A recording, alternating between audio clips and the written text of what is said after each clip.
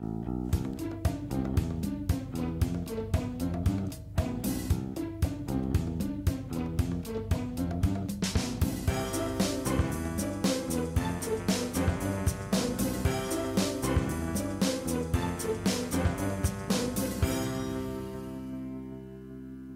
Es ist der 2. November 2017. Hier ist der Sendegarten. Ihr hört die Stimme von Martin Rützler. Und äh, ich begrüße alle, die an diesem dunklen Tag hier zu uns gefunden haben. Durch die Umstellung von der Sommer- auf die Winterzeit ist es jetzt natürlich noch mal eine Stunde düsterer, als es sonst schon gewesen ist. Aber schön, dass ihr alle da seid. Äh, auch die Live-Hörerinnen und Hörer, die sich vielleicht ein bisschen wundern, warum wir in dieser Woche äh, auf Sendung gehen. Aber es ist eine Verschiebung, die durch die Subscribe äh, 9 bedingt geworden ist. So, und ich habe gerade wir gesagt, wir sitzen im Sendegarten und da begrüße ich erstmal meine lieben Mitgärtnerinnen, nämlich die Ulrike. Hallo Ulrike. Hallo ihr alle. Und die Melanie ist auch dabei. Guten Abend, Melanie. Hallo, man glaubt es kaum, die Melanie ist dabei. Und freut sich doppelt. Ja. Dann haben wir dabei den äh, Sebastian. Guten Abend, Sebastian. Ja, guten Abend zusammen. Und last but not least bei den Herren, der Lars. Guten Abend, Lars. Hallo allerseits. Und wir alle zusammen freuen uns über unseren Gast, unsere Gästin heute Abend. Wir haben nämlich die Nele Heise auf der Gartenbank sitzen. Schönen guten Abend, Nele. Herzlich willkommen. Moin, moin. ah, ich dachte, man sagt nur einmal Moin.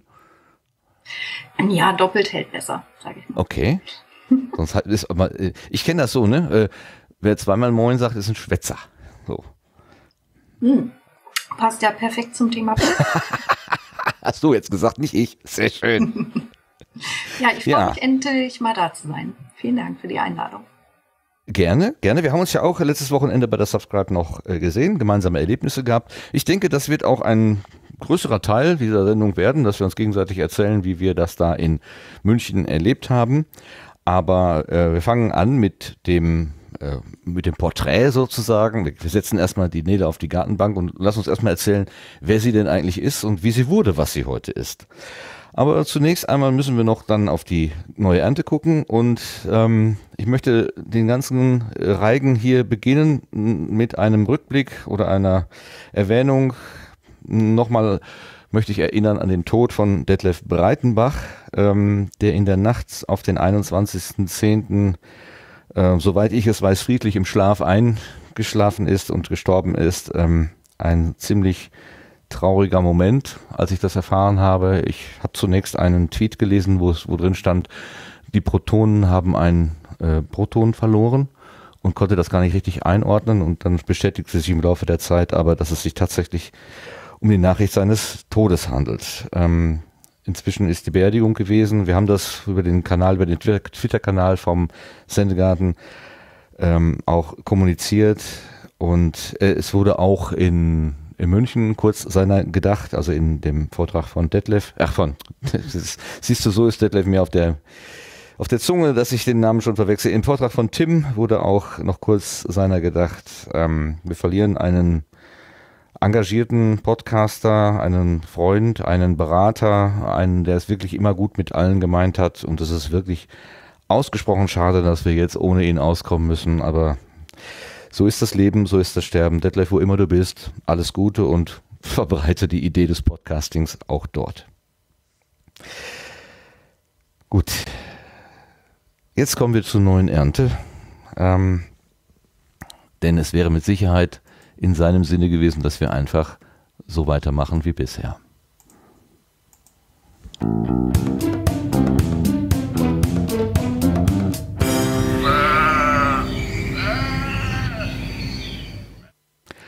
Viel Zuschriften hat es aktuell nicht gegeben, aber wir nutzen den Platz hier, ähm, damit Sebastian genau. noch einmal anschließen kann an das, was er beim letzten Mal schon anschließend an das gesagt hat, was er beim ersten, beim beim, vor, beim vorvorletzten echt? Mal gesagt hat. Also worum geht es?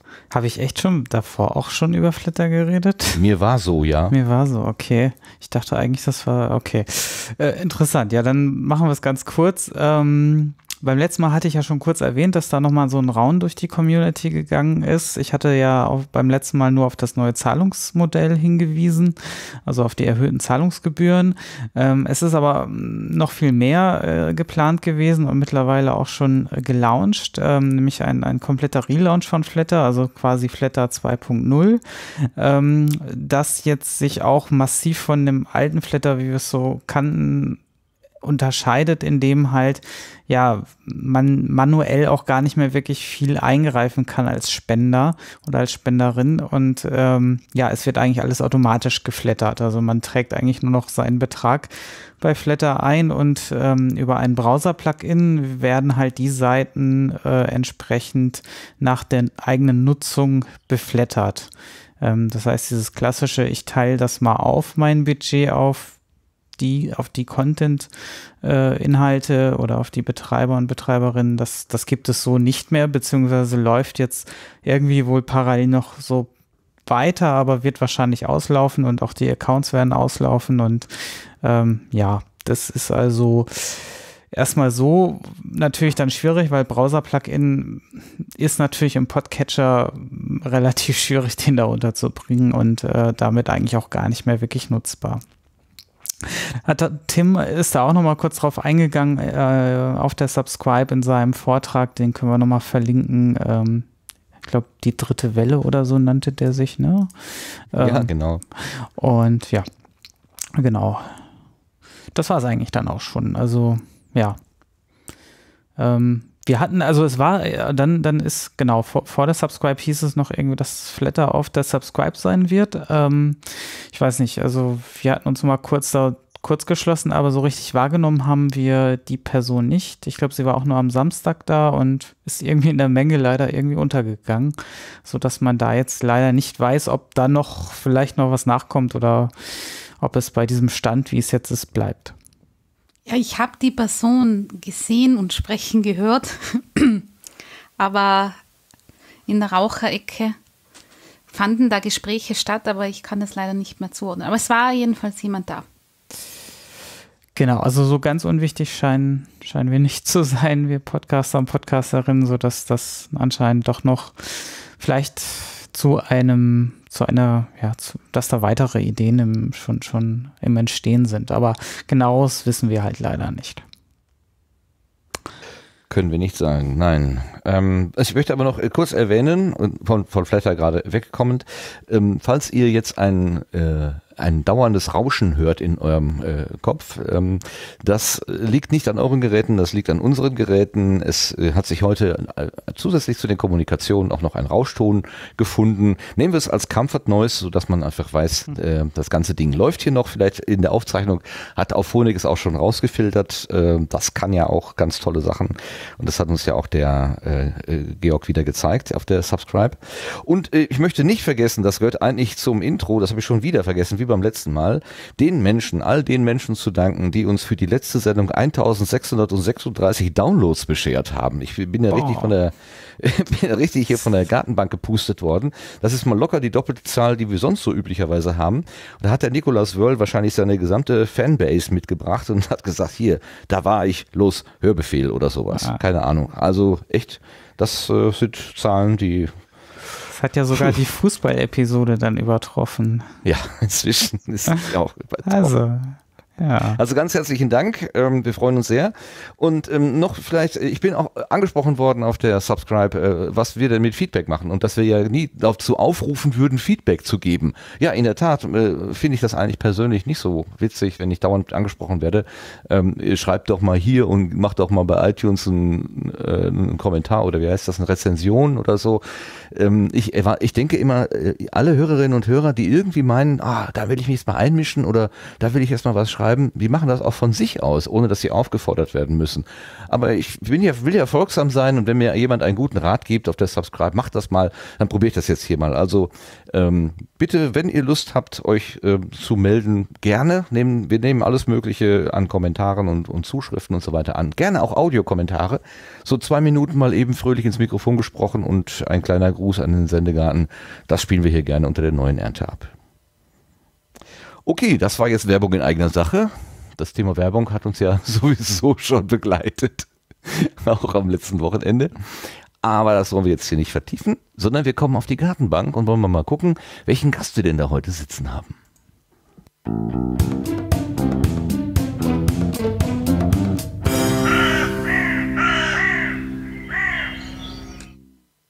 Und der Gast, die Gästin ist Nele Heise, wie bereits angekündigt. Ähm, Nele, du wirst ja immer als die Fachfrau für Podcasting ähm, herumgereicht, du wirst oft angefragt für Interviews von öffentlich-rechtlichen oder Verlagen oder sonst irgendwie. Als was definierst du dich selber im Podcastland? Hm, vielleicht vor allen Dingen als Hörerin würde ich erstmal sagen, vorrangig. Und dann natürlich als interessierte Beobachterin ähm, in meiner Rolle als Forscherin. Aber ich finde diesen Expertenbegriff irgendwie ganz schrecklich. Aber scheinbar braucht man, muss man da immer für so Bauchbinden im Fernsehen oder für so äh, kurze Teaser in, äh, in Magazinen immer irgendwie Podcast-Expertin dazu schreiben. Also ich selber glaube, dass ihr viel mehr Experten für Podcasts seid als ich, aber ähm, ich bin einfach enthusiastisch interessiert und neugierig. Ich habe in deiner Biografie gelesen, du bist Medienforscherin. Was forscht denn eine Medienforscherin genau? Ähm, oh, das, das, fängt schon gut an. Kommunikation, wie sie gelingt und wie sie scheitert. Ähm, nein, also mein Schwerpunkt sind Online-Medien, Digitalmedien, Medienwandel und vor allen Dingen, wie Menschen digitale Medien nutzen.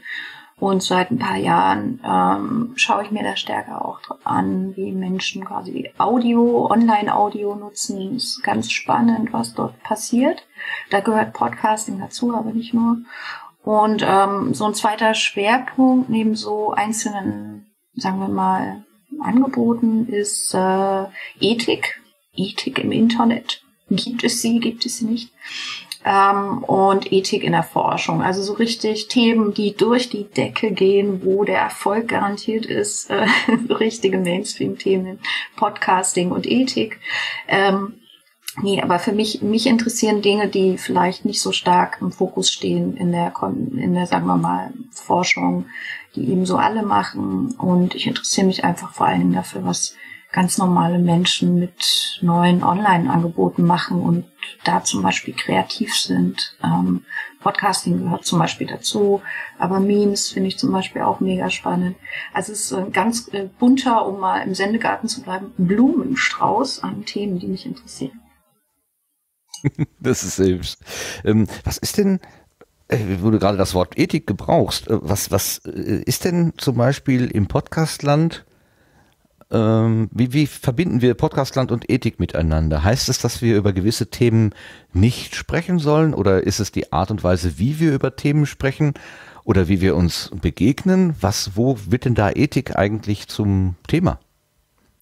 Ähm, das äh, könnte man so sehen, also wie man miteinander spricht, wer überhaupt sprechen darf. Ähm, so ein bisschen die Frage, ähm, wie man über Leute spricht. Das ist ja im Podcast mir bis jetzt noch nicht aufgefallen, aber dass man da irgendwie nicht gegen die, also niemanden herabwürdigt zum Beispiel oder so. Ähm, aber ich finde zum Beispiel ganz interessante Diskussion, weil du eben auch Werbung erwähnt hast, zum Beispiel ähm, die Trennung zwischen äh, Werbung und Inhalt ähm, ist was, was ich immer wieder höre, auch von Journalisten, mit denen ich spreche, Journalistinnen, wo die sich ein bisschen schwer tun. Also da gibt es so einmal einerseits so eine rechtliche Grauzone vielleicht und andererseits aber auch so ein bisschen die eigene Integrität als Journalist äh, oder als Journalistin zu bewahren.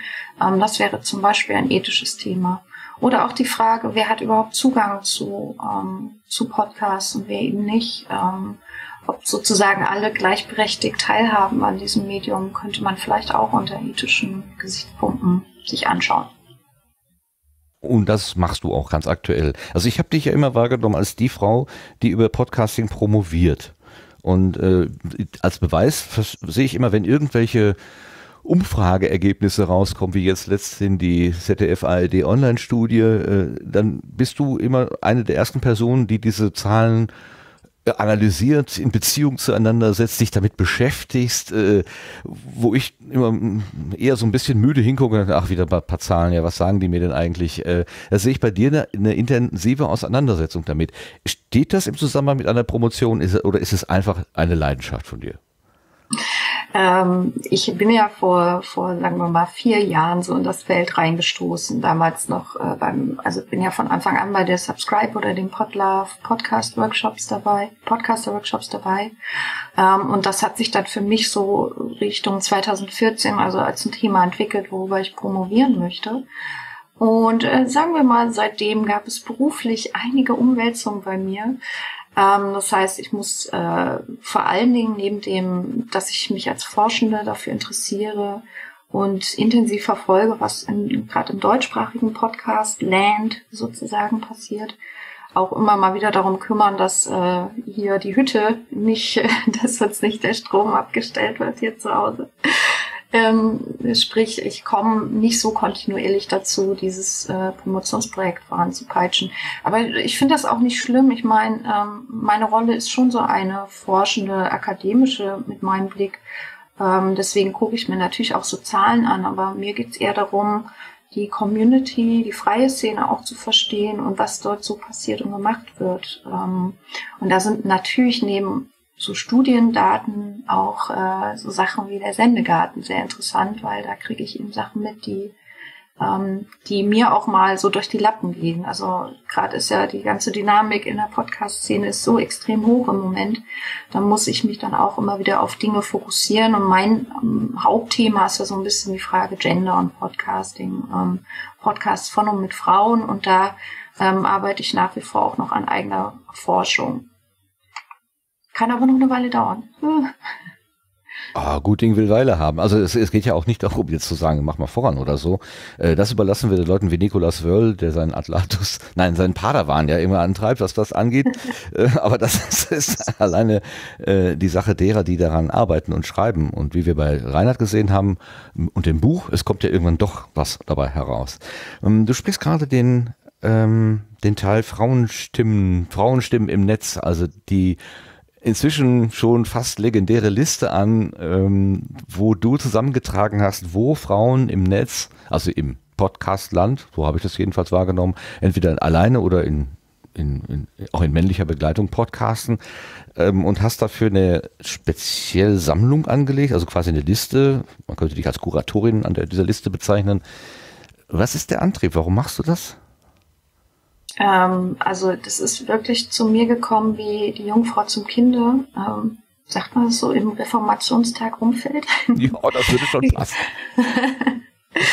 ähm, ja, nee, also für die Liste ist ja so entstanden. Die Liste, das klingt so geheimnisvoll, aber es ist einfach nur ein schreckliches äh, Online-Tabellendokument, äh, was so ein bisschen äh, darauf wartet, schön gemacht zu werden. Ist für mich äh, tatsächlich so entstanden, dass ich im August 2014 nach einem Text äh, von Ole Reismann über Diversität im Podcasting oder über die Frage, warum Podcasts so äh, noch einen schwierigen Stand haben, ähm, entstanden, habe ich einfach mal auf Twitter gefragt, äh, sag mal, äh, kennt ihr eigentlich Podcasts, wo Frauen mitmachen? Und das war am Anfang noch ganz nett. Da kam dann so Feedback, so vielleicht mal 30 Tweets. Und das hatte sich dann so hoch gepusht, ähm, wenn das dann auch aus dem eigenen Netzwerk an Bekannten rausgeht, dass ich dann angefangen habe, das mit dieser Tabelle da im Internet festzuhalten. Und also so kam das zustande. Und mittlerweile ähm, mache ich auf dieser Basis auch Auswertungen für meine Dissertation. Das heißt also, eigentlich war das ein großes Glück, dass ich damals ähm, so viel Feedback bekommen habe ähm, das ist für mich sozusagen auch ganz klar den Fokus für meine Dis, äh, für meine Doktorarbeit geschult hat. Aber mittlerweile ist es einfach so, dass es mit über 500 Einträgen einfach überhaupt nicht mehr zu managen. Es ist äh, von der Navigation her ganz schwierig. Ähm, und daher ist es ein großes Glück, dass der Christian von Feed ähm, diese Sammlungsfeature bei sich eingebaut hat und mit dem kontaktiere ich mich auch immer mal. Also wir sind manchmal im Kontakt, äh, da frage ich ihn, ob er das und das machen kann. Und dann versucht er das. ich kann mich dunkel erinnern, dass es mal bei einem Podlove Podcaster Workshop, als der noch so hieß, da wurde doch mal ein, ein, ein Demo gezeigt oder ein, ein, Entwurf gezeigt, wie die Frauenstimmen im Netz demnächst als Webauftritt aussehen sollten. Das sah alles sehr vielversprechend aus. Da scheint aber dann irgendwie doch nichts draus geworden zu sein. Oder erinnere ich das komplett falsch? Nee, erinnerst du komplett richtig. Da haben wir, äh, das war damals in Zusammenarbeit mit Dennis, ähm, Dennis Mohat, genau da hat, haben wir uns einfach erstmal komplett zu weit aus dem Fenster gelehnt, weil wir das ganze Backend bearbeiten und so weiter dann doch nicht so hinbekommen haben. Und ähm, dann einfach, ähm, da merkt man wieder, wie schön Online-Kommunikation zwar sein kann, aber für so konkrete Projektarbeit ist es dann auch manchmal ganz hilfreich, ähm, zusammenzusitzen und einfach zu überlegen, in welchen Datenformen muss zum Beispiel diese Liste vorliegen. Also wenn es zum Beispiel um Orte geht, äh, da kann man ja auch mit irgendwelchen ähm, Geodaten oder so arbeiten. Also da war es dann einfach, sah das ein bisschen ähm, einfacher aus, als es am Ende dann in der Umsetzung war. Und ähm, ja, so ist es immer noch diese Liste. Ich habe nicht so richtig die Zeit und die Idee, wie man das umbauen könnte. Also es ist ja bei zum Beispiel bei dem Wissenschaftspodcast.de, äh, das ist einfach viel weniger ähm, an äh, Formaten. Und ihr guckt ja da auch viel genauer hin mit der Kuration. Und ähm, das heißt, ich habe schon überlegt, ob ich einfach mal programmieren lerne und mir selber da eine Seite baue. das wäre vielleicht eine gute Idee. Aber es ist dann einfach nicht äh, das draus geworden, wonach es dann aussah, weil es eben von der Umsetzung her dann doch noch ein bisschen mehr ähm, voraussetzt, als äh, ja, als ich mir auch vorgestellt habe, muss man auch ehrlicherweise sagen. Ja, wir sehen ja bei, wir sehen ja bei Wissenschaftspodcasts.de schon, wie schwierig das ist, auch mit knapp 50. Und wie viele sind es jetzt aktuell bei den Frauenstimmen? Ähm, oh Gott, ich müsste mal reingucken, aber es sind über 500. Es sind ja, natürlich eben. nicht alle aktiv, ist, aber. Ja, ja, das ist natürlich eine ganz andere Herausforderung, das ist klar. Naja, vor allen Dingen willst du es ja auch dann anders aufbauen und sich da mal mhm. Gedanken und Zeit nehmen zu können, das auch mal zu durchdenken, vielleicht mhm. auch mal diejenigen, die auf dieser Liste drauf sind, mal zu fragen, ähm, wie könnt ihr euch das vorstellen, wie wollt ihr vielleicht, gibt es eine coole Formatidee dafür? Also es sind alles so Sachen, wo man sich wahrscheinlich echt noch ein bisschen mehr Zeit blocken müsste. Und ähm, dann ist es auch so ein bisschen eine Frage, man muss schon auch Leute finden, denen man da vertraut in der Zusammenarbeit, ähm, was überhaupt nichts über ähm, bisherige Kontakt oder so zu tun hat. Aber wenn man sich da so ehrenamtlich reinschmeißt, ähm, da müssen einfach auch ähm, Leute dabei sein, die, ähm, die da Bock haben und Lust haben und da auch dranbleiben. Also da war schon auch immer mal so, kamen schon immer mal auch Angebote, was zu machen an der Liste und auch vielleicht so eine Seite zu konzipieren. Aber das kam dann oft nicht zustande. Und das meinte ich eben mit äh, Digitalkommunikation. Das ist halt ähm, manchmal weniger verbindlich, als, ähm, als man sich das so wünscht. Und manchmal, naja, also manchmal ist es auch einfach ähm, schwierig, vielleicht rüberzubringen, ähm, was man so, ähm, was man so erreichen will damit. Melanie, wie nimmst du diese Liste wahr? Hast du da schon irgendwie Gebrauch von gemacht? Hast du Menschen darauf, äh, Menschen diese Liste gezeigt? Nutzte das irgendwas in deinem Podcasterinnen-Dasein? Was ist das Verhältnis zu, von dir zu dieser Liste? Zur Frauenstimmen im Netzliste. Mhm, ja. Also verweisen tue ich bei allen möglichen Gelegenheiten darauf. Ähm, eigentlich aus einem ganz ähnlichen, aus einer ganz ähnlichen Motivation heraus, glaube ich, ähm, die bei Nele, wie sie es jetzt geschildert hat, in der ähm, Gründung dieser Liste überhaupt äh, entstanden ist, weil wir ja gerade in einem oder überhaupt generell im Medienbereich, aber und, und damit auch im Podcasting-Bereich ja eher damit zu tun haben, dass Frauen, sagen wir, jetzt, sagen wir jetzt mal, zumindest nicht die Mehrheit stellen.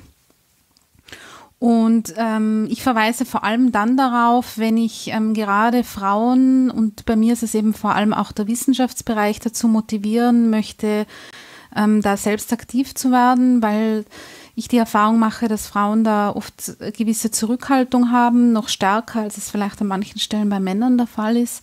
Und um sie zu motivieren und ihnen zu zeigen, schaut wie viele, wie viele Frauen es da gibt und die Technikhürde, die dann bei vielen mm, so ein Gedanke ist, der relativ schnell kommt, kann bei dieser, bei diesem Umfang auf dieser Liste relativ schnell so ein bisschen abgemildert werden zumindest. Äh, deswegen für mich ist das eine ganz wichtige Liste, auf die ich immer wieder gerne hinweise. Und ich finde es total toll, dass die Nele sich da die Mühe macht und vor allem das initiiert hat.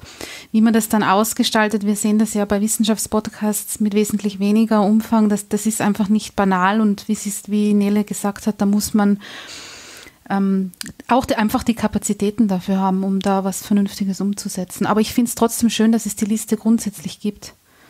Hm.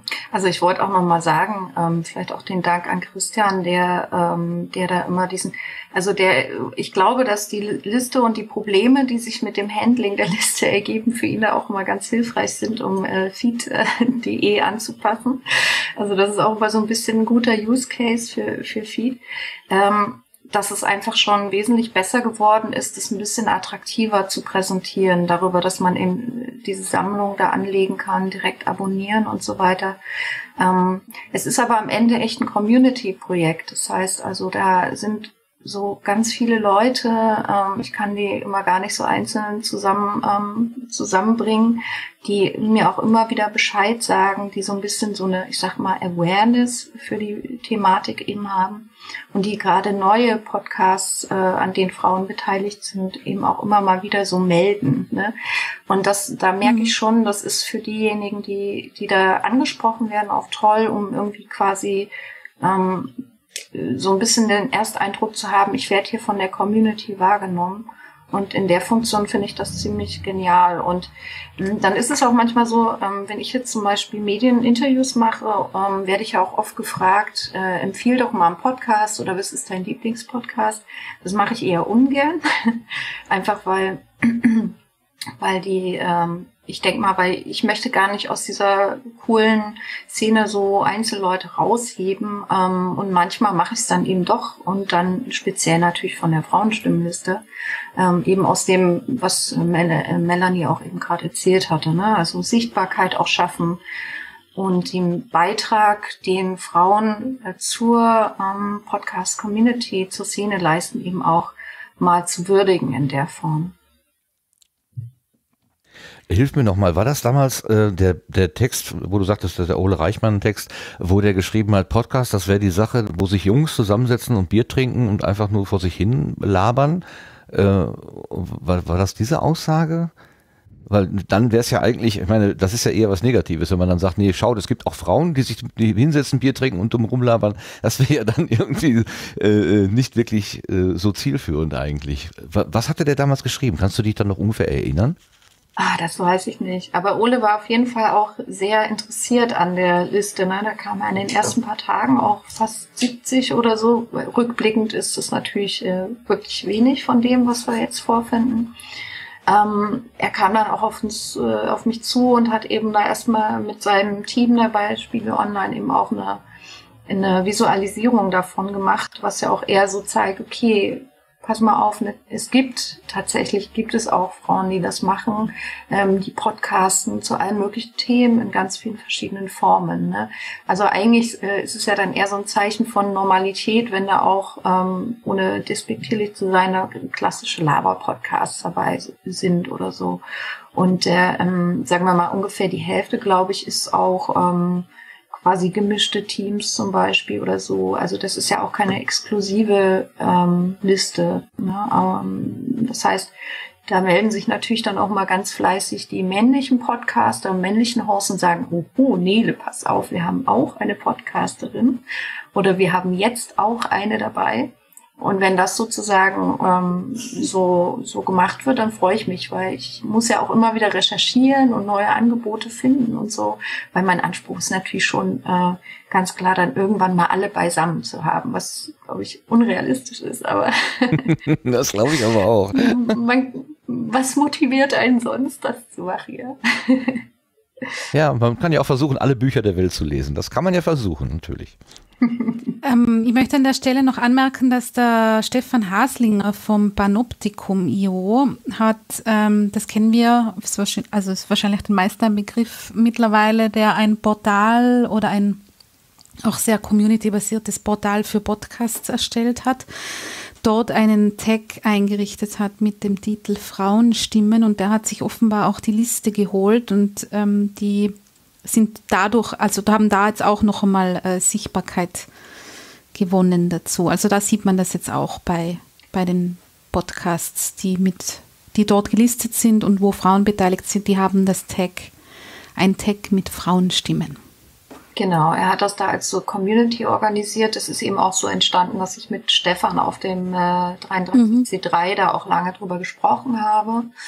Und ähm, wie gesagt, ich äh, bin immer irgendwie ganz gerührt teilweise über den Support, den das erfährt. Jetzt neulich hat ja auch netzpolitik.org ähm, mal darüber berichtet, über, über die starke, oder sagen wir mal, darüber, welchen, äh, welchen Impact eigentlich auch podcastende Frauen aktuell haben. Also man kann ja nicht von der Hand weisen, dass einige der Top iTunes Charts, äh, was auch immer man davon halten möchte jetzt, aber dass eben doch auch einige Angebote dann von Frauen äh, produziert werden äh, oder gehostet werden. Ähm, ich finde, das kann man schon mal irgendwie auch betonen. So. Oder zumindest muss man nicht äh, so tun, als wäre das irgendwie selbstverständlich, weil es natürlich auch immer um ähm, Wahrnehmung, Anerkennung und ähm, irgendwie ähm, ja ja wie, Wahrnehmung eigentlich vor allen Dingen geht ne? oder die Leistung, die dort auch gemacht wird, äh, mal zu sehen und von mir aus auch ganz gerne mal herauszustellen. Ulrike, mal die Frage an dich. Bist du froh, auf dieser Liste zu stehen? War für mich damals auf jeden Fall schon so eine Art äh, Ritterschlag. Ich habe, glaube ich, auf meinem ersten PPW auch gleich irgendwie von dieser Liste gehört. Und dann, ich kam ja erst mit einer Idee und hatte noch gar nicht gepodcastet. Und äh, dann war schon so ein bisschen die Herausforderung, oh, irgendwann stehst du da vielleicht auch mal drauf. Und das ging dann, glaube ich, sogar relativ schnell. Also äh, ich glaube, beim nächsten PPW stand ich dann sogar schon mit drauf. Ähm, und habe mich dann, also wie Nele vorhin meinte, dann auch von der Community einfach auch wahrgenommen gefühlt. Und das hat einfach so auch in meinen ganzen ersten Eindruck von der Community mit reingespielt. Und äh, das fand ich dann damals total toll. Ähm, ich meine, so aktuell äh, bin ich dann ja doch schon manchmal ein bisschen äh, zickig, wenn dann irgendwie jemand behauptet, äh, ja, jetzt ist die Ulrike da, muss ja auch mal eine Frau podcasten. Dann in dem Moment bin ich dann immer, dass ich dann in dem Moment will ich dann immer gar keine Frau sein, sondern einfach äh, ein podcastendes äh, Wesen. Das Podcastwesen will ich dann immer sein. Weil irgendwie ist dann immer noch mehr an einem dran als das, was einen zur Frau macht. Aber sonst, äh, an alles in allem finde ich die Podcast, äh, Podcasterinnenliste total wichtig. Und ohne die hätte ich vielleicht auch weniger Mut gehabt, meine Stimme zu erheben und zum Podcastwesen zu werden. Das geht richtig rein. Das ist ein schönes Kompliment. Also ich, ich komme immer wieder daher und denke, was, warum, warum ist dieser Unterschied des Geschlechtes eigentlich so wichtig für uns? Ähm, aber ich habe natürlich die nicht die Perspektive äh, der Gruppe derer, die um Anerkennung kämpfen müssen. Ähm, für mir ist, ich, ich betrachte unsere podcastenden Mitmenschen tatsächlich, wie Ulrike sagt, als podcastende Wesen. Mir ist das eigentlich völlig wurscht, was für ein Geschlecht die haben oder ob sie es überhaupt bestimmen wollen oder können oder irgendwas dazwischen sind. Ähm, aber in der Tat erlebt man ja auch die Welt ein bisschen anders und da ist es tatsächlich dann notwendig vielleicht, dass man auch an der Stelle so ein bisschen schiebt ohne dass man dann zu sowas wie einer Quotierung kommt oder sowas. Also ein, ein Gruppenpodcast muss mindestens eine Frau haben, sonst wird er nicht auf der Liste gef geführt oder so. Das will man halt auch nicht. Ähm. Faktisch ja, guck mal, mir, mir wurde als Achso, nee, nee, da Ulri Ulrike, mach mal. Achso, nee, ich wollte nur sagen, ich habe in meiner, in meiner Jugend halt auch noch sowas gehört wie, naja, du bist ein Mädchen, du brauchst keine Playstation. Und da wurde dir halt schon so ein bisschen aktiv der Zugang zu mancher Technik auch verwehrt. Und da bin ich dann jetzt natürlich umso froher, dann äh, in so, so einen Nerdhaufen reinzugeraten, der aber sagt, hey, hier, guck mal, hier ist dein Platz, hier, ich schreibe deinen Namen sogar hier irgendwo hin, hier, guck, da steht da, jetzt können ihn alle sehen. Das ist halt schön. Super. Melanie, du wolltest auch noch was ergänzen? Ja, aber jetzt lasse ich die Nele zuerst sagen. Okay, Nele. Was sie bitte. sagen wollte. Ach so, na, äh, also ich, äh, ich im Grunde die Perspektive, was diese Liste bedeutet, ähm, ich, ich stelle mich eher so zur Verfügung, um die zu pflegen und um auch immer mal darauf hinzuweisen und vielleicht auch dann irgendwie regelmäßiger mal zu kuratieren und mal ähm, Angebote von der Liste auch vorzustellen, weil so eine Liste alleine ist eigentlich, äh, macht erstmal nicht viel. Ne? Du musst schon irgendwie dann auch wieder auf einzelne Formate hinweisen. Das bringt, glaube ich, mehr. Aber ich habe diese Perspektive ja gar nicht, weil ich selber gar nicht podcaste.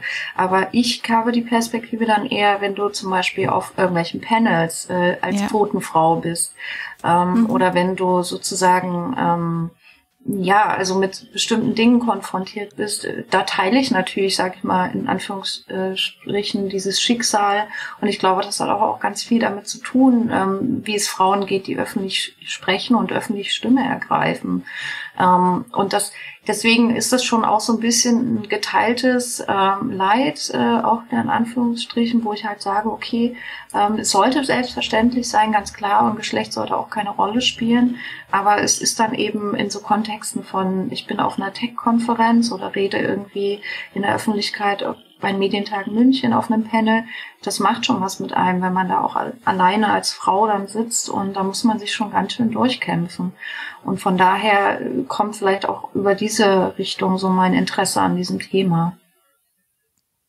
Und ich, also ich habe jetzt, äh, ich habe mir gedacht, dass die Nele das, dieses Beispiel nennt, gerade bei Konferenzen äh, ist es ein, ein Riesenthema, was die ähm, Quote von Frauen dort betrifft, auch in der Besetzung von Diskussionspanels oder bei Vorträgen. Also das ist nach wie vor äh, ein sehr großes Thema, ein größeres, als man wahrscheinlich vermuten würde. Und leider sehen das ähm, nicht alle so wie du, Martin. Es wäre sehr schön. Ich glaube, darauf müssen wir hinarbeiten, letzten Endes.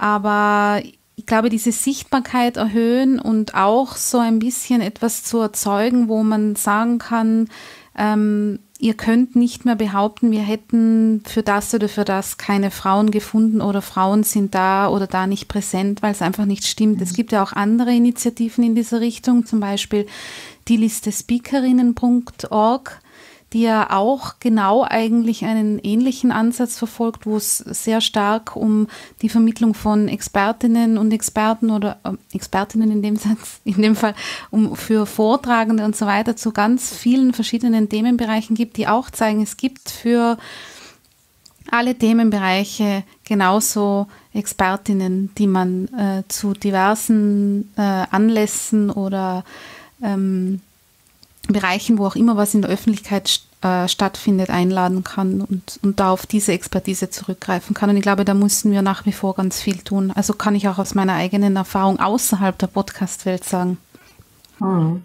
Also ich finde auch, was auch nochmal wichtig ist, äh, da kommt dann wieder ich als Hörerin mit rein.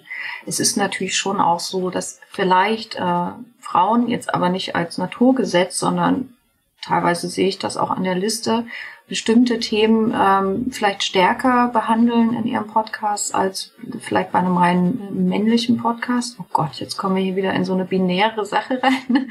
äh, jedenfalls, deswegen ist es so schwer darüber zu reden, liebe Leute. Äh, jedenfalls ähm, es gibt schon auch andere Themen und die werden auch anders behandelt und da gibt es andere Perspektiven darüber und ich finde das äh, cool, weil wenn wir über Podcasting reden, reden wir einfach über eine offene, äh, erstmal eine Technologie, die im Grunde erstmal für jeden offen steht und deswegen finde ich das auch ganz toll, dass da so eine Vielfalt herrscht, aber es gibt vielleicht auch ein paar Dinge, die ähm, Frauen oder zumindest äh, einige Frauen, auch Podcasterinnen, dann vielleicht eben anders machen und ich finde das besonders und äh, cool, dass es so ist.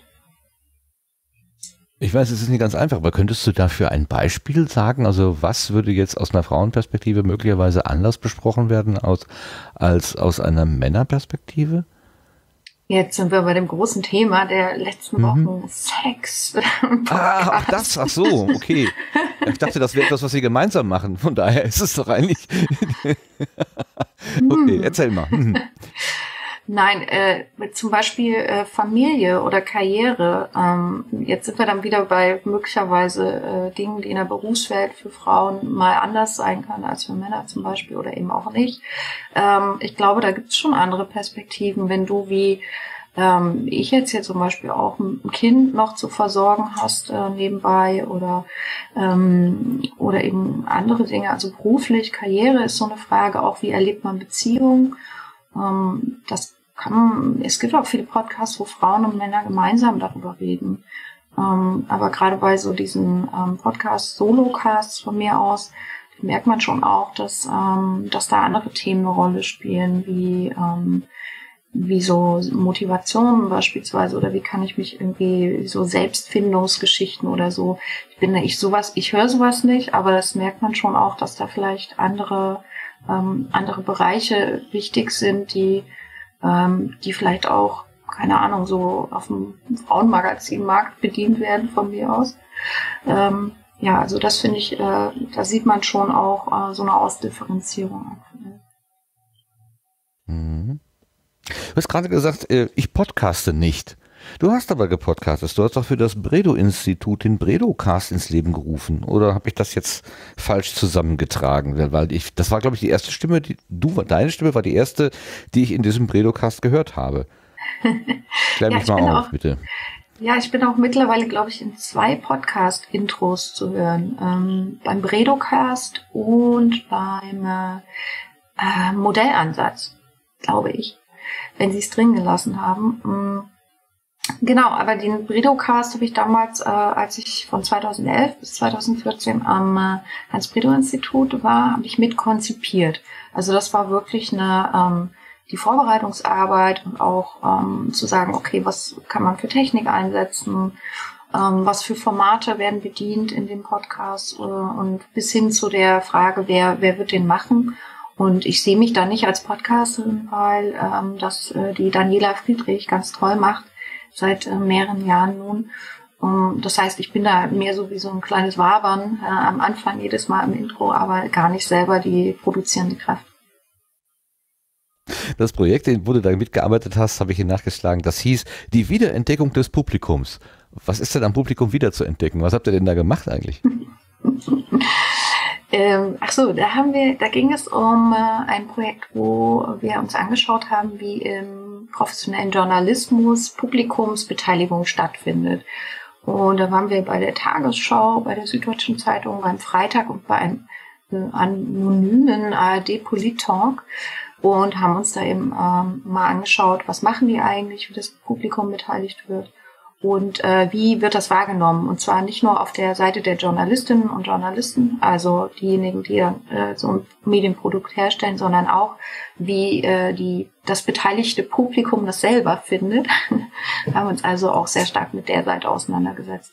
Und es war ein äh, spannendes, äh, groß andauerndes Projekt, aber wie bei Forschungsprojekten üblich eben eines, was befristet war. Okay. Ja, weil die, die, die Frage nach dem Publikum, das ist ja, also wenn ich das jetzt mal so aus Laienperspektive sehe, äh, relativ simpel zu erklären. Das sind halt die Leute, die da irgendwann am anderen Ende sind und äh, die jetzt mein, meine Zeitung lesen, meinen Podcast hören, mein Video anschauen. Ähm, muss ich die entdecken? Muss ich, also andersherum, ich habe so einen naiven Begriff von ähm, äh, von Journalismus, wo ich immer denke, das ist so, der Journalist ist so ein bisschen derjenige, der stellvertretend für jemand anderen, der aber gerade am Fließband steht oder im Büro sitzt oder im Labor irgendwas forscht oder was auch immer, äh, der eben loszieht in die Welt und versucht dort irgendwelche Erkenntnisse zu gewinnen, äh, Politiker zu, zu fragen, zu auszufragen oder so und bringt diese Information wieder zurück. Ähm, gibt es dieses Bild so gar nicht in, äh, in, in Journalistenkreisen oder ähm, ist ein anderes Publikum zu finden? Was, was steckt da so dahinter? Naja, die Idee ist ja eigentlich, dass dadurch, dass ähm, wir jetzt im Zeitalter des Online-Journalismus leben, ähm, eigentlich so eine Fragmentierung stattfindet. Also das Publikum gibt es überhaupt nicht mehr. Also früher hast du äh, einfach ausgestrahlt, äh, Deutschlandradio, heißt ja auch nicht mehr so. Aber ähm, du hast sozusagen auf eine Masse, ein Massenpublikum ähm, deine, deine Botschaften gesendet und äh, das ist heute nicht mehr so, weil dadurch, dass es allein schon, was weiß ich, von Deutschlandfunk ähm, drei oder vier Apps gibt, nee, ich glaube, es gibt nur noch eine, aber so, äh, sagen wir mal, vom Bayer Bayerischen Rundfunk oder so, schon allein dadurch ähm, zersplittert so dieses Publikum und ähm, das, was, ein Pub was diese verschiedenen Publika machen online, wenn sie zum Beispiel kommentieren ähm, oder wenn sie Hörerbriefe schreiben und so weiter, das ist schon durchaus unterschiedlich und ähm, dann gibt es trotzdem noch auf Journalistenseite so ein bisschen den Bruch. Also es gibt immer noch Generationen, die sind halt im Printmedium oder im Offline-Medium aufgewachsen so neue Generation an Journalisten, die komplett in, in der Digital-Online-Journalismus-Welt ähm, groß geworden sind. Und da gibt es schon durchaus noch große Brüche. Und dann kommt noch das Publikum dazu und möchte mitreden. Und dann gibt's äh, Lügenpressevorwürfe und dann wird auch noch wird auch noch kommentiert und dreist äh, irgendwelche Rückmeldungen gegeben, so dass ähm, diese Beziehungen zwischen dem, dem Publika und dem Journalismus, ähm, die sind, glaube ich, bestimmt nicht einfacher geworden ähm, im digitalen Zeitalter. Und das haben wir uns mal konkreter angeschaut. Ja, ein bisschen, ein bisschen abseitiges Thema, aber geht mir gerade durch den Kopf. Äh, ich hatte mit dem Stefan Schulz in, in München darüber äh, auch gesprochen. Ähm, äh, erwartet man von einem Journalisten Neutralität und Objektivität? Ähm, oder ist es heute äh, vielleicht anders geworden? Vielleicht war es früher so und heute ist es anders geworden, dass man einen, wie nennt man das immer, Journalisten mit Haltung äh, trifft, also der dann auch tatsächlich eine Meinung mittransportiert. Lässt sich das überhaupt trennen? Also das, diese grundsätzliche Frage hatten der Stefan Schulz und ich da so ein bisschen bewegt.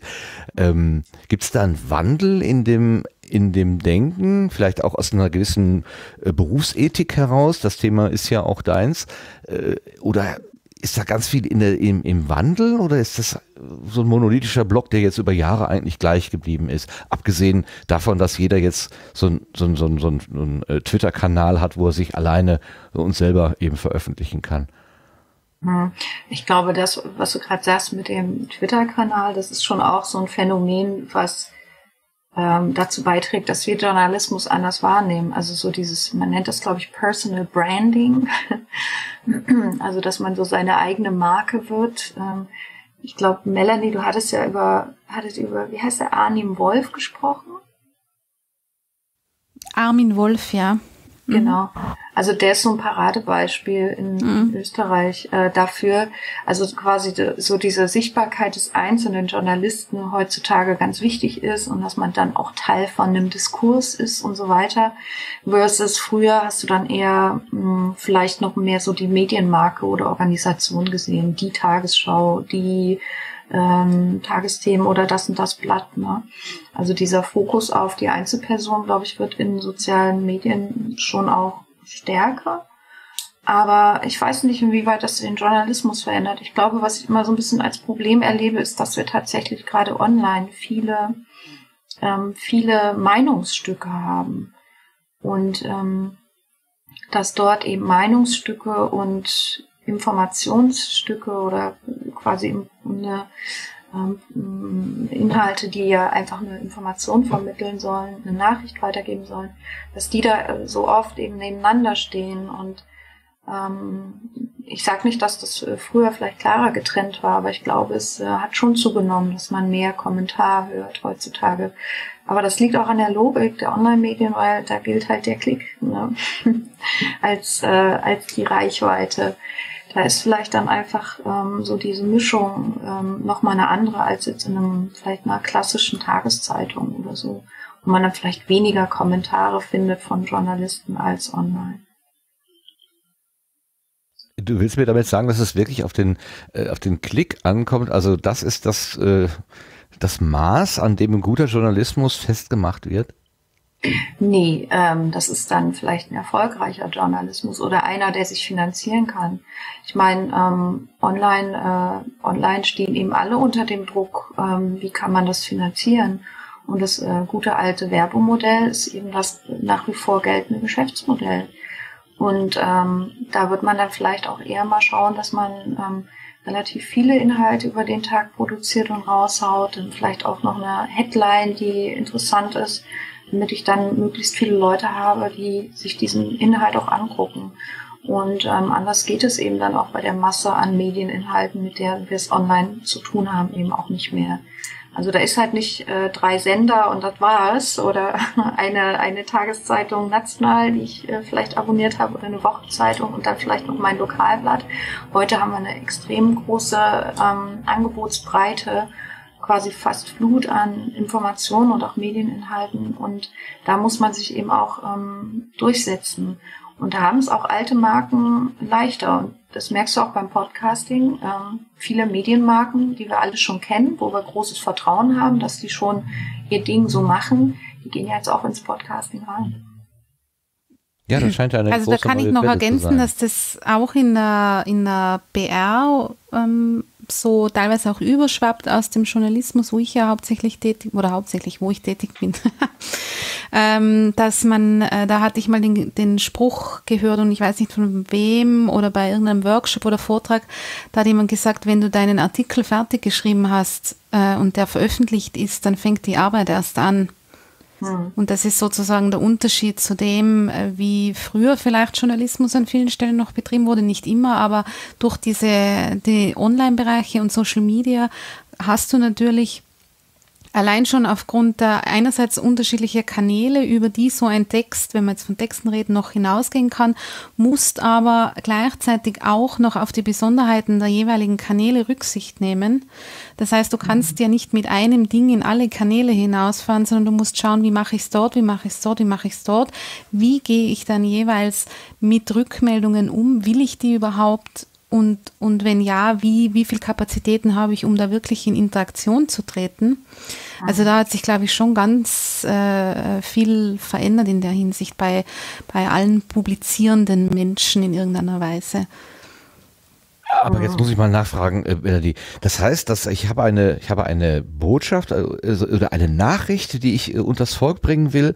Und je nachdem, welches Medium ich benutze, äh, formuliere ich diese Nachricht mit anderen Inhalten? Das kann ich mir gar nicht vorstellen. Nein, nicht mit anderen Inhalten, aber in einem anderen Rahmen.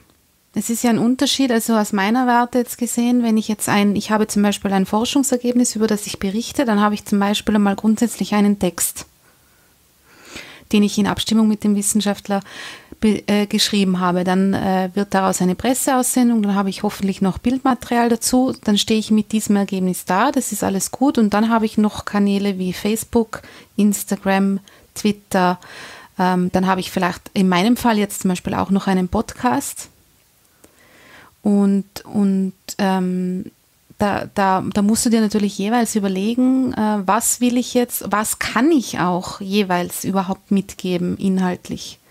Also was will ich, äh, wenn ich auf Instagram dann ein, ein Bild habe, wo ich sage, ich möchte die Leute über dieses Bild zum Thema ziehen zum Beispiel, dann mache ich ähm, das da, aber ich kann ja zum Beispiel auf Instagram nicht den gesamten Text äh, posten, den gesamten Inhalt. Ziel wäre es, die Leute natürlich immer zu dem Ursprungsprodukt irgendwie zurückzuholen. Und wenn wir jetzt hier ja beim Podcast-Thema eher sind, dann ist beim Podcasting zum Beispiel etwas, was ich sehr schätze, ein Aspekt dieser ganzen Arbeit, dass ich da bei vielen Themen, wenn ich jetzt zum Beispiel eine Presseaussendung zu einem expliziten Forschungsergebnis mache, ähm, auf ein ausführliches Hintergrundgespräch verweisen kann und das sozusagen als Zusatz noch anbieten kann, um das alles besser zu kontextualisieren. Und wiederum anders läuft es äh, auf, auf Twitter oder auf Facebook zum Beispiel. Aber ich, ich ändere damit ja nicht den Inhalt, ich ändere nur sozusagen den Aspekt, mit dem ich ähm, hinausgehe, um auf die Besonderheiten der jeweiligen Plattformen Rücksicht zu nehmen. Ja, okay. Also was ich verstehe ist, äh, je nachdem, welches, welchen Sinn ich ansprechen will beim, beim möglichen Kunden, fokussiere ich meine Arbeit darauf. Also bei einem Bildkanal muss ein knackiges Bild her, ein Eyecatcher, äh, beim Audioformat irgendeine Aussage, an der man quasi nicht vorbeikommt, wo man stutzt und hängen bleibt, also ein Earcatcher, wenn man so will. Ähm, aber irgendwo ist das ja im Prinzip äh, das Anreißen, also wie du schon sagst, also eigentlich will ich auf ein auf ein, auf ein Urmedium verweisen. Was ist denn das Urmedium? Ist das nach wie vor das Stück Papier, das, das, der geschriebene Text, äh, das Paper? Was, was ist denn eigentlich das führende, also bei den, bei den äh, EDV-Leuten wird man wahrscheinlich das führend, führende System, was nur an andere weiterreicht? Also ich, ich glaube, das kann ganz unterschiedlich sein, je nachdem. Also bei, bei, bei Journalistinnen und Journalisten haben wir ähm, keine Ahnung, wenn wir das, wenn wir so einen Transportweg, da geht es ja mehr um, um die Aufmerksamkeit oder um Leute dazu zu bringen, das zu lesen. Wenn, wenn ein Journalist seinen Artikel auf über Twitter verbreitet, dann wäre er wahrscheinlich recht froh, wenn man nicht nur den, den Tweet liest, sondern den ganzen Artikel, der dran hängt, sozusagen. Also es geht ja da ganz viel um Verweise und natürlich ähm, äh, letztlich geht es um Interesse wecken und, und da steht dann immer etwas dahinter, weil du bist ja in den Social Media immer, immer, du musst ja immer verkürzen. Das ist, sieht man ja auch ein ganz interessantes Phänomen ist unter den Podcasterinnen diese, diese Teaser oder Appetizer, wo, wo, wo man ganz kurze Sequenzen aus dem Podcast rausnimmt oder zusammenschneidet, um sozusagen einen gewissen Eindruck von der Stimmung in dieser Folge zu geben oder vielleicht war einfach ein ganz toller Sager oder Lacher oder irgendwas drinnen, was man dann explizit herausgreift um die Leute so vielleicht in, in, in das Meer, was dahinter steht, reinzuziehen. Also ich glaube, das ist ja ganz, letztlich glaube ich auch gar nicht so was ganz Neues ähm, als Phänomen, dass man so Appetit machen will eigentlich irgendwie. Und die, und die jeweiligen Plattformen verlangen in der Hinsicht halt unterschiedliche Formen. Mhm. Da finde ich übrigens, ähm, um mal den Bogen zu schlagen zu den Frauenstimmen, dass auch die ähm, Podcasterinnen oder viele, die gerade so sehr sich im Social Media Bereich sehr, sehr gut aufgestellt sind, ähm, das finde ich extrem spannend. Das ist äh, teilweise sehr gut und professionell gemachtes ähm, Marketing und ähm, sozusagen Inhalte vermarkten im Netz, äh, was dort passiert und wo vielleicht noch einige was von lernen könnten. Das ist auch gar nicht, äh, das ist ja auch nichts Schlimmes. Also jeder möchte gerne, der etwas produziert, dass das ein Publikum findet. Ähm, und da kann man sich bestimmt auch nochmal so das eine oder andere abschauen. Aber das sehe ich bei den, ähm, gerade bei den Podcasterinnen, die jetzt neu dazugekommen sind, so in den letzten zwei, drei Jahren, dass sich das extrem professionalisiert hat.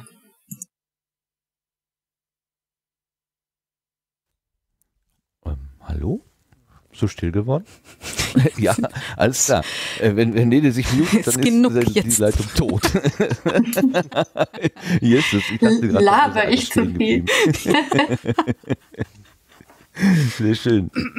Nee, aber, aber, du sagtest gerade selber, es hat sich vielleicht gar nicht so viel geändert. Ich, ich bin immer noch auf der, auf, dabei herauszuspüren, irgendwie, was sich möglicherweise geändert hat. Na klar, die Kommunikationswege haben sich gewandelt. Ich glaube, äh, Melanie, habe ich so verstanden, dass das Social am Media, also dieses tatsächlich dieses Soziale und das Eingehen auch auf, ähm, auf unmittelbare Rückmeldung, also früher hat man wahrscheinlich ein paar Mal pro Woche einen Leserbrief bekommen und hat ihn dann vielleicht äh, auch einfach zur Seite gelegt und vielleicht, ähm, naja, irgendwann mal nach ein paar Tagen beantwortet. Das ist vielleicht heute ähm, dann doch etwas direkter und schneller. Ja, es ist direkter und schneller, aber ich würde das äh, durchaus auch, also ich finde das, ich empfinde das in meiner Arbeit als was durchwegs Positives. Also das ist ja auch, kann man ja auch als Bereicherung sehen, dass man da durch dieses, äh, durch diese Online-Welt auch die Chance hat, an vielen Stellen mit Menschen aus der ganzen Welt in Austausch zu treten. Ich meine, wir wissen, dass das nicht immer ganz reibungslos verläuft, aber grundsätzlich so rein von der Grundmöglichkeit, die uns das bietet, äh, sozusagen barrierelose Kommunikation, zumindest wenn man jetzt mal alle Menschen ähm, betrachtet, die Zugang zum Internet haben, weil auch das ist ja leider nicht selbstverständlich, ja. ist ja grundsätzlich was Positives. Hm, ich glaube, da wird es, äh, was auch stark ist, äh, tatsächlich auch eine stärkere Rollenverteilung äh, Verteilung noch. Ne? Also es gibt schon immer so Publikumsredaktionen, die sich um Hörerpost und so weiter kümmern, mhm. klar. Und jetzt findet es, findet es eben ganz öffentlich statt und ähm, es gibt Social Media Redaktionen, die sich um diese Ansprache dort kümmern, ähm, Menschen, die Community Management machen und so weiter. Also da gibt es ja nochmal so einen ganz neuen Zweig besonderer Rollen und das ist bestimmt auch nicht immer leicht, ganz klar. Aber das äh, das müssen auch gar nicht in der Regel Journalistinnen oder Journalisten sein, die quasi den Inhalt äh, sozusagen so ähm, produzieren, sondern eher dann Leute, die wissen, wie so tickt so eine Community oder wie tickt zum Beispiel mein Publikum. Ähm, das sehen, haben wir in unserer Studie auch gesehen, dass die eigentlich äh, oft sehr nah dran sind, was Hörerinnen mhm. und Hörer wollen. Und ähm, das, glaube ich, ist eine große Qualität. Aber es ist auch eine Herausforderung, weil es frisst extrem viele Ressourcen und das ist oft Zeit und Geld. Und gerade im Online-Bereich hat keiner Zeit und keiner Geld. Ähm, aber das wird häufig vergessen. Und ich glaube, das hat man auch eine Weile so laufen lassen und jetzt äh, hat man so ein bisschen Backlash. Aber das führt mhm. dann äh, jetzt äh, zu weit. Ähm, ich sehe das ja auch, dass es beim Podcasting in der Regel sehr gut funktioniert, gerade wenn es auch noch kleinere Communities gibt zum Beispiel. Ähm, und das ist auch immer so ein bisschen mein Rat, äh, wenn ich jetzt beispielsweise mal für den Bayerischen Rundfunk einen Vortrag halte oder so, dass man sich die von der Community-Arbeit, die Podcasts machen, eine ganze Menge abschauen kann. Ähm, was diese auf Ohrenhöhe sozusagen sein mit den, äh, mit den Menschen, die einer hören, angeht. Immer sehr bemerkenswert. Das führt zu der Frage, wie machst du denn eigentlich ähm, das Podcast-Land, die Podcast-Szene, die Community, wie machst du die eigentlich fest? Also was gehört alles dazu, was gehört nicht dazu? Wie verschaffst du dir Überblick? Hast du eine Vorstellung davon, was das ist, wenn du von der Szene sprichst? Also ich glaube, es gibt ganz viele verschiedene Szenen ähm, oder Cluster, ähm, Gruppen, die vielleicht gar nicht, deren Thema vielleicht gar nicht vorrangig Podcast ist, sondern ähm, Fasernerds, die eher so über dieses textile Handwerk kommen und von denen eben zufälligerweise noch ein paar Podcasts machen. Ähm, solche Gruppen gibt es oder die vielleicht die eher in der Skeptiker-Szene unterwegs sind und dort eben ähm, teilweise Podcasts machen. Also ich finde das immer ganz schwer zu sagen, gerade die Aussage, das ist jetzt die freie Szene oder so. Ähm, die gibt es für mich nicht so stark und ich, es ist auch nicht meine Rolle, da irgendjemand auszugrenzen oder zu sagen, ähm, das ist jetzt äh, Teil der Community oder eben nicht, gerade weil, weil ich ja vermeiden möchte aus dem, was ich auch weiß über viele verschiedene kleine Szenen, ähm, dass da irgendjemand jetzt dazugehört oder nicht. Also für mich ist viel oder Podcasting oft ein inklusives Medium, aber warum sollte man dann so jemanden ausschließen davon? Ähm, es wird dann für mich interessant, wenn ich als Medienforscherin darauf gucke, was macht eigentlich Podcasting so als Medienform aus, dann würde ich schon sagen, kann man so technische Sachen wie, da ist ein Feed da oder sowas, dass ich das abonnieren kann. Weil sonst ist es irgendwie einfach nur on-demand, runterladbares Audio oder so. Ähm, aber es gibt auch Podcasts auf meiner Frauenstimmenliste, wo es kein Feed gibt, die sich aber selber als Podcasterin verstehen. Und warum sollte ich das dann also da würde ich dann eher sagen, ja klar, warum nicht? Ist eben trotzdem Teil dieser Community. Dann ist es halt eben technisch nicht genau das, was es sein muss. Ähm, aber so in meiner Rolle, wenn ich äh, Statements oder sowas oder Einschätzungen über die gesamte Podcast-Landschaft äh, angebe, versuche ich da natürlich immer so einzelne Sachen mal herauszuheben. Und wenn ich jetzt als Forscherin einen Text schreibe und darüber schreibe, dann gehe ich da nochmal analytisch anders dran, würde ich sagen. Ja, das ist ja genau für dich in der Situation, wo du angesprochen wirst von anderen, so nach dem Motto, du kennst dich doch da aus, erzähl doch mal, wie das da ist. Da ist dann dieses da so schwer zu definieren, würde ich sagen. Also ich kann euch erzählen, was ich über die Community um Potlove herum weiß, aber was weiß ich über die Community um was weiß ich, äh, irgendeine andere Technik oder wie du es schon sagst, ein anderes Thema, ähm, da weiß ich dann äh, vielleicht nur grob Bescheid oder gar nichts. Vielleicht weiß ich von, von der Existenz noch nicht einmal. Also das, das ist so, so, so ein Eindruck, den ich für mich halt gewonnen habe, dass ich irgendwann mal das Gefühl hatte, dass ich diese Szene überblicke und denke, ja, Podcast in Deutschland, da kenne ich mich aus. Äh, und dann so äh, desillusioniert worden bin, weil ich dann gesehen habe, ach, da gibt's ja auch noch eine ganze, äh, eine, eine, ganz, äh, eine ganze Gruppe von Menschen, da ist noch eine Community, hier tun sich Leute zusammen und da passiert irgendwas, wo ich überhaupt nur durch Zufall irgendwann mal davon erfahre. Und ich nehme einfach mal an, dass es noch sehr, sehr, sehr viel mehr solcher äh, lokalen Zellen gibt oder das muss jetzt gar nicht lokal sein im Sinne von räumlich, sondern, sondern gedanklich, ideell oder wie auch immer verbunden, von denen ich überhaupt, überhaupt gar nichts weiß. Von daher kann ich, äh, mein, ich denke mal, ich gucke nur so einem Froschloch heraus und sehe so ein bisschen Himmel, äh, aber da ist noch viel, viel mehr drumherum. Ähm, mhm. Wie gehst du daran, so, an diese, an diese, an dieses Problem oder diese Situation? Na, erstmal ähm, ist mir ja klar, ich will nicht die gesamte deutschsprachige Szene verstehen oder so oder die ganze Landschaft. Das ist einfach unrealistisch, gerade weil es eben nicht so ist, dass es ein großes Verzeichnis ist, äh, gibt, wo drin, äh, wo alle drinstehen. Aber ich möchte so viel wie möglich an an Dingen, die bestimmte kulturelle Praktiken, zum Beispiel Live-Podcasting oder kleine Festivals oder was auch immer. Also ich möchte mir gerne ein breiteres Bild davon verschaffen, was es heißt, außer jetzt ein Feed ins Internet zu stellen von Audiodateien. Ähm, für mich ist die allerbeste Variante, um einen Überblick darüber zu bekommen, was alles geht mit Podcasting, diese Frauenstimmenliste. Wirklich. Da ist alles Mögliche an technischen Varianten drauf, wie die Leute podcasten. Ähm, es gibt von äh, geilen Webseiten für Podcasts bis zu äh, wirklich ganz äh, rudimentären Umsetzungen alles. Thematisch ist es breit. Ähm, es ist nicht um eine Community, bewegt sich nicht um eine Community herum, sondern über ein, ähm, ähm, es ist ein Querschnitt sozusagen von dem, was deutschsprachiges Podcasting ausmacht. Gerade weil es nicht über ein Thema kommt oder über, über so ein Sendegate oder sowas, ist es eher so ein Querschnitt. Ähm, ich muss dazu sagen, ich habe im Januar oder im Frühjahr diesen Jahres, äh, dieses Jahres tatsächlich mal eine Liste von über 4000 Podcasts durchgeguckt, um meine Frauenstimmliste zu vervollständigen. Die war danach auch doppelt so groß oder doppelt so lang. Und ähm, ich kann es nicht empfehlen, weil es ist sehr anstrengend gewesen. Aber es äh, hat mir geholfen zu verstehen, auch meine eigene Bubble, in der ich mich da bewegt habe, äh, nochmal aufzumachen und mal zu gucken, okay, und da gibt es noch was. Und aha, interessant. Offensichtlich äh, gibt es in der Gaming-Community auch nochmal kleine Untercluster und so weiter. Das ganze Geocaching und da und dort. Ähm, diese ganzen Beraterinnen und Coaches, die waren vorher an mich nicht so stark herangedrungen ähm, im Zusammenhang mit der Liste, das habe ich dann dort erst gesehen. Und für mich in meiner Forschung ist das super hilfreich, wenn ich zum Beispiel etwas über Frauenstimmen im deutschsprachigen Raum, Podcasterin im deutschsprachigen Raum sagen können möchte, ähm, dann will ich mir eben diese Breite einfach mal anschauen. Und ähm, das ist so ein bisschen eine Strategie, um zu wissen, was los ist.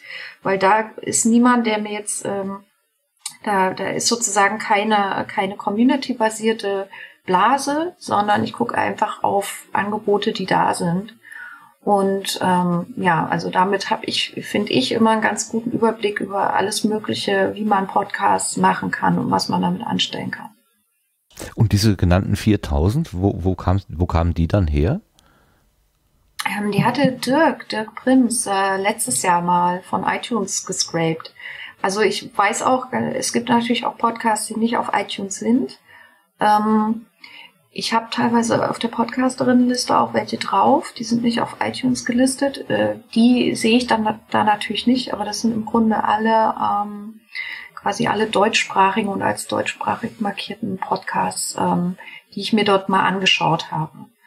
Und es gibt wahnsinnig viele ähm, Podcasts von Kirchen, ähm, habe ich gemerkt. Ja, die Verkündigung, ne? das kann ich mir gut vorstellen, dass da, dass dieses Medium, ja, aber hallo, einer spricht, alle hören zu. wir haben das schon es ist die Kirche auf das Subscribe. Ich sagte, die Kirche ist eine alte Content-Schleuder. Ja, das ist nicht ja natürlich. Aber, aber hallo. Ist zwar immer wieder dieselbe Serie, nur in neuer Form, aber es, es ist schleudert, genau. Und äh, im deutschsprachigen oder bei diesen deutschsprachigen Podcasts natürlich auch ganz viel die, ähm, die öffentlich-rechtlichen Podcasts, ganz klar. Und äh, ja, dann sind trotzdem immer noch so 2000 übrig geblieben, wo ich mir dann teilweise wirklich äh, hunderte und hunderte um Podcast-Seiten auch angucken musste. Und ich habe definitiv die äh, krasseste Podcast-Seite gefunden. Ich werde sie jetzt hier nicht nennen, um niemanden zu beschämen, aber ähm, wer mir eine Nachricht schreibt, der, dann kann ich mal den Link schicken. Ähm, das äh, sehr interessant, was man da lernt, wenn man sich mal so viele Podcast-Pages und Angebote mal so durchguckt. Was ist denn krass daran? Das Thema oder die Aufmachung oder der, der Sound? Was ist es?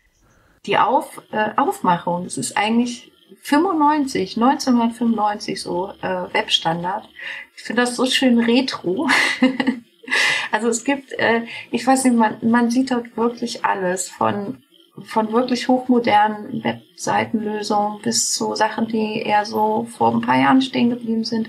Aber das Schöne ist, sie senden alle noch in die Welt hinein, ihr Audio. Das funktioniert.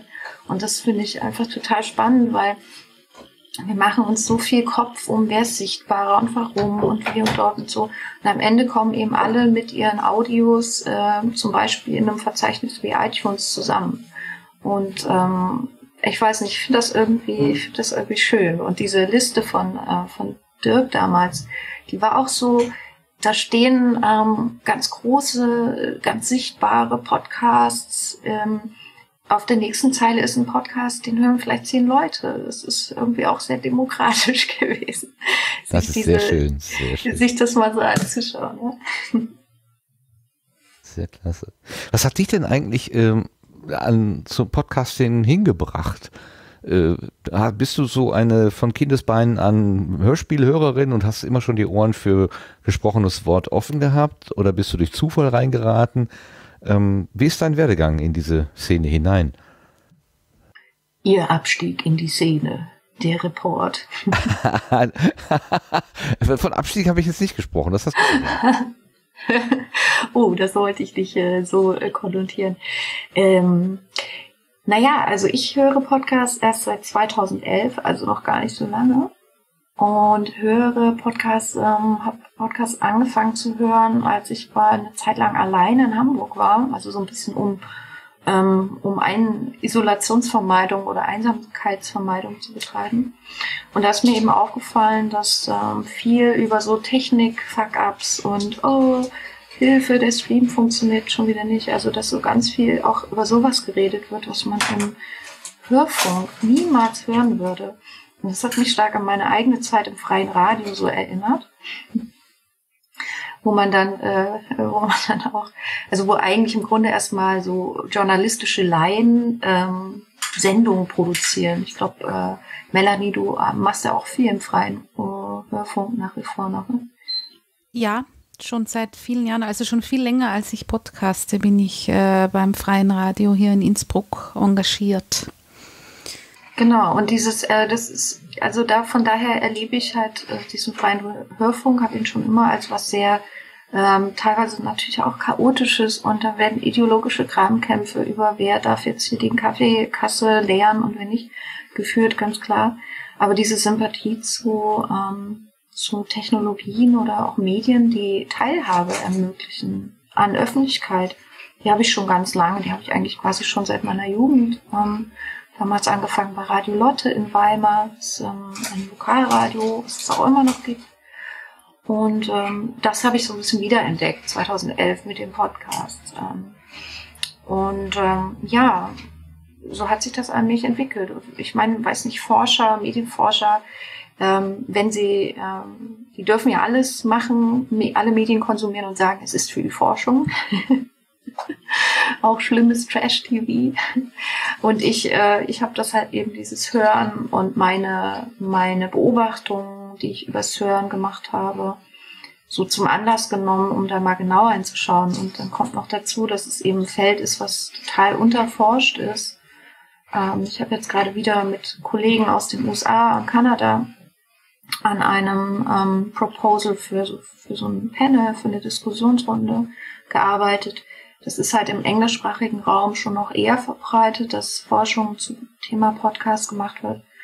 Ähm, und in Deutschland eben nicht. Und dann ist es eben auch eine bequeme Nische in der Forschung über eine Nische. und äh, so bin ich da reingekommen. Und ich hatte von den Podlove Podcaster Workshop erwähnt, den habe ich eben besucht, den ersten so aus dem, aus dem mutigen Schrittes heraus, ähm, so nach dem Motto, ich kann darüber nichts erfahren, wenn ich nicht mal ein bisschen sehe, wer, was sind da für Leute unterwegs, ähm, wie gehen die miteinander um, ähm, was sind so Themen, über die da gesprochen wird und äh, werden und so weiter. Und ähm, genau, so bin ich ähm, Begleiterin, äh, letzten Endes natürlich auch stark ähm, der Veranstaltung, die das Sendezentrum so macht. Ähm, das ist mir schon auch klar, dass da vielleicht der Blick ein bisschen eng ist, aber wie gesagt, durch die Podcasterinnenliste habe ich das Gefühl, schon noch auch einiges außerhalb dieser vielleicht eigenen Sub-Community wahrzunehmen. Weißt du noch, was der erste Podcast war, den du jemals gehört hast? Nee, jetzt kommt's. Jetzt sind wir bei dem Gender-Thema. Und zwar habe ich natürlich einen Podcast äh, nicht mir ausgesucht, sondern habe ein iPod geschenkt bekommen von meinem Partner. Da war dann was vorinstalliert und dann drückt man auf Play. Und ich glaube, der allererste war tatsächlich Not Safe for Work. Und ich musste echt reinkommen. Ja, das glaube ich. Aber dann hat es mich dann doch so, also ich glaube, es gibt so eine gewisse Inkubationszeit und wer dabei bleibt, der, der ist dann hoffnungslos verfallen. Ähm, genau, aber ähm, das war mein erster Podcast jetzt ähm, lerne ich ja über die Podcasting-Liste immer viele neue Angebote kennen oder höre auch mal ganz viel in verschiedene Podcasts rein, ähm, die so in der Öffentlichkeit äh, angesprochen werden. Ähm, also ganz unterschiedlich, aber ich habe fast gar nicht mehr so im Podcast, so ein festes Set am Podcast, wo ich auf jeden Fall jede Folge höre, sondern ich bin ein bisschen stärker mit, mittlerweile bei diesem Phänomen, dass man da mal reinhört und sich einzelne Episoden zum Beispiel mal anhört. Ähm, ist mir so vorhin aufgefallen, als ich mal meine ähm, meinen Podcatcher durchgescrollt habe. Ja, wobei das Besondere am Podcasting ist ja der, der, der Bezug, die Beziehung zu der Person, also eines der Besonderheiten, gibt ja eine Menge, aber eines ist ja dieses persönliche Wort. Ähm, und da sagt man ja, durch diese Regelmäßigkeit will man ja auch wissen, wie es weitergeht und wie es der Person ergeht und so weiter. Das ist ja dann aufgebrochen, wenn man so vereinzelte äh, Episoden heraussucht. Also das, das, diese Art von Bindung kann dann, glaube ich, nicht mehr existieren, oder liege ich falsch? Nee, aber das liegt auch einfach daran, ähm, ich könnte potenziell so viele Podcasts mir anhören, dass ich dann auch einfach äh, oft mal so versuche, mal reinzuhören.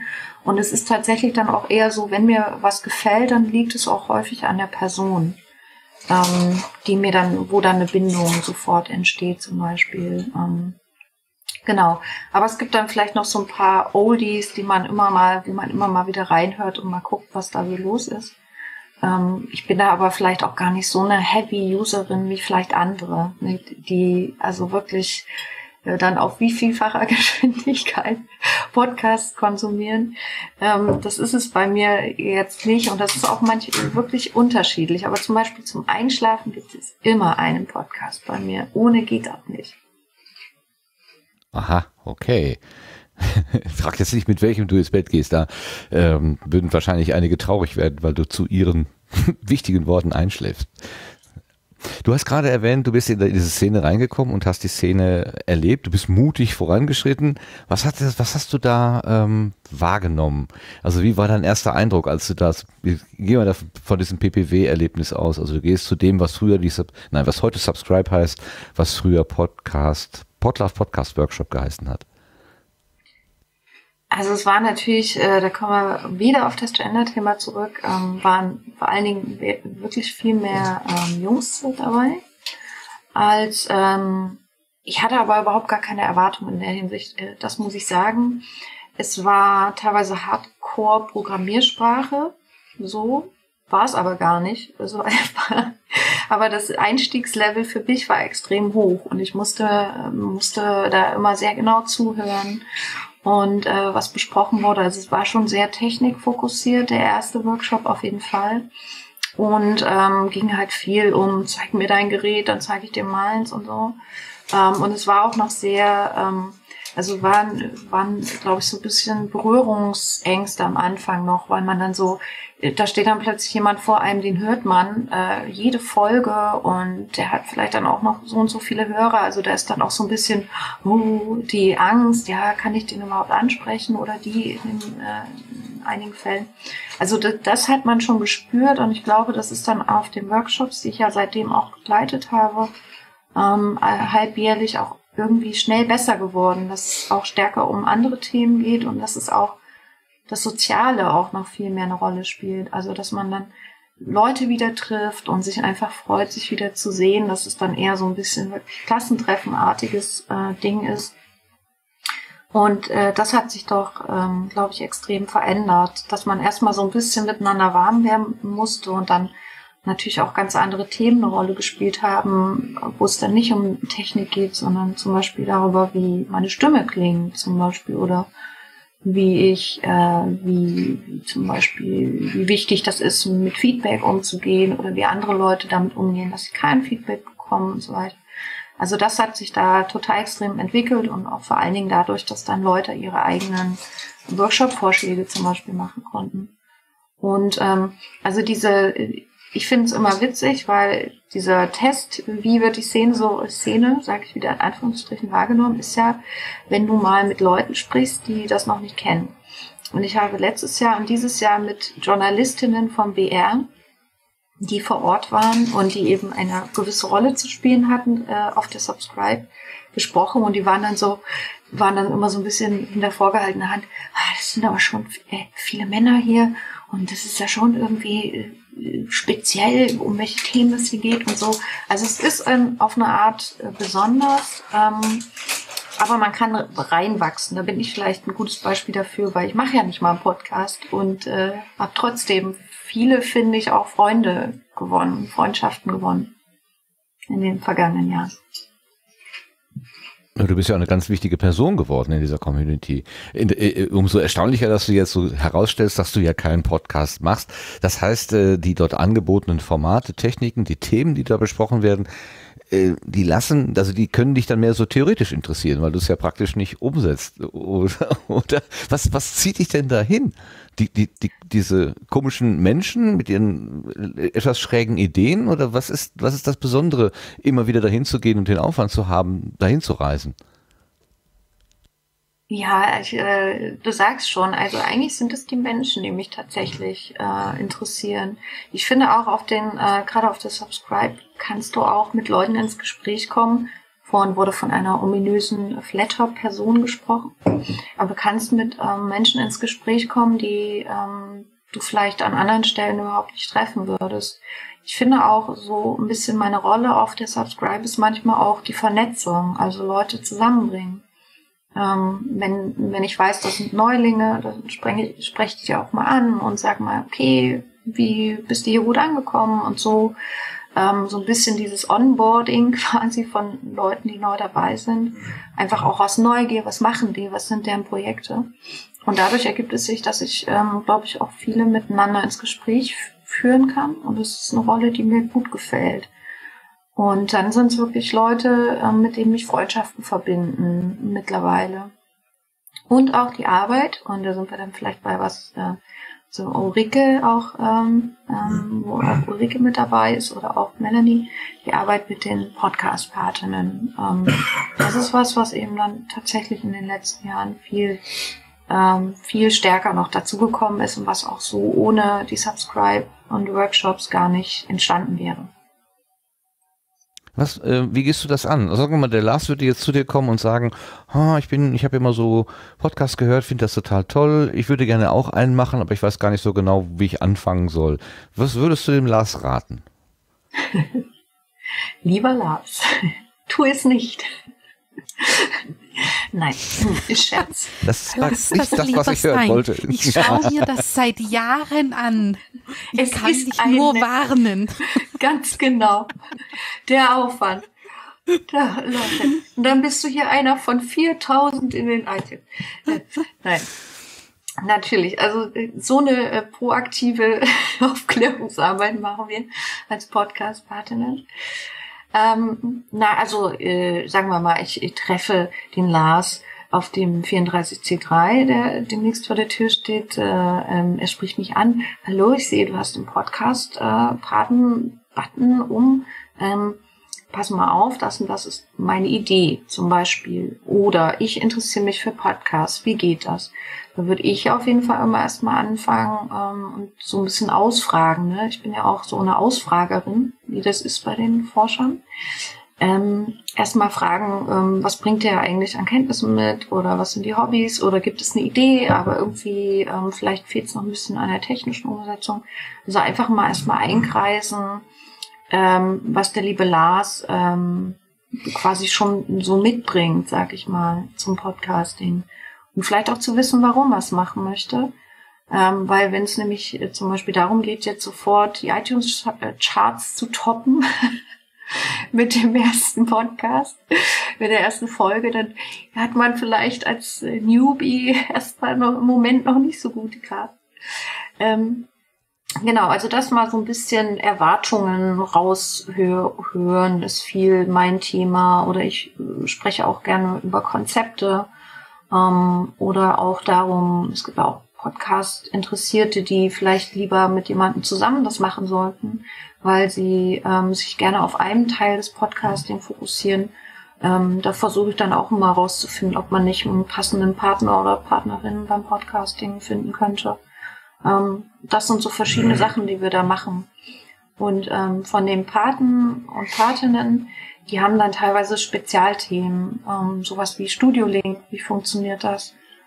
Oder ähm, Ultraschall beispielsweise, also so, wo es dann eher so ähm, nochmal um Details in der techni technischen Umsetzung geht.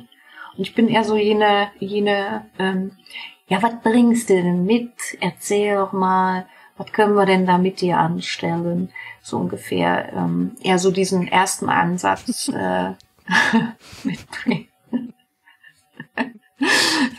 so läuft das bei uns. Ja, das läuft super, ne?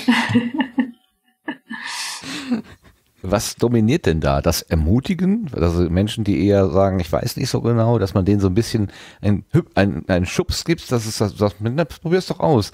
Die ersten zehn Folgen werden dir wahrscheinlich nicht gefallen, aber du musst sie machen, damit die elfte endlich so ist, wie du es dir wünschst. Wenn du nicht anfängst, dann wird es diese Erfahrungswerte gar nicht geben, auf deren, auf deren Weg du äh, lernen kannst. Oder ähm, diejenigen, die mit den Luftschlössern kommen und sagen, was sie alles machen wollen und genau diese iTunes-Charts-Stürmer werden wollen, dass man die vielleicht ein bisschen runter runterholt und sagt, mach doch erstmal die erste Folge und dann die zweite und bei der elften können wir dann mal vielleicht darüber reden, ob du demnächst der neue Stern am Podcast-Himmel bist. Was, was überwiegt denn da so aus der Erfahrung jetzt? Ähm, ich weiß nicht, Melanie, ob du den Eindruck teilst. Also bei mir ist es dann eher so, dass ich das, äh, weil ich als Podcast-Partner auch eher auf Events zum Beispiel tätig bin, ähm, oder eben so im wissenschaftlichen Bereich, dass es da erstmal so eine Grund, äh, Grundaufklärung über das Thema Podcasting ge gibt äh, oder gehen muss in solchen Fällen. Das heißt also, dass man wirklich so ein bisschen vom, vom Urschleim mal anfängt, was natürlich ein bisschen schwierig ist, weil ich finde schon, wenn man Podcasts macht, sollte man auch Podcasts kennen oder mal hören. Also wenigstens so ein paar, ein paar verschiedene Formate mal reinhören. Ähm, aber ich habe, ich kenne viel den Fall, dass Leute eben kommen und sich schon mal alles angeschafft haben. Also so eine wie so eine symbolische ähm, quasi Bestückung schon äh, betrieben haben, also eigentlich im Grunde schon ihr eigenes Heim Home Studio aufgebaut haben und dann mangelt es aber wirklich an einer Idee oder vielleicht an Menschen, mit denen man das zusammen aufbauen kann. Und da, ähm, das ist, finde ich, äh, gar nicht so selten. Aber tatsächlich hat man oft Menschen, die, Entschuldigung, Menschen, die ähm, zu uns kommen, die schon eine Idee haben, die vielleicht ein tolles Projekt haben oder ein Netzwerk, über das sie berichten wollen und so weiter. Sowas habe ich viel. Und wo man dann mal ein bisschen überlegt, was könnte ein spannendes Format sein und denen ein bisschen ein bisschen Hilfe gibt, wenn sie sich Technik anschaffen mhm. wollen. Und da versuche ich immer vor allen Dingen zu sagen, ähm, so ein bisschen in die Richtung zu gehen, was ist der Aufwand, der dahinter steckt. Also den realistisch zu vermitteln, was alles dazugehört. Ähm, weil ich glaube, das ist etwas, was viele auch unterschätzen, die reingehen, was alles dazugehört, wenn es um regelmäßiges ähm, Publizieren vom Podcast geht. Und ähm, das ist was, was ich häufig wahrnehme. Ich weiß nicht, ob Melanie ähm, diesen Eindruck teilt, aber es hält sich so 50-50 in der Regel. Ja, ich würde das auch so sehen. Wir haben, das ist, man kann, ja genau, man kann es eigentlich gar nicht so sagen, die meisten sind so oder so, weil das ist eigentlich total divers von den Anfragen her. Äh, wir haben auch Leute dabei jetzt erst kürzlich, die, die sind eigentlich schon die haben auch schon zwei, drei Folgen produziert. Also die, die stehen eigentlich schon relativ gut da und ähm, stoßen dann manchmal so konzeptionell an Grenzen, wo sie sich, wo sie eigentlich am liebsten gerne einfach mal Feedback hätten, ob, ob, ob das in die richtige Richtung geht oder ob wir andere Ideen hätten oder wie das so rüberkommt, was sie da eigentlich machen.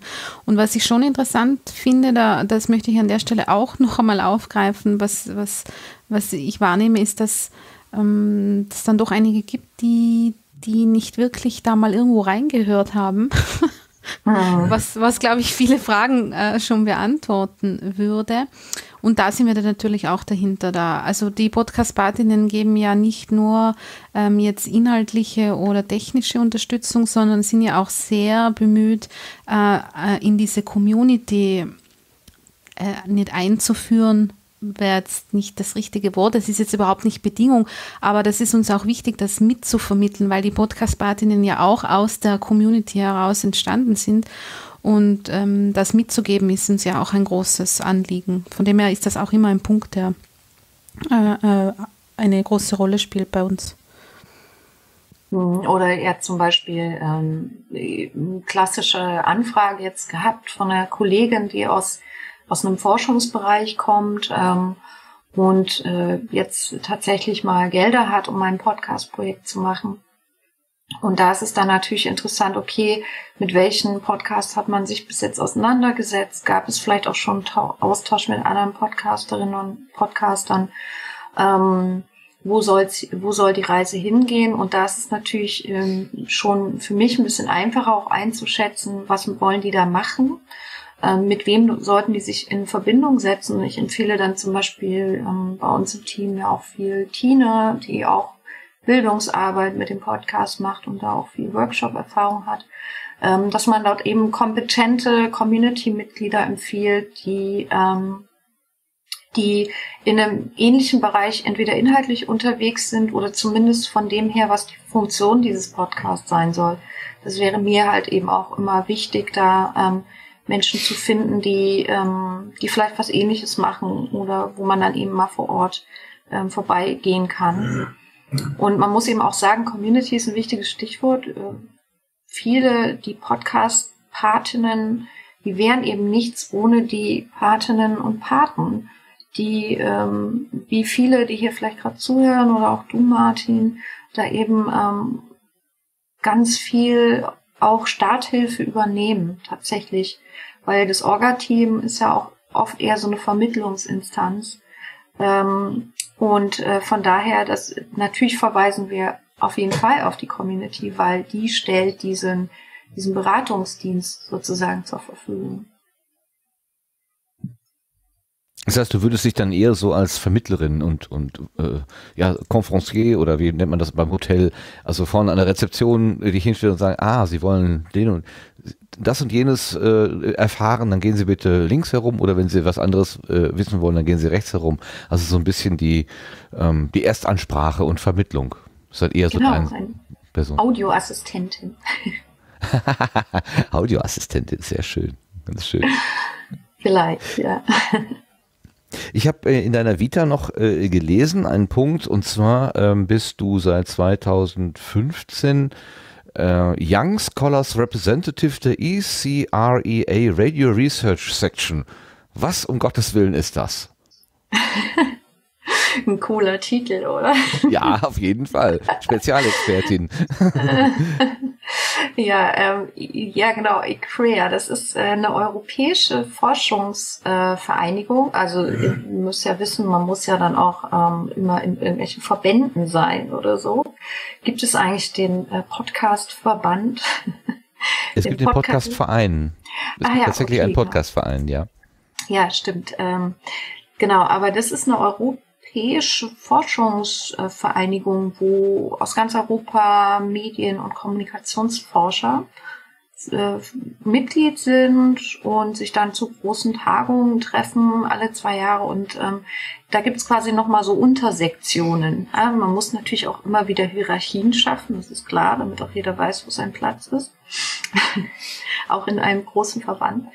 Und äh, genau, und es gibt eine Radio Research Section, eine sogenannte, und da sind dann alle Menschen, die in Europa, aber auch in teilweise aus Amerika kommen äh, Leute zu den Tagungen, aus Australien relativ viele auch, ähm, was ich ganz interessant finde. Genau, und die ähm, und die zu Radio und Audio forschen im weitesten Sinne, teilweise auch Sound Studies zum Beispiel. Und äh, ich bin dort quasi für die Nachwuchsmenschen Sprecherin seit 2015. Also, also auch so eine Art Patin. Naja, es geht ja darum, ähm, also mir sind die Themen oder Anliegen der Nachwuchswissenschaftlerinnen und Wissenschaftler halt sehr wichtig, weil ich selber auch, ähm, sagen wir mal, teilweise erlebt habe, wie ähm, erbarmungslos das Wissenschaftssystem gerade mit Nachwuchsforschern auch umgeht. Ne? Ähm, alle befristete Verträge und so weiter. Also ähm, mir ist es wichtig, und da kommt auch wieder die Ethik mit ins Spiel, dass die dass die Nachwuchsmenschen, äh, das sind dann oft eben Doktorandinnen oder auch Mastermenschen oder auch bis hin zum Postdoc-Bereich, dass die eben auch gehört werden und ähm, dass deren Anliegen auch ernst genommen werden. Und ich vertrete eben die jungen Nachwuchsmenschen, die sich mit Audio und Radio beschäftigen, in der großen, in dieser großen europäischen, ähm, in diesem großen europäischen Verband. Und wir machen dann zum Beispiel auch so ähm, Sessions, wo wir beispielsweise über die öffentliche Stimme der akademischen Welt oder der Wissenschaft diskutieren. Und da bin ich dann natürlich als äh, jemand, die auch viel in den Medien präsent ist und quasi so Wissenschaftskommunikation betreibt, eben auch ähm, dann immer als Diskutantin mit dabei. Und ähm, ich meine, ich glaube, ich mache das, was ich mache, vieles, was ich mache im Netz ähm, mit meinen Online-Aktivitäten, ist vielleicht schon eher ungewöhnlich im deutschen Wissenschaftssystem. Ähm, vor allen Dingen aber auch eine Überlebensstrategie. Also wenn man gerade nicht in einer Institution angestellt ist, dann muss man eben schauen, wie man zum Beispiel an Aufträge kommt oder wie man ähm, wahr, wahrgenommen bleibt. Und von daher sehe ich mich auch so ein bisschen in dieser Position, vielleicht zum Beispiel auch das Podcasting dann wiederum in die Wissenschaftscommunity reinzutragen. Da bin ich dann auch nochmal quasi äh, so ein bisschen Vernetzerin. Ähm, und das, äh, ja, da kombiniert sich halt relativ viel in dieser Position, finde ich. Aber da, da bin ich ja nochmal sprachlos. Ähm, dann hast du ja nicht nur den, den, den selbst auferlegten Auftrag, dich in der Podcast-Szene oder in der unserer Blase oder überhaupt äh, Menschen, die Podcasting als Medium benutzen, irgendwie einen Überblick zu haben, sondern dann auch noch auf dem Radiosektor. Äh, was gibt es für Sender, was gibt es für Formate, was gibt es für Organisationen, wie sind die miteinander vernetzt? Das ist ja eine riesen Landschaft, die du da abdeckst. Äh, wie, wie schaffst du das, um Gottes Willen? Die haben nicht gesagt, dass ich es schaffe. nee, also Radioforschung ist für mich gar nicht so, ähm, im Vordergrund, sondern mir geht's ja viel auch um die Nutzung von Audiomedien und von Podcasts. Und da, da ist interessanterweise Lust, das ist so ein bisschen ein Scharnier, ähm, diese, ähm, der Fokus auf diejenigen, die es benutzen, weil ähm, ich kann eben genauso Radio hören und ähm, eine Stunde später gehe ich mit meinem Podcast zum Einschlafen ins Bett oder so. Ähm, irgendwie verbindet sich da was für mich, äh, was ich spannend finde. Aber ich äh, auf gar keinen Fall behalte ich total den Überblick. Das, äh, das ist es gar nicht. Also das schaffe ich schon allein beim Thema Podcasting überhaupt nicht mehr. Ähm, das ist auch nicht, wie gesagt, nicht unbedingt mein Anspruch. Ähm, wenn es jetzt eine Anfrage zum Beispiel von der Presse gibt zu dem und dem Themenbereich, ähm, was im Podcasting ist, dann weiß ich auf jeden Fall, wo ich noch, ähm, wo ich eine Lücke habe und wo ich noch nachrecherchieren muss und dann tue ich das eben auch. Und ansonsten ist mein eigen selbstgesetzter Anspruch jetzt auf gar keinen Fall nicht, äh, so eine Art Wikipedia für Podcasting in Deutschland zu sein. Das ähm, das ist auch, das ist nicht mein Ziel und ich hoffe, das wird auch so nicht wahrgenommen.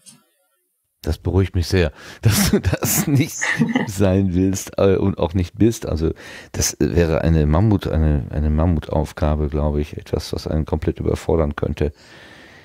Ähm, weißt du denn noch, wann du das erste Mal ein Mikrofon in der Hand gehabt hast?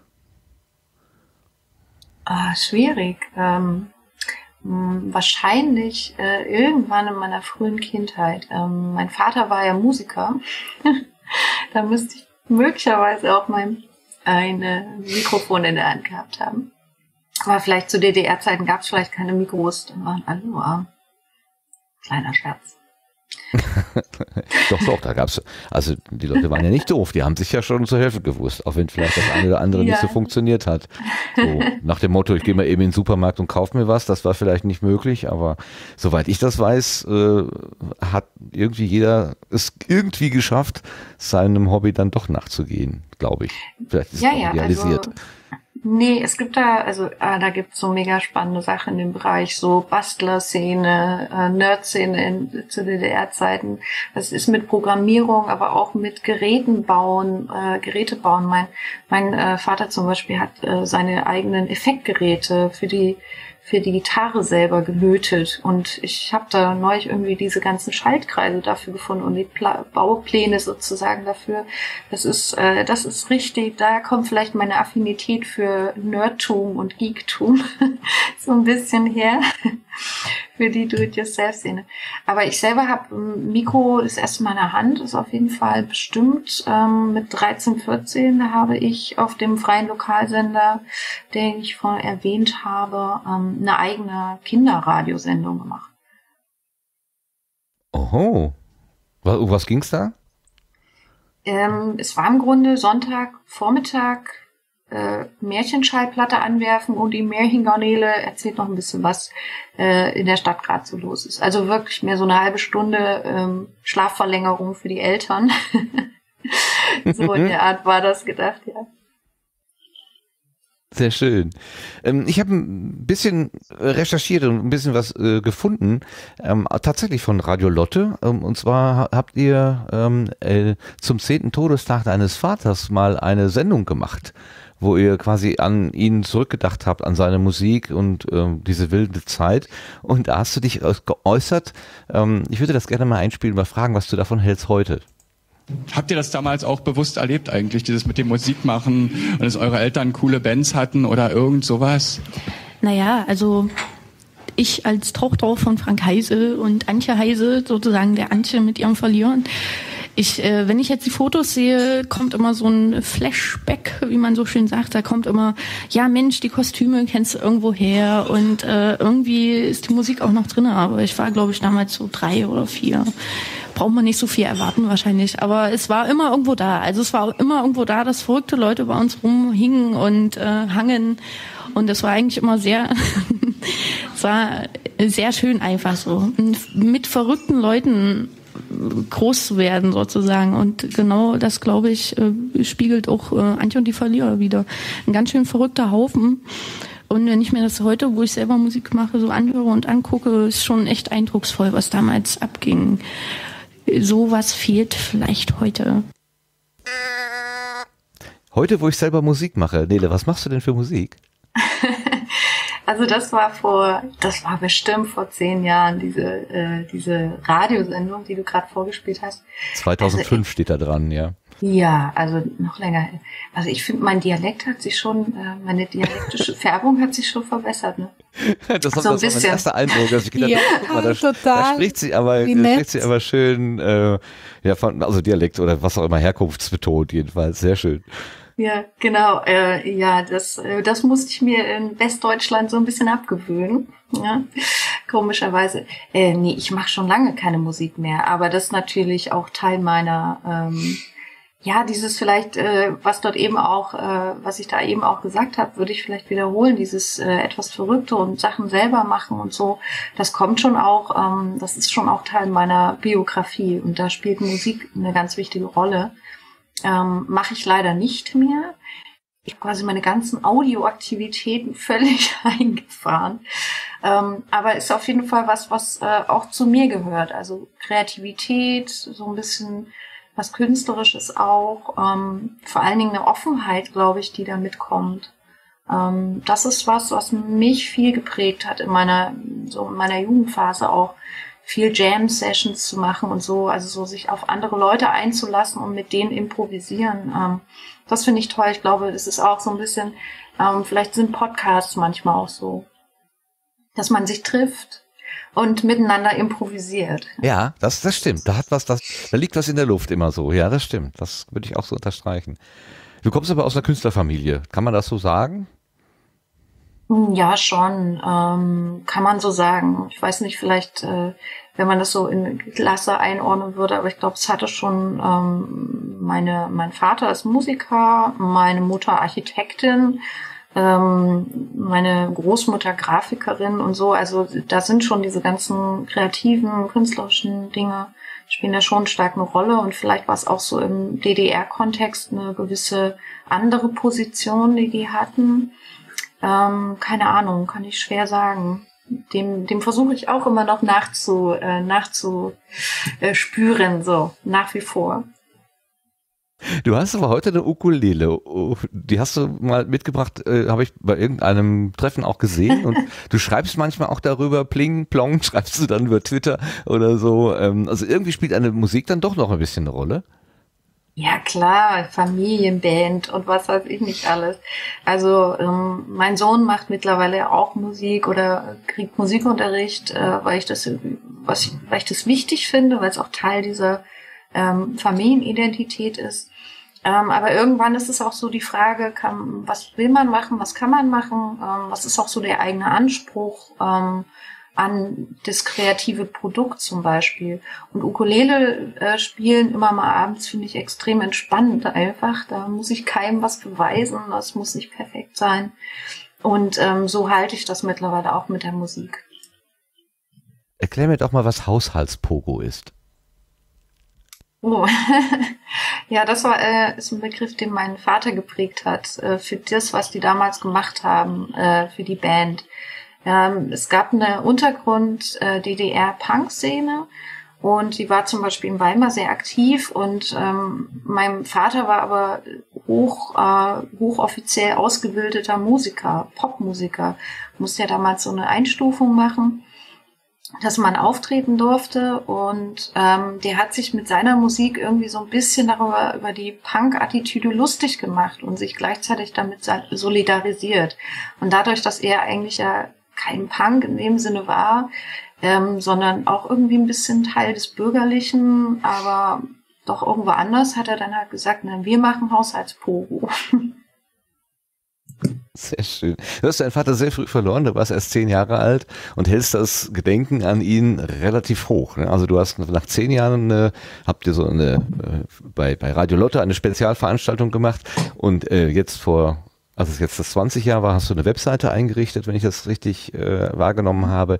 Also ähm, der Frank äh, Heise, der ist, der soll ja, lebendig bleiben sozusagen, zumindest in der Erinnerung. Das genau, ähm, naja, klar ist, das, äh, ist mir das wichtig. Ich merke das aber auch, ähm, ich habe so im Laufe der Jahre, ähm, seit seinem Tod oder seitdem ich dann auch so ein bisschen bewusster durch die Welt wandere, eben auch immer wieder ganz viele Leute getroffen, die seine Musik kannten und die zum Beispiel sein Gitarrenspiel ähm, sehr, für die das sehr prägend war, ähm, die ähm, das bewundert haben. Er ist ja auch in Westdeutschland getourt nach der Wende und da waren die auch nicht so unbekannt. Also ich treffe immer wieder Leute, auch mal ehemalige Kollegen oder so, die meinen, ja, wir hatten eine Platte von denen und wir haben das gehört, irgendwo in Hamburg oder sonst, äh, sonst wo. Und ähm, genau, zum 20-jährigen Todestag habe ich einen Konzertmitschnitt online gestellt auf YouTube und das ist total toll, wie die Leute da kommentieren. Also vielleicht noch mal zu Kommentarkultur und YouTube. Ich glaube, es kommt auch viel auf den Inhalt drauf an, weil dort schreiben wirklich die Leute ganz tolle persönliche Geschichten. Und dadurch habe ich halt immer wieder Kontakt mit Menschen, die, die das, was mein Papa, äh, mein Vater gemacht hat, eben auch stark geprägt hat oder die damit positive Erinnerungen verbinden. Und das finde ich extrem schön, weil, ähm, ja, weil, keine Ahnung, weil ich finde, wenn man etwas tut, was, äh, was für andere Leute etwas bedeutet, ist das doch so eine Befriedigung, die man, die man so ähm, erfahren kann. Also jedenfalls geht mir das so. Wie viel Freude das äh, Musizieren macht, das äh, wird deutlich, wenn man euch zuhört, was ihr da damals beim Zehnjährigen gesungen habt, eure, euren Haushaltspogo. Äh, wir machen mal das, was wir bisher noch nicht gemacht haben. Wir machen einfach drei Minuten Musik im Sendegarten und wir können alle mitsingen.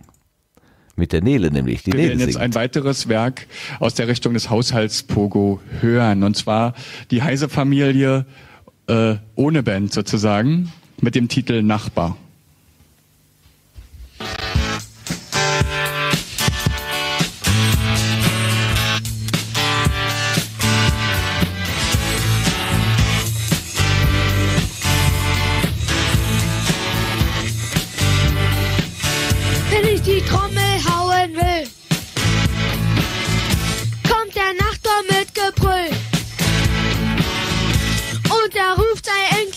will.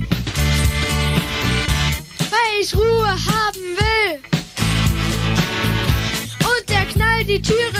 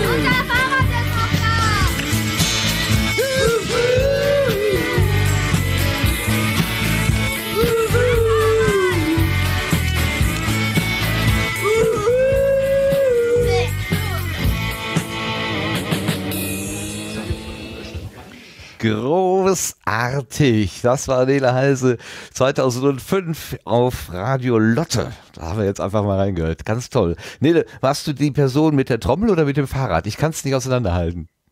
Ah, auf jeden Fall die zweite kleine Stimme. Okay, das Äh, war da- das mit dem genau. Fahrrad. Mein Fahrrad Genau. steht doch da. so schön. Naja, also man muss sich das vorstellen. Ich glaube, das war so bestimmt 94 oder so. Ähm, dann äh, sieht man den Papa ja nicht so häufig, wenn er auf Tour ist und dann erzählt man so ein bisschen was. Und mein Vater hat das dann direkt immer genommen, um einen Song daraus zu machen. Und äh, genau, da kann man dann äh, Young Nele quasi äh, quasi mal in Aktion erleben. Äh, War jetzt für mich überraschend. Ähm, genau, mein Bruder auch noch dabei. Ja, es ist also wirklich schade, dass du das Musizieren aufgegeben hast. Also ähm, ich kann nur sagen, dass es mich total berührt hat. Ich habe, als ich es rausgesucht habe, schon mitgerockt und habe, oder was auch immer man das nennen, wie man das auch nennen mag, ich bin da nicht so bewandert und muss jetzt auch schon wieder, ich kann gar nicht anders als mitzucken die ganze Zeit. Es geht wirklich rein. Echt klasse. Ein Kompliment äh, an die Artisten und vor allen Dingen den Komponisten dann sozusagen. Das war der Frank, das war dein Vater selber. genau, genau. Ja, super. Super. Und auch an die Performer, die das performt haben. das ist echt klasse. Ja, jetzt haben wir im Prinzip so ein bisschen geklärt, wie du ans Mikrof an das Mikrofon gekommen bist und was du jetzt im Podcastland machst. Also du sagst, du bist eher die Hörerin, die Zuhörerin, die Begleiterin, die Anschauerin. Ähm, bei den Podcast-Paten bist du die, äh, ja, die, die, die Anweiserin, die, die, die, nicht Anweiserin, wie will man jetzt sagen, also die ähm, Frau, die die Menschen denen entgegenkommt und auch ein bisschen für Vernetzung sorgt. Ähm, das hast du jetzt alles im Prinzip auf der Subscribe ähm, auch wieder angewendet sozusagen auf der Subscribe äh, 9, die jetzt äh, kürzlich gewesen ist. Und ähm, da, das, da würde ich jetzt so ganz langsam hingehen mit dem Thema, äh, dass wir uns mal gucken, wie, wie war denn die aktuelle ähm, wie war denn die aktuelle Konferenz? Was haben wir da erlebt? Aber ähm, ich möchte das nicht machen, ohne dich nochmal zu fragen, ob du vielleicht noch von dir selber etwas erzählen möchtest, einen Aspekt aus deinem Podcast-Leben oder dein sonstiges Leben, was wir jetzt nicht angesprochen haben. Das wäre ja zu schade, äh, wenn das jetzt nicht ausgesprochen worden wäre, würde.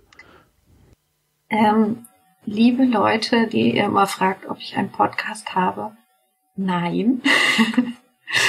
Und ich glaube nicht, dass sich das ändern wird. Ähm, nur mal, weil das oft eine Frage ist, die an mich gestellt wird. Ähm, und im Moment äh, es, sieht es nicht so aus, als würde ich mal einen Podcast machen. Aber es ist auch nicht schlimm. Ich fühle mich sehr wohl. Dich drängt es auch jetzt nicht zu einem abonnierbaren Feed. Du gehst ab und zu mal fremdsprechen und das ist okay so. Absolut. Gut. Okay, also liebe Leute, wenn ihr äh, das möchtet, dass die Nele äh, podcastet, sie tut's nicht. Jedenfalls im Moment noch nicht.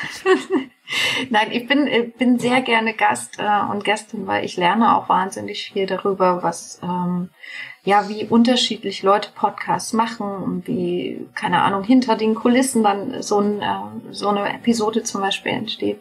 Das finde ich total spannend, aber für mich ist es einfach, ähm, ich glaube, also ich habe da einfach so einen hohen Anspruch da an mich selber, hätte ich. Und dann ist ja auch dieses kontinuierliche was machen und äh, es, es ist einfach, ähm, es ist scheiß wie Arbeit. So sagen wir es mal, wie es ist. Und, und das, äh, das respektiere ich total. Und ähm, für mich ist es eben aktuell nicht das, äh, wo ich denke, dass ich, ähm, dass ich da genug Disziplin oder so vielleicht auch mitbringe. Ich bin halt Ulrike. undiszipliniert. Leben. Ulrike, sag doch mal was dagegen, von wegen scheiß viel Arbeit. Was, was für das Glücksgefühl, was man da bekommt, da lohnt es sich doch, oder? Ja, auf jeden, also dann auf jeden Fall schon, aber es ist halt wirklich scheiß viel Arbeit. Ich fange jetzt ja diesen Monat endlich wieder an. Ich habe heute endlich wieder Zusage bekommen und ich bin total hibbelig und habe ein bisschen äh, Podcast-Schmetterlinge im Bauch.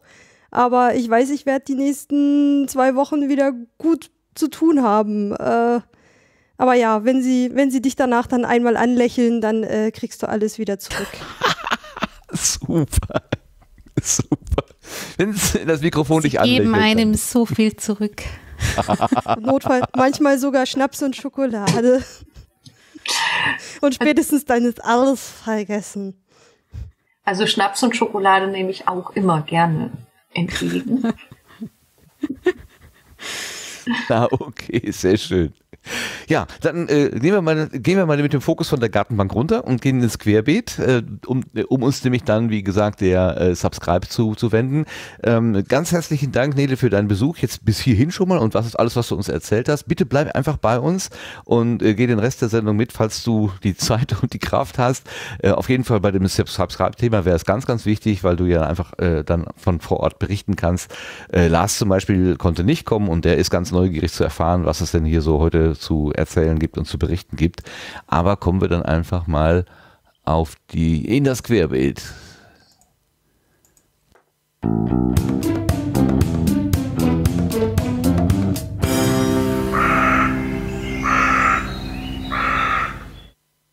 Und einleiten möchte ich das Ganze mit einem äh, mit einer Podcast-Episode von Jens, den wir unter De Breitenbacher kennen.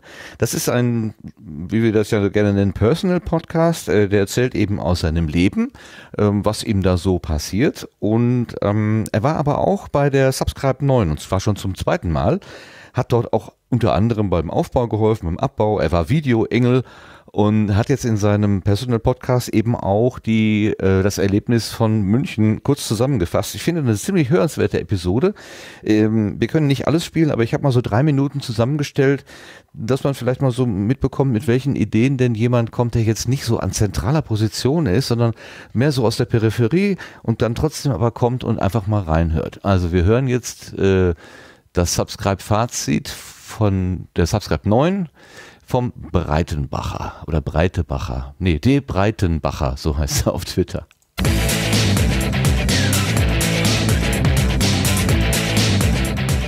Ja, herzlich willkommen zu einer neuen Ausgabe vom Breidenbacher. Ihr wundert euch, ihr hört mich schon wieder, ne? Ja, aber es hat Ereignisse gegeben, die ich nicht so lange aufschieben wollte. Und zwar handelt es sich diesmal um die Subscribe 9, wo ich auch teilgenommen habe. Viele werden es ja mitbekommen haben. Und davon möchte ich kurz meine Eindrücke erzählen. Aber zuerst möchte ich euch alle herzlich begrüßen, dass ihr mir wieder zuhört. Und ich denke, es wird diesmal etwas technisch und es geht, ist ein spezielles Thema, nur die Subscribe. Aber ich möchte halt auch meine Eindrücke veröffentlichen, weil auch die Veranstalter ein bisschen Feedback haben wollen, damit sie wissen, wo sie dran sind, was sie besser machen können. Und deswegen heute mal nur über die Subscribe. Ich persönlich bin mit zwei Fragen zur Subscribe gefahren, wo ich gerne etwas mehr Erfahrung und etwas ähm, Info bekommen wollte. Das ist einmal, ich würde gerne mal mit Jugendlichen mehr arbeiten, denn ich finde, die Jugend, so Schüler, sind im Podcast noch weitaus zu wenig vertreten. Ja, mit wem ich gesprochen habe, vergiss es. Ähm, die sind alle auf ihren YouTube-Kanälen und so weiter und so fort. Aber ich finde, genau das ist eigentlich unsere Chance, Jugendliche für den Podcast zu begeistern weil es gibt viele, die sich nie auf YouTube trauen würden, weil sie da doch erkannt werden und so weiter und über den Podcast doch anonym ihre Meinung anderen weitergeben können. Ich habe mich dann auch mal kurz mit Lothar Bodingbauer unterhalten, denn Lothar hat da schon einige Projekte mit Schülern gemacht und hat dort doch schon seine Erfahrung gemacht. Ich werde mal die Sache angehen, mal sehen, ob es was wird, ob es möglich ist das war das eine. Und die andere Frage ist, was wird eigentlich aus unseren Podcast-Informationen, wenn wir nicht mehr sind? Und da ist mir eigentlich nichts groß begegnet, außer in der letzten Sitzung vom großen Saal, wo Tine am Ende ihres Vortrags nochmal darauf einging, dass wirklich unsere Daten dann irgendwann verschwunden sind was wir auch als Nachteil gegenüber den großen Radio- und Fernsehsendern empfinden, weil die haben ja ihre riesigen Datenbanken und da geht nichts verloren. Habe mich dann auch noch mit einigen anderen unterhalten und eine kleine Möglichkeit gibt es da schon und angeblich soll da noch was in Arbeit sein. Aber ich hoffe, dass ich da vielleicht auf einer der nächsten Veranstaltungen mehr dazu erfahren werde. Das war es zu meinen Anliegen. Ja. Und rundherum war das eine sehr gelungene Veranstaltung. Ich schätze, der Bayerische Rundfunk wird auch zufrieden gewesen sein, dass es zu keinem erheblichen Problem kam. Ja, in diesem Sinne war es das eigentlich. Ich wollte euch das nur mitteilen. Und wer mich hören will, ich bin am 11.11. .11. das erste Mal bei der Night of the Pots dabei. So um 17 Uhr bin ich bis jetzt eingetragen. Kann sich aber auch noch verschieben. Ich bin da frei an diesem Tag. Und wer da mal zuhören will, auch die anderen Beiträge, wie schon in der letzten Sendung gesagt, schaut mal rein.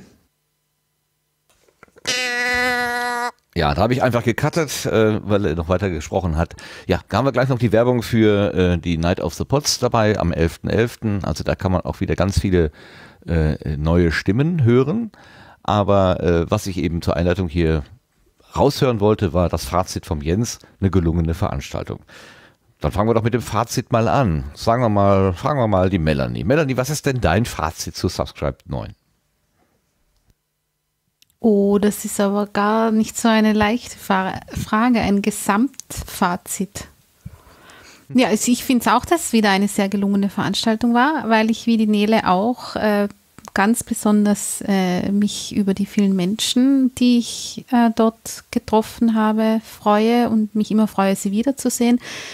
Ähm, viele, die ich schon kannte, aber dieses Jahr auch sehr erfreulich, sehr viele, die zum ersten Mal da waren. Wir hatten, glaube ich, äh, eine Rekordteilnehmerinnenzahl, aber auch eine ziemliche Rekordzahl, was neue äh, Menschen betrifft, die zu dieser Konferenz gekommen sind. Das finde ich mal als Fazit eine sehr schöne Entwicklung.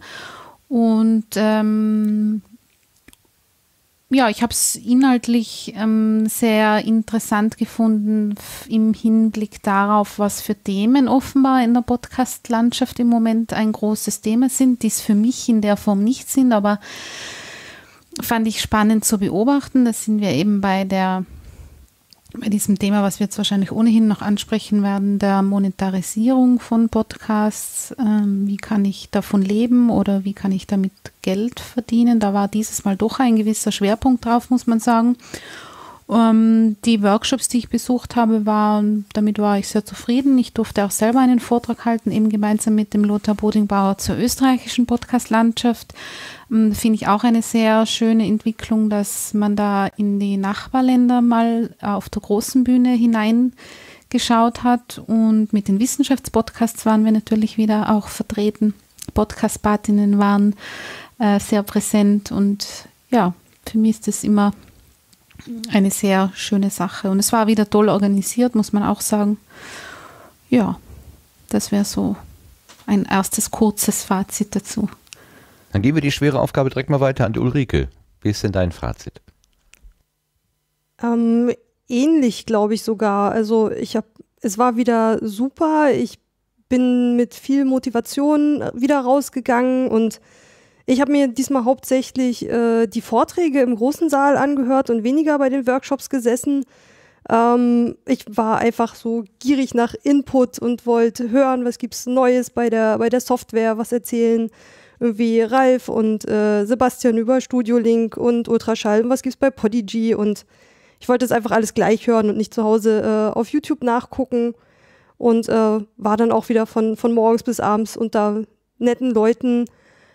Ja klar, das, das Marketing-Thema war diesmal schon recht prägend. Ähm, ich hatte auch ein Gespräch mit jemandem, äh, der noch nicht angefangen hatte zu podcasten und der dann auch so ein bisschen meinte, er wäre etwas eingeschüchtert davon und ob, äh, war schon fast an dem Punkt, wo er sich nicht mehr trauen würde, weil er meinte, jetzt müsste er so viel, er hat jetzt gehört, was er alles beachten muss und äh, welche Kanäle man, man dann noch alles bespielen muss, um überhaupt irgendwelche Reichweite zu kriegen und muss sich erstmal ein bisschen beruhigen und sagt so, nee, so sollte das jetzt auch nicht rüberkommen, äh, mach mal trotzdem.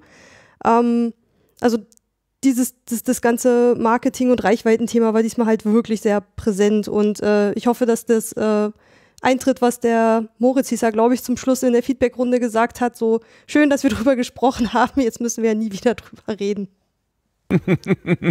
das ist natürlich eine schöne Zusammenfassung. Sehr gut, sehr gut. Ja, als ich das erste Mal in die Teilnehmerliste geguckt habe, habe ich gedacht, mein Gott, nur fremde Gesichter. Das ist ja gar nicht mehr meine kuschelige äh, Familie, so wie Nele sie gerade beschrieben hat. So man, man macht so Klassentreffen oder ein Treffen mit Freunden. Dann hat mir aber der Sebastian gesagt, nein, nein, nein, äh, in der Liste äh, sind ganz viele Leute gar nicht freigeschaltet. Äh, die haben vergessen, da den Knopf zu drücken. Ich übrigens auch, hatte das auch nicht gemacht. Und über die nächsten Tage äh, kamen dann noch ein paar dazu. Also es war gar nicht so fremd, wie ich es eingangs befürchtet hatte. Insofern erstmal Dankeschön an Sebastian für die Beruhigung und dann die nachgeschobene Frage an dich. Äh, was ist denn dein Fazit? Äh, ja, ich, ich bin auch, es ist äh, immer wieder, ähm, man, ist ja wirklich da, äh, wenn man dann äh, da drei Tage ist oder ich war dann jetzt auch irgendwie vier, fünf Tage dort.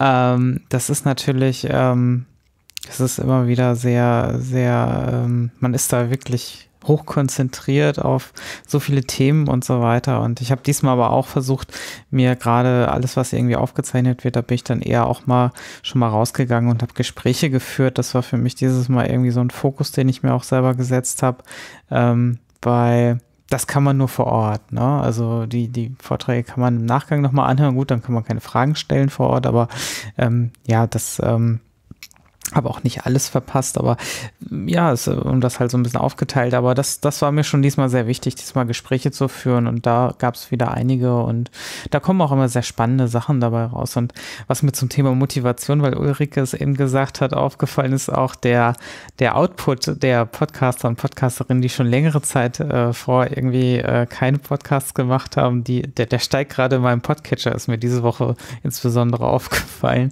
nach der Subscribe an. Also das scheint wohl schon so ein Phänomen zu sein, dass die Motivation nach so einer Subscribe dann ähm, seinen Podcast wieder zu, äh, zu äh, befüllen mit Folgen äh, sehr hoch ist bei einigen.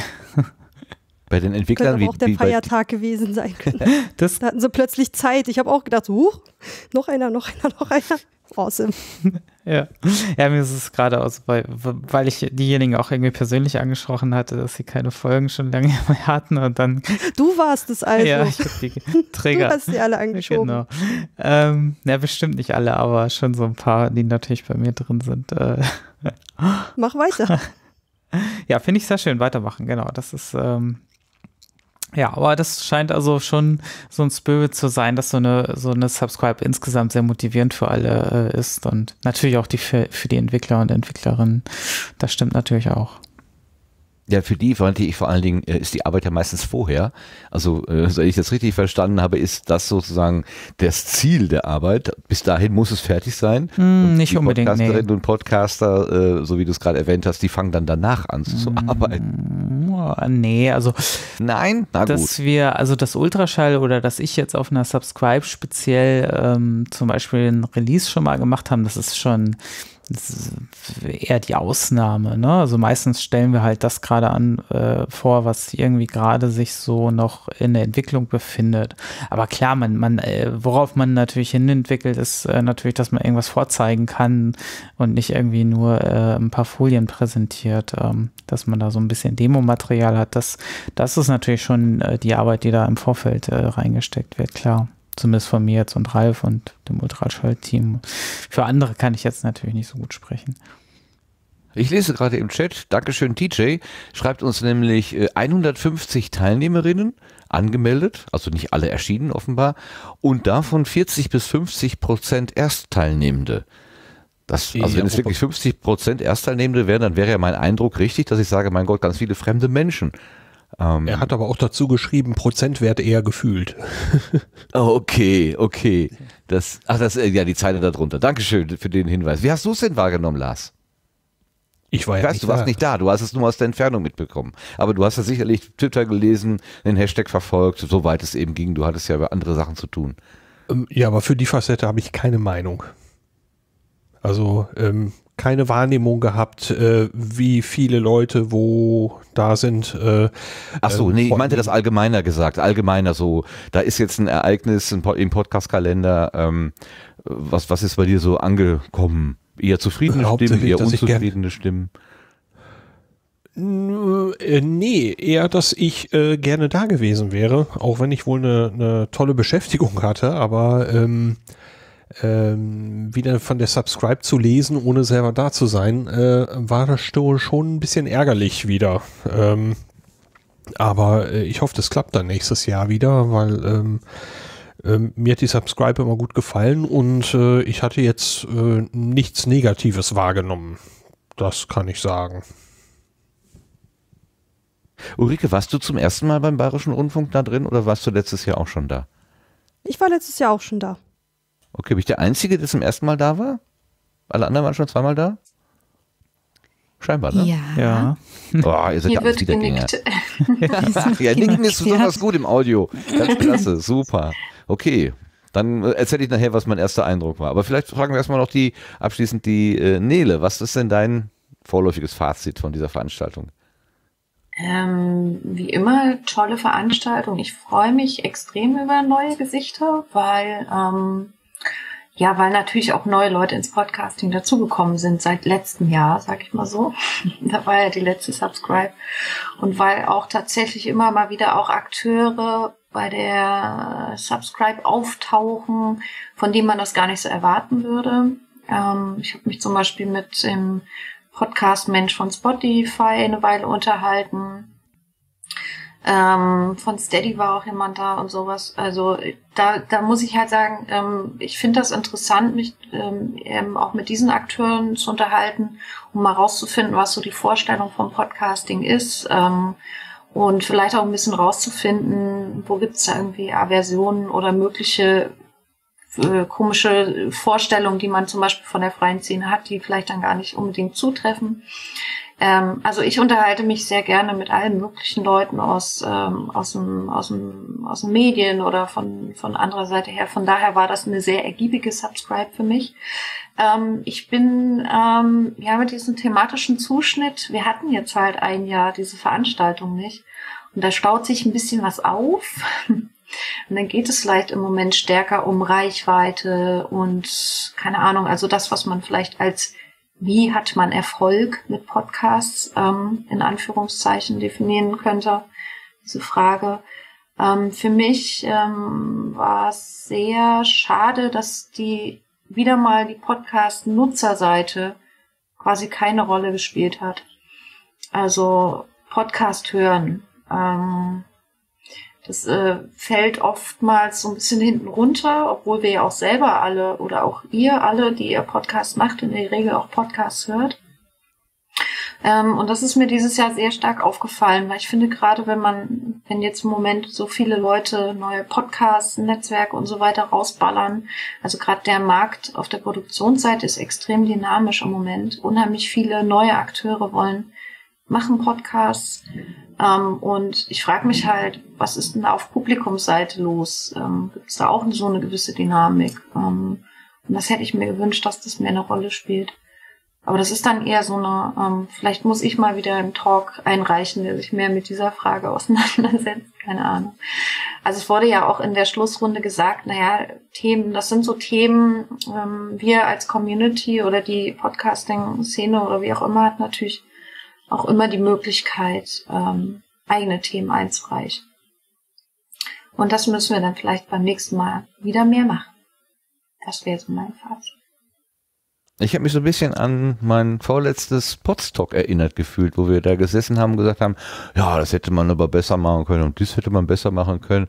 Und irgendwann sickerte so die Idee ein, äh, ja, warum haben wir es denn nicht besser gemacht? Was war denn der Grund dafür, es nicht anders zu machen? Und dann haben wir gesagt, ja, pff, es gibt keinen Grund. Wir haben es einfach nicht auf dem Schirm gehabt. Wir haben nicht einfach gemerkt, es liegt an uns, das zu ändern. Und so habe ich äh, Claudia und äh, Ralf auch verstanden, die gesagt haben, ja, die Themen ja, wir haben viel über Marketing gesprochen, aber nicht, weil wir das so wollten, sondern weil im Prinzip das die Themen waren, die an uns herangetragen worden sind. Und keiner ist gekommen und hat irgendwie ein anderes Thema äh, vorgeschlagen, was wir genauso gerne aufgenommen hätten. Also da ist genau das, was du sagst, Nele, äh, dieser, dieser Bezug zu sich selber und zu sagen, ja, okay, ähm, da möchte ich, ähm, möchte ich auch andere Themen setzen und möchte, dass über andere Sachen gesprochen wird. Und ich habe gestern mit großem Vergnügen Stefan Schulz gehört im Aufwachen-Podcast, dass er sagte, ähm, tolle Veranstaltung, Themen haben mir nicht so gefallen und ich beim nächsten Mal se setze ich selber einen Talk an. Also das ist ja, schon für genau. ihn klar, dass ich, das wollte kommt. ich als Beispiel Sehr schön, ne? nennen,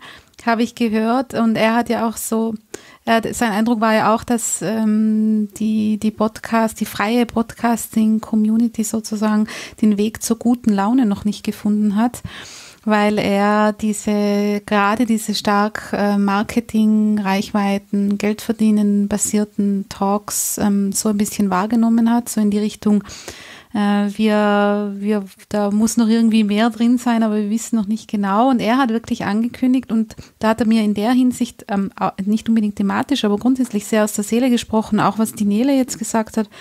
Ähm, er hat ja angekündigt, ich habe mir das extra äh, notiert, weil ich hoffe, dass er das tatsächlich macht. Er wird einen Talk einreichen mit dem Titel, wie macht man einen bürokratielosen Audio-Only-Podcast und äh, wird das für die nächste Subscribe einreichen. Also es sei auch hier noch einmal deponiert. Ich hoffe, er macht das auch wirklich, auf den wäre ich sehr gespannt. Aber ich finde auch, wir sind da ganz ähm, äh, stark selbst gefragt. Vielleicht hat sich da bei manchen so ein bisschen eine Zurückhaltung eingeschlichen, äh, was, was das wirklich ähm, offensive Anbieten von Themen betrifft, die eben äh, zum Beispiel auch einfach viel stärker wieder formatbasiert sind. Also Formatvorstellungen zum Beispiel könnte man wieder viel mehr in den Mittelpunkt rücken. Und da sind wir alle, äh, die wir dort waren, gefragt, weil das Schöne an der Subscribe ist ja und war es ja, ist es ja eigentlich schon immer und das kann ich wirklich sehr betonen, gerade im Vergleich zu anderen Konferenzen, dass es absolut Community-basiert ist. Das heißt, ähm, das, was aus dieser Community rauskommt, ähm, kann dann dort auch stattfinden. Und ich glaube, dass deswegen habe ich eingangs auch ähm, gesagt, dass ich das ähm, durch diese, die, diesen Fokus auf die Themen, die der dieses Mal da war, ähm, habe ich das dass es offenbar da war und dem dort Rechnung getragen wurde, äh, ohne dass da jetzt wirklich ein, äh, ein, wie soll ich sagen, Ohne dass es das jetzt konkret in, der, in diese Richtung beabsichtigt, äh, beabsichtigt gewesen wäre. Das würde ich auch so sehen. Das sind wir alle gefragt. Ich glaube auch, ähm, was ich da, also ich muss noch dazu sagen, es hat mir leid, dass ich dieses Jahr quasi keine Workshops mitgemacht habe. Ähnlich wie, äh, glaube ich, Sebastian auch gesagt hatte, mir eben auch viel Zeit genommen habe, um mit Leuten zu quatschen. Und ich glaube, wenn man das Vortragsprogramm sieht, was ja nun auch jetzt das ist, was online steht, dann ist der Zuschnitt oder die, ähm, ja, das, was da so an Themenschwerpunkten rüberkommt, auch nochmal was anderes, als wenn man in die ähm, in die Workshops selber reinschaut. Ähm, zum Beispiel euer Workshop zum Sprechen, Denken. Denken, Sprechen. Mhm. Nee, Denken, Sprechen wäre auch nicht schlecht. Aber das, das äh, spricht ja eher so dafür, ähm, dass man da auch nochmal sich miteinander austauschen muss zu ganz grundlegenden Dingen. Und das finde ich äh, total gut. Und vielleicht ist ja aus diesen Punkten, die man da entwickelt hat, auch mal die Möglichkeit, nächstes Jahr dann eher einen Talk vor vor dem, ja, vor dem Podium oder vor dem Plenum eben zu machen. Ähm, ansonsten nimmt ja, glaube ich, auch jeder sehr individuell Sachen mit. Ähm, zumindest ist das so meine Erfahrung. Und äh, Ja, ich wenn es glaube, dass ein, man. Mhm. ein Herzchen ist äh, auf der Backe. Ja, genau, die Herzchen. Ich glaube, dass man da äh, auch durchaus Mut machen kann und ich, äh, ich glaube, dass es der Moritz Klenk war in seinem äh, Botlog oder auch die Tine Nowak äh, in ihrem Talk, da habe ich nämlich auch sogar einen Ausschnitt mitgebracht, ähm, dass man da Mut machen kann, ähm, in der Hinsicht auch, was so inhaltliche Themen betrifft oder worüber man sich vielleicht noch Gedanken machen kann und vielleicht auch muss bis zu einem gewissen Grad, ist die Tatsache, dass Podcasting als Medienpraxis sozusagen ja noch ein total junges Format ist vergleichsweise. Und ich glaube, dass wir uns in der Gestaltung, in den Gestaltungsmöglichkeiten, die uns das noch bietet, noch ganz viele Dinge gibt, die wir gemeinsam diskutieren sollen und können. Äh, gerade in der in dem Rahmen, wie wir, wie wir zum Beispiel bei einer Subscribe ähm, immer wieder antreffen, was ich, wo, wo, wo so eine Reise irgendwie auch hingehen könnte, wäre, dass man sich auch einmal so die, die Frage stellt, was macht es eigentlich mit Inhalten, wenn ich, wenn ich sie als ähm, Podcast oder als Audio aufarbeite? Oder was macht diese, diese Herangehensweise über Audio eigentlich mit Inhalten, wie, wie kommen die anders rüber? Oder was für, was für andere Aspekte kommen dadurch auf? Und, und, und welche Möglichkeiten eröffnet uns das vielleicht noch zusätzlich? Okay, wollen wir den äh, Einspieler von, ähm, von denen Ja, weil ich finde, ich habe hast? den raus, es ist jetzt ein sehr interessanter Zufall, weil ich genau den, äh, den Teil des Talks von Tine Nowak ähm, rausgenommen habe, den der Breitenbacher angesprochen hat in seinem, äh, in seinem Einspieler, den du ausgewählt hast. Also das passt jetzt ähm, quasi wie die Faust aufs Auge. Ja, dann starte ich den doch jetzt einfach mal. Ja, gerne. Hören wir mal rein. Mm, Es gibt also auch andere Orte als klassisch mm, die Orte, wo wir sonst Podcasts vermuten, wo aber die Art und Weise, wie wir Podcasts produzieren, vielleicht Wirkung entfalten können.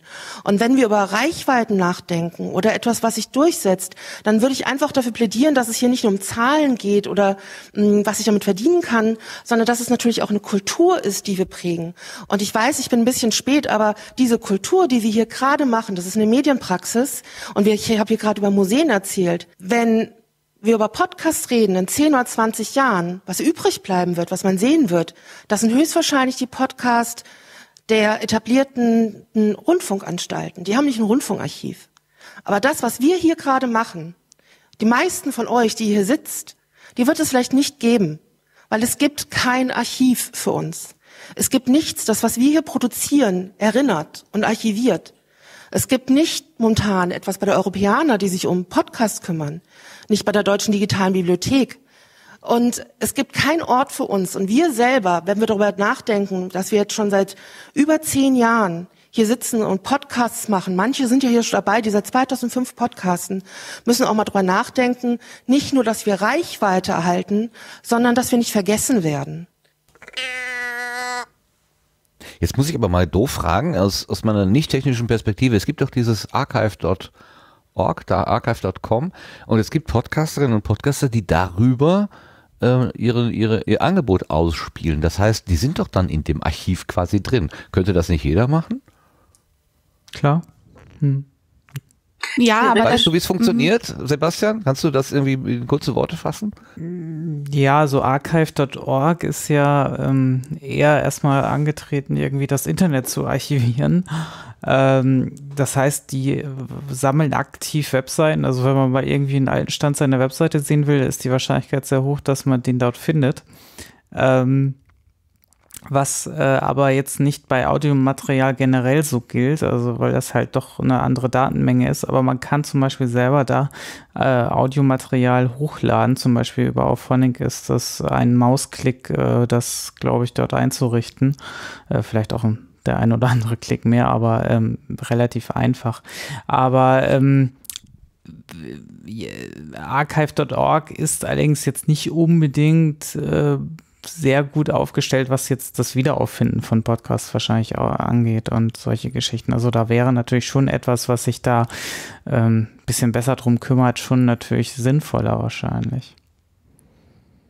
Aber Melanie wollte, glaube ich, dazu jetzt auch noch was sagen. Ja, also was, was mit dem Archive.org da ist, ist, dass es schon grundsätzlich die Möglichkeit gibt. Ich glaube, da kann der Sebastian wahrscheinlich noch besser einschätzen als ich, was da auf technischer Seite dann tatsächlich dabei rausschaut, gerade was es die Auffindbarkeit dann betrifft. Aber ich glaube, worauf die Tine da hinaus wollte, ist, dass man ähm, und, und, das spielt darauf an, was ich davor gesagt habe, dass wir ganz viele Aspekte haben, über die wir uns noch ähm, viele Gedanken machen müssen und sollten. Und den Aspekt, den Dine in ihrem Talk da zum Ende hin aufgebracht hat, ist, glaube ich, einer, der in diese Kategorie hineinfällt, wo man ähm, noch viele Überlegungen anstellen sollte. Und ich glaube, diese Überlegungen können erst dann entstehen, wenn man die entsprechende Sensibilität dafür hat. Und ich glaube, da ihr schon recht geben zu müssen, die haben wir wahrscheinlich noch nicht ausreichend. Also zumindest nicht in meiner Wahrnehmung, das kann auch täuschen. Aber das, was die, was sie hier angesprochen hat, ist, glaube ich, ein Aspekt, den man durchaus äh, mehr auf den Schirm haben kann. Und, und dadurch, dass wir ja sehr ähm, gerade im, im Technikbereich eine wunderbare, ähm, ein wunderbares Sammelsurium an Menschen haben, die sich unfassbar gut damit auskennen, ähm, dass man da gemeinsam einmal in so eine Richtung überlegt, wie das, ähm, äh, äh, wie so etwas aussehen könnte zum Beispiel. Ein uns nicht unbekannter Podcaster sagt doch gerne, Podcasts werden auch in 500 Jahren noch gehört. Der müsste doch eigentlich eine Idee davon haben, wo die denn sind in, in 500 Jahren. Uns nicht unbekannter, ja. Ich, ich glaube, ich weiß, wen du meinst. Die sind dann in einer Kapsel im Weltraum unterwegs.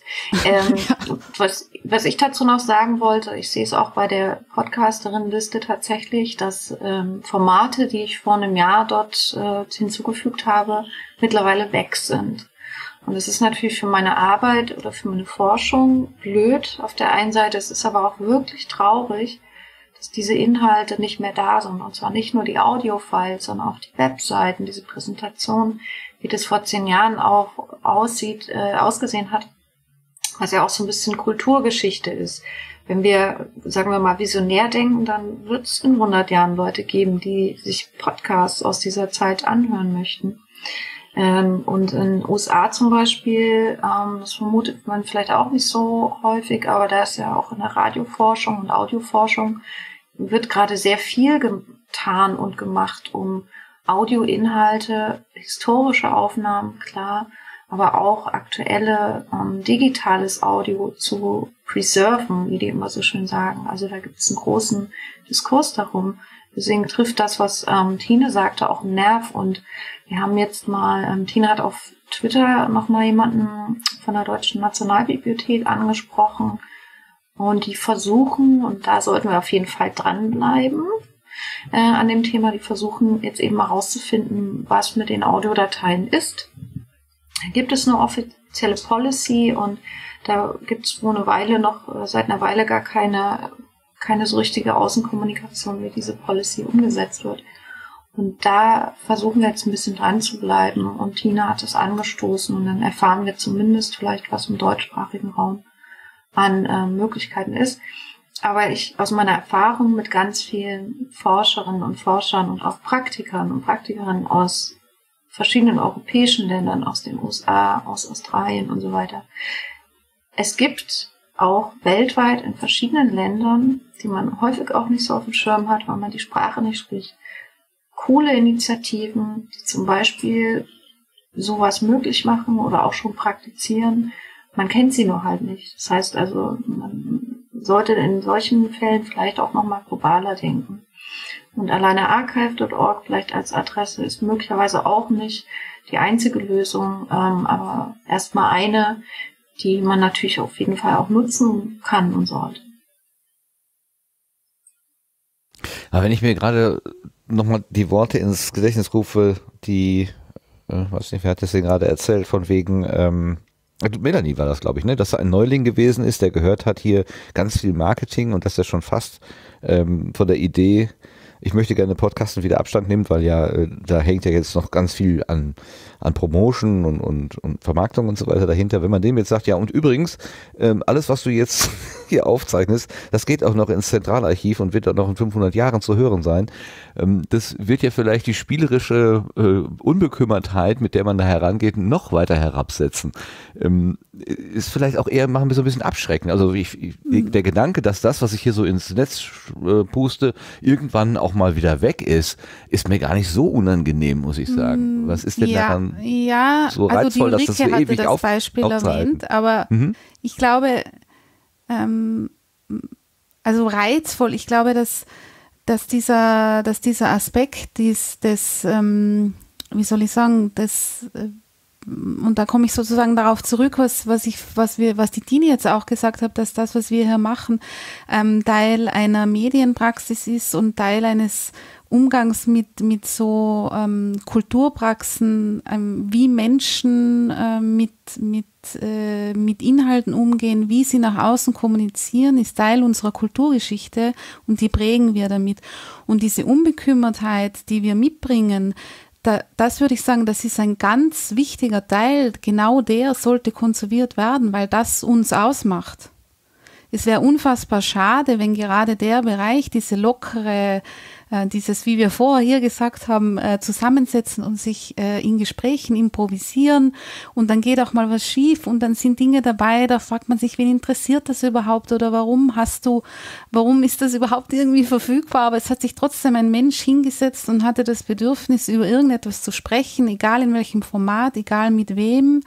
Ähm, Und ich glaube, dass gerade dieser Aspekt so etwas Prägendes für diese Podcast-Welt ist, dass es gerade um den unfassbar schade wäre, wenn er nicht konserviert werden würde. Mhm. Das, ja, es, wirkt aber trotzdem ein bisschen widersprüchlich, ne?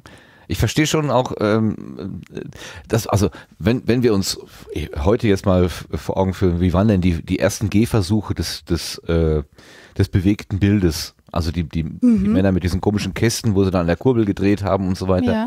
Wenn man da heute noch mal eine Rolle finden würde, das wäre, glaube ich, schon ein Ereignis. Ne? Ah, noch ein paar seltene oder nie gesehene Aufnahmen, was weiß ich, äh, wie die Hindenburg abbrennt oder sonst irgendwas. Da würde man ja sofort sagen, wow. Ähm, äh, oder vielleicht auch einfach nur, äh, wie jemand seine Katze filmt, um, um mal im Bild zu bleiben. Ne? Äh, da als Zeitzeugnis, so was ist technisch möglich gewesen, mit welchem, mit welchem Blickwinkel haben die Menschen auf Haustiere geguckt oder weiß der Kuckuck. Kann ich mir schon vorstellen, dass da natürlich auch aus einer Kulturperspektive, Kulturforscherperspektive ein, ein Reiz drin liegt, auf jeden Fall.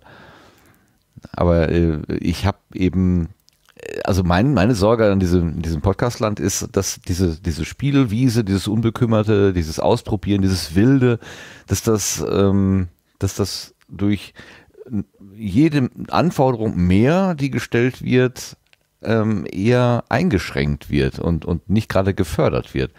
Aber vielleicht ist das ja auch eine sehr pessimistische äh, Sichtweise, die ich da habe.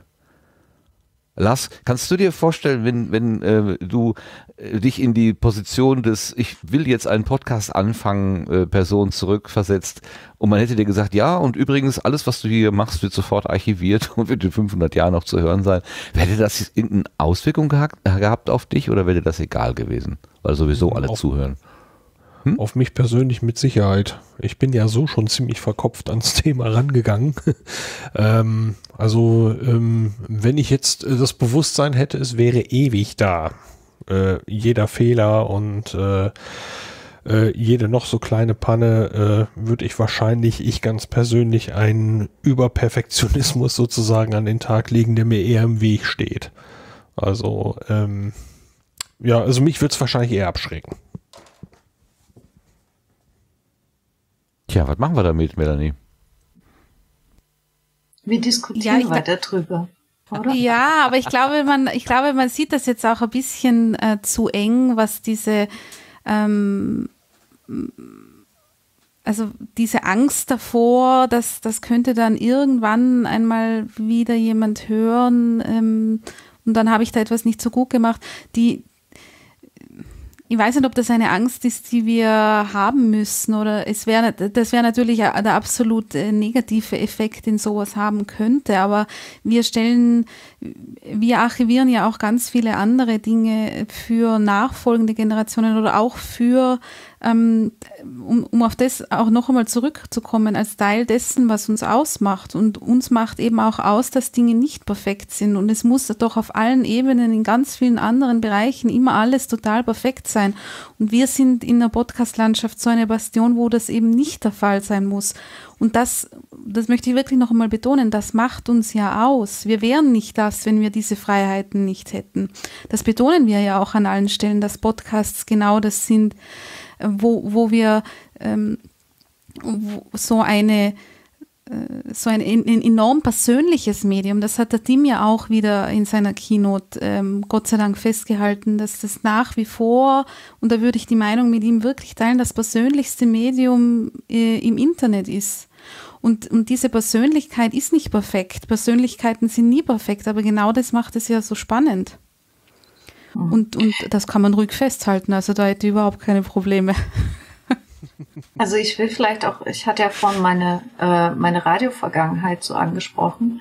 Äh, dazu vielleicht noch, ähm, dieses Radio ist 1999 entstanden, Radio äh, Lotte in Weimar.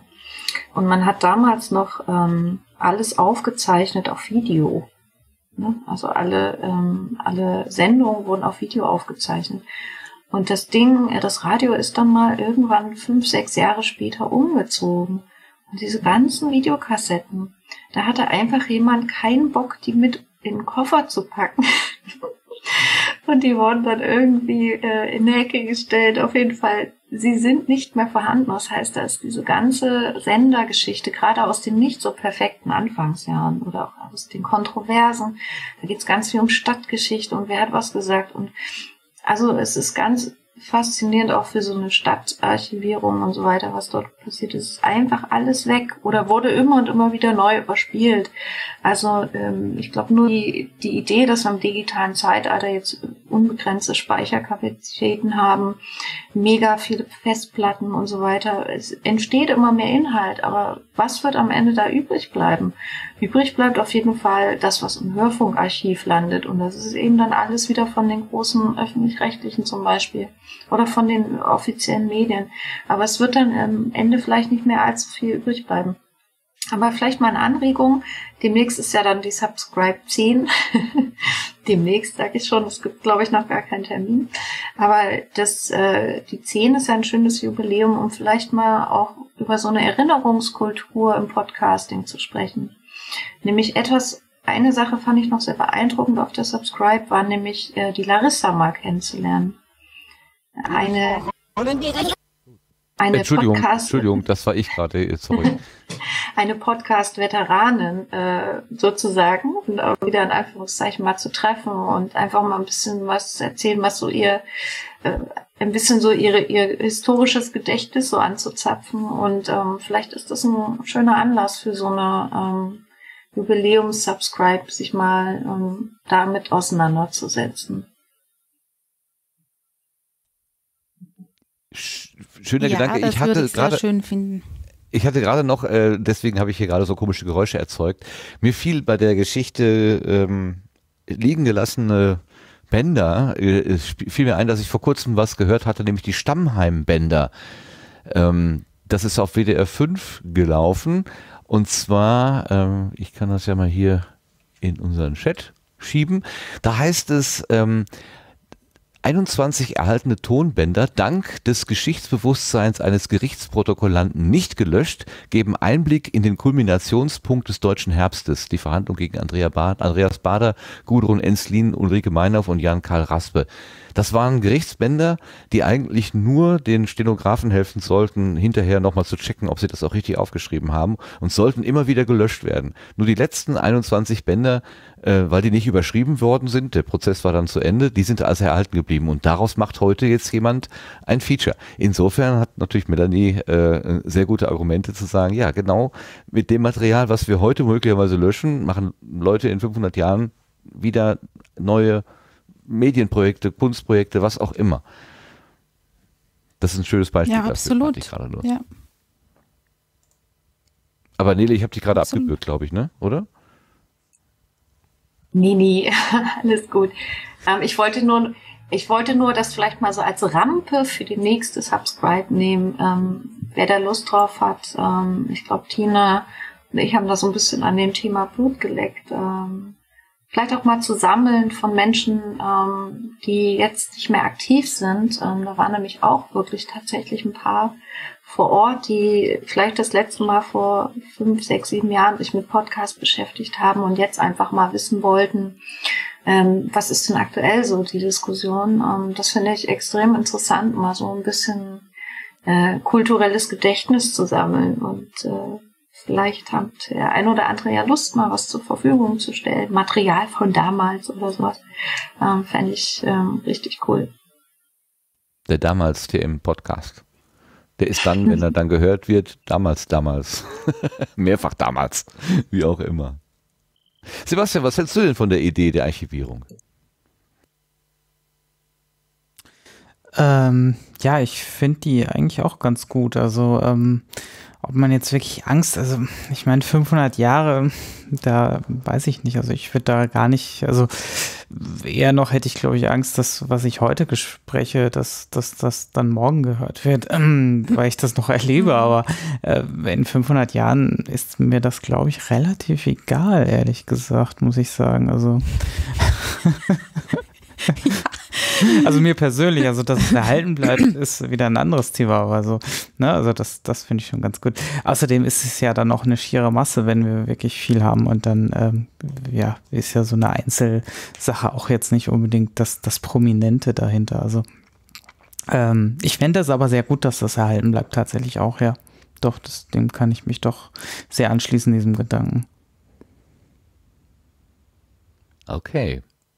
Mir wurde erzählt, dass ähm, die Lokation, also hier die, die Location, Lokation wollte ich wieder sagen, äh, also die, die, die Situation dort in München etwas anders gewesen ist dieses Mal als beim letzten Mal, was das Essen angeht und diese, diese äh, in einem anderen Raum untergebracht sein beim Essen. Mhm. Ähm, und die, wir haben am Tisch schon ein bisschen diskutiert. Einige sagten, das ist total richtig und gut gewesen, dass das Essen quasi direkt vor der Tür gestanden hat und man da eben äh, aus dem Saal raus, fünf Meter weiter, hat man sich schon wieder hingesetzt und ist einfach in diesem Kosmos da geblieben. Und das hätte sich nicht so verlaufen wie beim letzten Mal. Man ist einfach viel schneller ins Gespräch gekommen. Andere haben gesagt, das ist hier so laut und ich muss so schreien, dass ich überhaupt irgendwas verstehen kann. Das war letztes Mal besser. Ähm, ich fand es jetzt persönlich so, wie es war, ganz okay. Kann- Ich nicht, kann nicht sagen, dass ich irgendwas anderes besser gehabt haben wollte, lieber gehabt haben wollte, aber ich habe auch den Vergleich nicht. Jetzt seid ihr alle schon mal da gewesen. Wie ist denn diese rein, äh, sag mal, physikalische Aufbau da bei euch angekommen? War das okay so oder ist es beim letzten Mal, beim anderen, letzten Mal besser gewesen? Ulrike, was hast, sagst du denn dazu? Mir ist die Lautstärke auf jeden Fall auch aufgefallen. Also ich habe teilweise nicht verstanden, was mein mir etwas schräg gegenüber sitzender äh, Gegenübersitzer halt äh, irgendwie erzählt hat am Mittagstisch.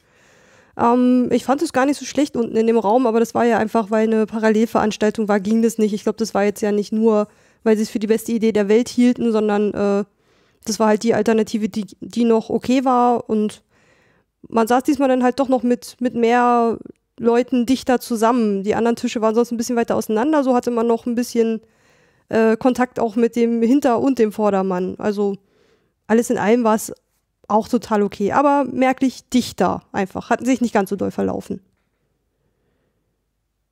Eher, ist es dann eher besser oder würdest du sagen, beides gleich gut? Mm, Wenn ich es mir aussuchen dürfte, würde ich doch wieder nach unten gehen. Es war schon, für mich war es doch relativ laut. Ich konnte mich schlecht konzentrieren. Also nur beim Essen. Also bei den Vorträgen jetzt nicht, aber so in den Zeiten dazwischen, wenn man mal quatschen wollte. Wenn man sich mal konzentrieren muss, beim Essen nämlich, genau.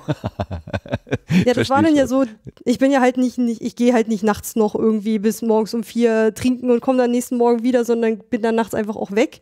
Deswegen waren das halt so meine Zeiten, wo ich mal hätte ein bisschen schnacken können. Und äh, da war es dann teilweise doch ganz schön, für mich ein bisschen sehr laut. Hm. Melanie, wie Aber hast vielleicht bin ich auch nur empfindlich. Ach so, Entschuldigung. Ja.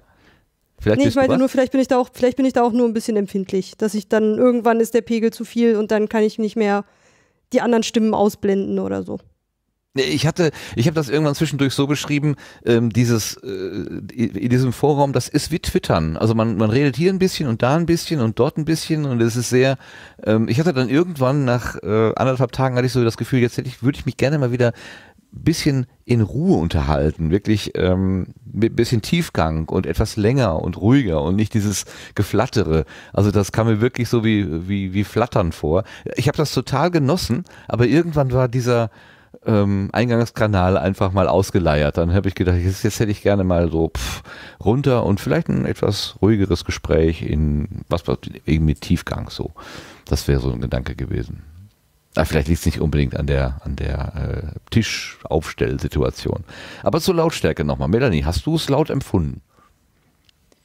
Also ich habe jetzt äh, die ganze Zeit überlegt und ich bin mir aus, zumindest aus meiner Wahrnehmung nicht sicher, ob es äh, da unten tatsächlich wesentlich ruhiger war letztes Jahr.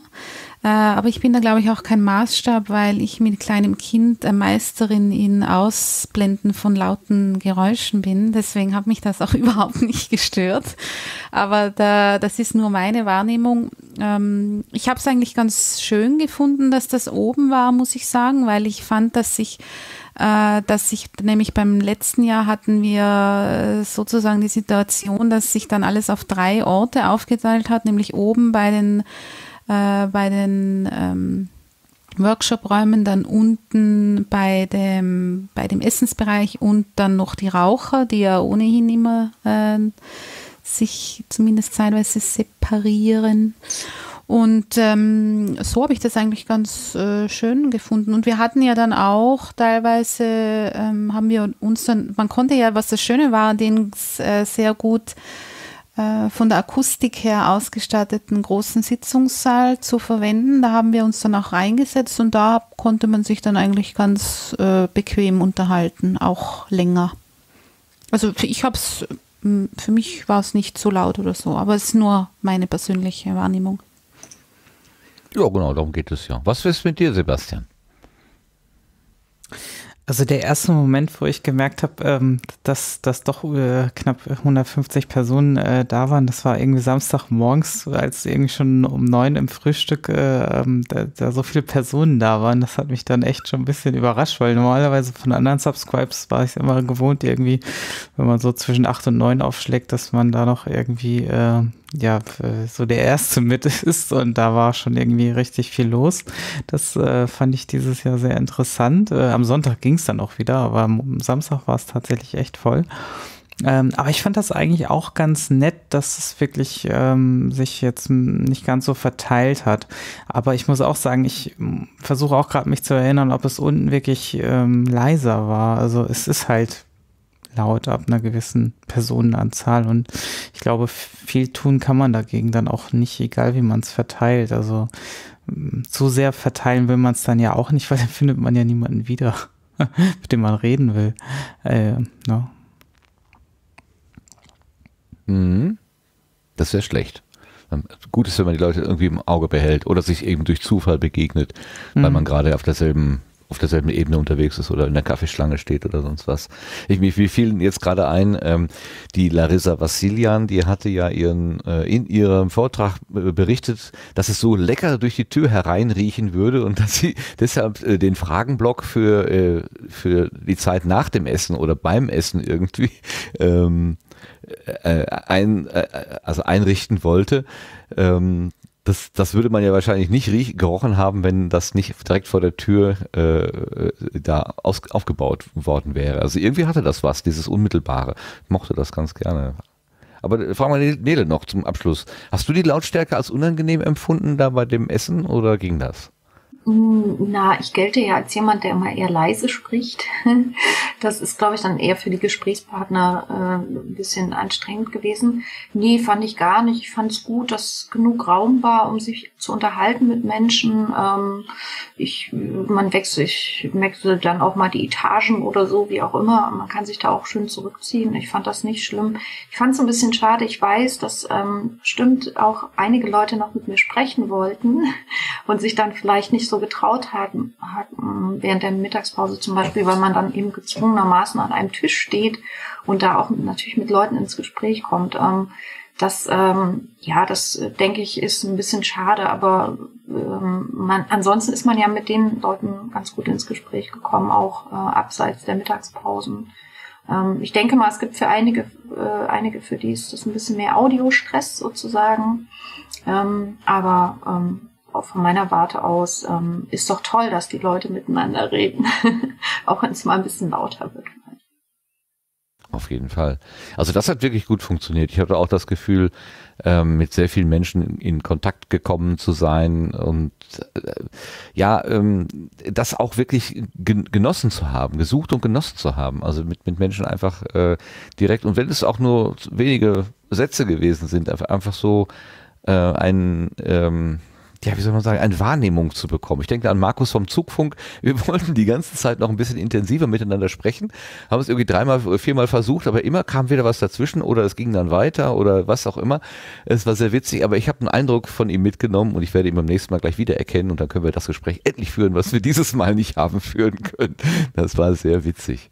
Was ich aber ich ganz... kann, ja? Vielleicht noch ganz kurz dazu. Also da ist vielleicht dann doch dieser Slack-Kanal, der entstanden ist, ja auch noch eine tolle Möglichkeit, um im Nachgang der Veranstaltung sich eben auch nochmal zu verabreden oder äh, nochmal ein paar Sachen anzubringen, die man vielleicht nicht geschafft hat. Also das ersetzt das dann vielleicht wiederum. Also das war eine Neuerung dieses Jahr und ich finde die ganz gut und ich hoffe, da passiert jetzt auch im Nachgang immer noch mal ein bisschen was. Ähm, an ähm, Vernetzung zwischen den Leuten, Themenvorschläge und so weiter. Ähm, also auch da, wer jetzt zuhört und auf der Subscribe war und auch Feedback geben möchte noch im Nachgang, macht es auch gerne dort. In, das wird äh, mitgelesen und auch durchaus wahrgenommen, was, ähm, was dort an Anregungen kommt. Genau, jetzt äh, weiß ich gerade die passende URL nicht. Ähm, hat jemand aus dem Kopf, wie das ging? slacking.subscribe.de, kann das sein? Äh, also Slack genau, ist ähm, slackin.subscribe.de. ohne G, also Slackin. Genau, Slack Ja. in. Ah, okay, Slack, slackin.subscribe.de. Ähm, äh, nicht de, oder? Doch, subscribe.de, das ist ja die Domain. Ach, meine Güte. Also Slack ist so ein Kollaborationstool, wo ähm, normalerweise Gruppen sich verknüpfen, die miteinander irgendein, irgendein Projekt arbeiten oder gestalten wollen. Es wird in, bei einigen Podcasts als Chat-Ersatz eingesetzt, ähm, der mit den Vorteil hat, dass die Sachen, die da reingeschrieben werden, länger erhalten bleiben, vielleicht sogar nie gelöscht werden. Ich weiß es gar nicht genau. Anders als zum Beispiel so ein Twitter-Chat oder ein äh, hier ein Web-Chat hier IRC-Chat, äh, das ist ja dann relativ flüchtig und weg. Und meines, ich habe zum ersten Mal über die Freakshow davon gehört, dass äh, Tim das eingesetzt hat ähm, als, als Tool, um mit seinen Hörerinnen und Hörern in Kommunikation zu bleiben. Und das wurde jetzt eben dann auch dafür eingesetzt. Ähm, man kann in diesem Tool dann verschiedene Ebenen aufmachen, äh, wo man eben sagt, hier, das sind Themen der Küche und das sind Themen der Technik und das sind Themen der, der Raumplanung oder der, der Zeiteinteilung oder so. Ähm, da kann man sich anmelden. Man muss sich ähm, einmal registrieren lassen, also quasi anmelden und seine, sein Interesse bekunden und dann wird man quasi per E-Mail äh, benachrichtigt und bekommt eine Freischaltung. So war es bei mir jedenfalls. So, jetzt sind meinen amateurhaften Worten. Ich hoffe, Sebastian hat das äh, wohlwollend aufgenommen und nicht zu viel zu korrigieren. Alles gut. War das richtig? Ja, ja. Mein Gott. Super. Ja, das ist entstanden und hilft wahrscheinlich dann auch fürs nächste Mal da reinzugucken. Okay. Ähm, dann haben wir, glaube ich, so unsere Fazits halbwegs durch. Habt ihr noch irgendwas, äh, was ihr gerne unterbringen wolltet, hier so quasi als Gesamtresümee? Sonst gucken wir mal ein bisschen in die Details hinein.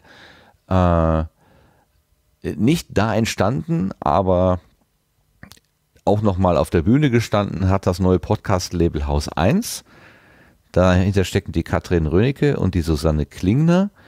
Ähm, die haben vor einem 14 Tage vorher beim Zündfunk-Kongress bei Bayerischen Rundfunk haben sie ihren ersten Vortrag gehalten zu dem neuen Label, was sie gegründet haben. Ähm, die Idee schwebte den beiden wohl unabhängig voneinander schon länger vor und sie haben sich dann irgendwann gefunden und gesagt, hm, wollen wir jetzt nicht versuchen, ein Podcast-Label zu machen und mit einem Portfolio, also wo eben verschiedene Podcast-Angebote drin sind und einem oder mehreren Vermarktungspartnern ähm, irgendwie ein Standbein aufzubauen, was uns zumindest äh, die Miete bezahlt oder was auch immer. Also man, äh, sie wollen davon tatsächlich leben, das soll ihr Broterwerb werden. Und sie haben es vorgestellt. Im Moment gibt es dort vier ähm, Podcast-Angebote, die darunter sind. Das ist die Wochendämmerung, die die gerade mit dem Holgi macht. Die kommt von Spotify. Also die waren bis vor kurzem bei Spotify Nee, nicht Spotify, der, der Hörbuchverlag. Äh, Audible. Audible, genau. Ja. Das, danke. Ähm, der, der war bei Audible und ähm, ist dort irgendwie ausgelaufen und äh, sie durften die Marke mitnehmen und jetzt versuchen sie es eben auf eigene Kappe zu äh, äh, weiter zu betreiben, zu vermarkten. Dann ähm, Exotisch Evident, äh, das ist der Podcast, den die Kader mit der ähm, Alexander Tobor macht. Der Lila Podcast, das ist der Podcast, den äh, Kader mit Susanne und Barbara gemeinsam macht. Und dann gibt es noch den Podcast Halbe Kartoffel. Das ist jemand, äh, den Namen habe ich leider gerade nicht parat, ähm, der selber äh, koreanische, koreanische also der ist zur Hälfte Deutscher, die andere Hälfte ist eben international und er spricht mit anderen Menschen, die zur Hälfte Deutsch, also zur Hälfte die Kartoffel sind, ja, der Deutsche die Kartoffel ähm, und zur Hälfte eben international und wie es denen halt so ergeht. Und die vier sind zurzeit äh, in diesem Portfolio drin.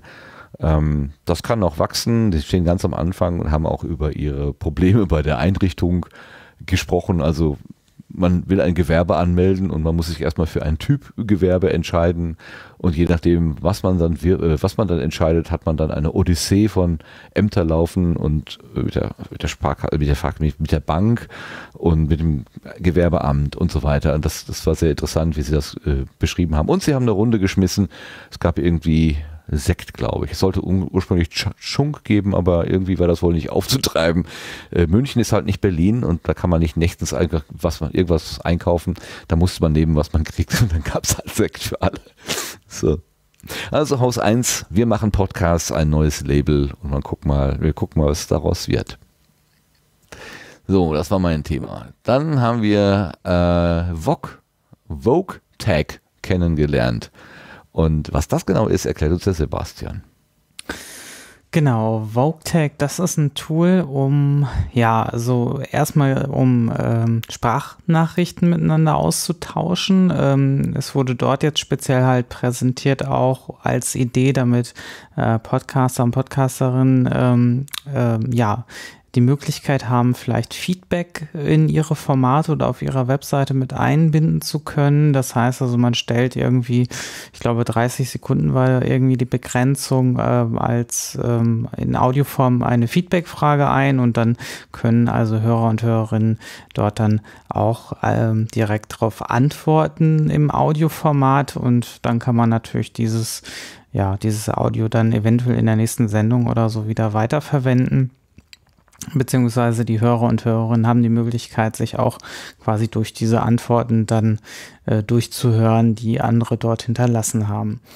Ähm, ja, das Ganze ist noch ziemlich am Anfang. Ähm, es werden im Moment auch eher so Pilotprojekte gesucht. Also es ist jetzt keine Seite, wo man sich direkt anmelden kann. Es gibt auch so eine iPhone-App, die allerdings wenig jetzt mit dem zu tun hat, dass man Feedback einsammeln kann. Da geht es, glaube ich, eher, dass irgendwie über die ähm, ja, Geolocation da ähm, wenn man sich in irgendwie dem gleichen Ort befindet, dass man da irgendwelche Fragen miteinander austauschen kann. Ähm, das, da, da besteht also noch kein so direkter Zusammenhang, weil die App wohl in einem anderen Hintergrund entstanden ist, aber das wächst vielleicht dann mit der Zeit zusammen. Also wie gesagt, das ist alles ähm, noch ziemlich neu und frisch ähm, und da wird jetzt einfach jetzt Feedback gesammelt und ähm, die versuchen halt ein Produkt daraus zu machen, suchen Investoren und haben halt auch darüber philosophiert, ähm, dass es vielleicht über Werbung dann in diesen Zeitschnipseln möglich wäre, dann Geld zu verdienen. Also einfach mal den Vortrag anhören, da, da geht es dann um diese Themen im Detail. Ähm, ja, das, das war es dann eigentlich. Aber an, an, da wird das, glaube ich, ganz gut deutlich, äh, wo dieser Gedanke, ah, wir suchen Investoren, wir suchen eine Vermarktung irgendwie. Wenn ich das jetzt mit so einem Vortrag von der äh, ähm, von der Podcat vergleiche, wo jemand einfach da steht äh, und sagt hier, super, ich habe hier, ich, ich habe hier eine, eine, App entwickelt und weil ich es einfach toll finde und es macht mir großen Spaß, da irgendwas zu machen. Ähm, da war von Vermarktung und Verkaufen, außer eben, dass das eine App wird, für die man dann irgendwie 5 Euro im, im, im Job nimmt oder so, war jetzt nicht die Rede. Ne? Also irgendwie, äh, dass man gleich im ersten Vortrag, wo man überhaupt zum ersten Mal von der Technik hört, dann gleich das Wort Investor und äh, äh irgendwie Vermarktung oder so weiter hört, das, das war schon irgendwie anders, muss ich schon einfach sagen. Ja, klar, ist das, das war aufgefallen. Ja, das ist neu, glaube ich. Ne? Also so in der Form hatten wir das. Wobei doch, ähm, es gab doch mal dieses andere Tool, was auch schon mal vorgestellt worden ist und dann leider nicht mehr weiterentwickelt wurde. Cassine? Ähm, nee, das ist ja jetzt erst neu. Das war, ach, jetzt fällt es mir nicht ein. Das war doch auch das mit diesen Geolocations, oder? Ähm, Wo du da an nee, gewissen Orten was reinsprechen konntest. Und dann war stimmt, das da gab es auch, deponiert. da gab's auch mal was, stimmt. Da weiß ich gar nicht, wie es ausgegangen ist, ob es das noch Das gibt. gibt's aber, das gibt's noch. Ähm, sind noch aktiv. Ja. Ah, Ähm, das andere war das, wo die Podcat, war das nicht so ein Feedback-Ding? Ähm, Ja, ja, ja, ja, ja, genau. ähm, Äh, so ein, so ein, ähm, ja, also es würde, es sollte get- mitgeteilt werden, was habe ich schon alles gehört, und zwar plattformübergreifend. genau, genau. das hatte die Podcat als erstes so implementiert. Richtig. Ist dann aber dann, Ah, wie hieß der denn noch? Genau. ähm, müssten wir aussuchen. Ich weiß es jetzt auch gerade nicht mehr. Aber das, das da, ich meine, äh, mich zu erinnern, dass die auch nach Investoren oder so, nach einem Finanzierungsmodell irgendwie gesucht haben, ähm, das, das war so, so ein bisschen ähnlich, also in der Richtung, glaube ich. Ähm, Ich, mir, mir Naja, das ist klassische, ähm, klassische ähm, Startups. ja, ähm, ja, ja. sozusagen. Also wenn man in der Startup-Szene sich umschaut, dann ist das eben normal. Ähm, jetzt eben ein bisschen länger als, als so ein kleiner Fünf-Minüter, so ein Pitch oder sowas.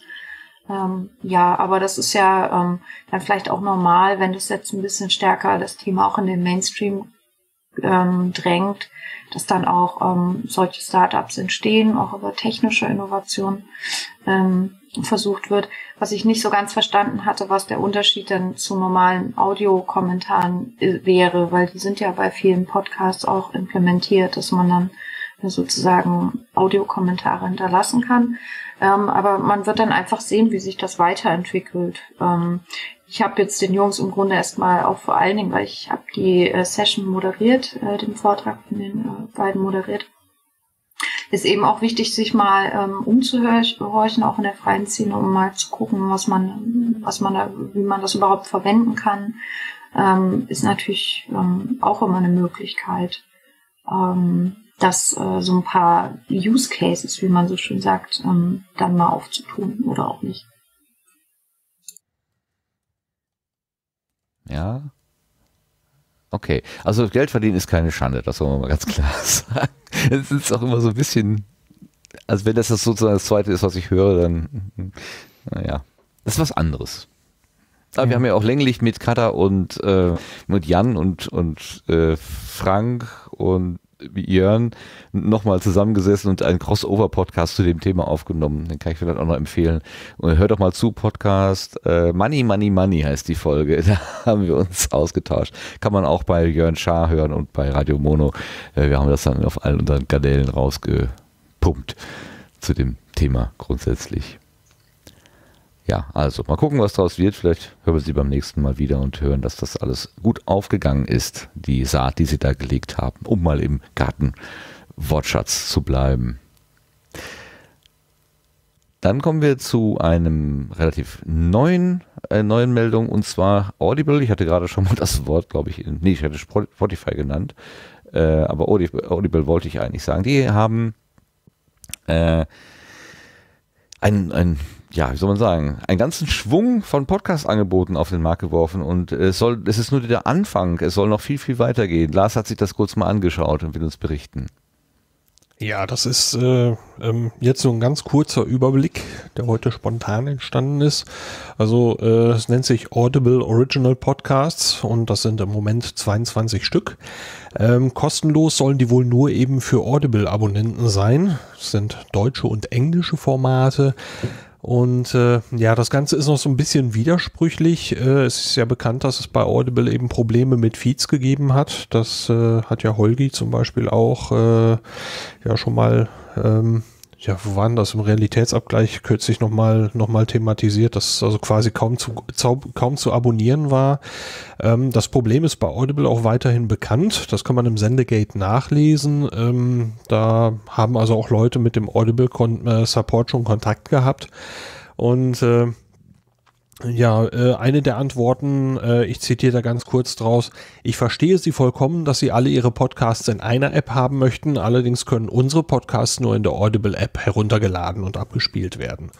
Und in einer anderen Antwort war also schon die Rede davon, ja, dass man da wohl dran sei, die Feeds zu reparieren, allerdings äh, das Problem gibt es jetzt schon so lange, ähm, und so eine Zauberei ist so eine Feed-Datei nun auch nicht. Heute Abend kamen noch ganz frische äh, Kommentare im Sendegate noch mit dazu, wo äh, ich rauslese, dass man das als eine Strategie ansieht und äh, ich sehe das selber eigentlich auch so. Ähm, man soll halt die Audible-App bitte schön benutzen. So nehme ich das selber auch wahr. Okay. Das Portfolio ist schon ganz schön groß, habe ich gesehen. Ne? Also da sind irgendwie heute schon, also ich habe so einen Artikel gelesen, da standen irgendwie mehrere jetzt habe ich den natürlich da verschlagen hier. Äh, mehrere, viele drin. Na, warte, hier ist es. 22 sind es. Ähm, ja, soll es da mal werden. Ne? Sein, ja. Mit so wunderschönen 22 Titeln. sind äh, es sollen noch, äh, sollen noch mehr werden. Und übrigens auch ähm, Haus 1 dabei. äh, mit zwei Haus 1 ist auch dabei? Mhm, drin? Genau. Ja. Ja, ja. Ich dachte nur, der Podcast Mind the Gap von der Susanne Klingner wäre dabei.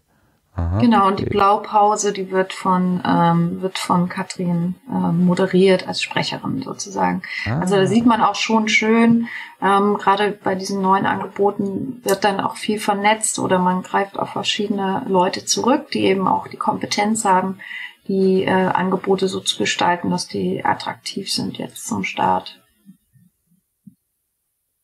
Okay, ich fand nur so die Themen, die Titel so schön. Juwelen im Morast der Langeweile. So muss man erstmal, auf den Titel muss man erstmal kommen. Das ist toll. Und eins habe ich gelesen, träumende Tiere. Welche Geräusche machen Tiere, wenn sie schlafen? Das ist auch schön. Also eine schöne Idee, die da irgendwie drin stecken. Mal gucken, was das wird. Ja, denn im Internet ist immer Platz. Genau, genau. Auch für solche Angebote.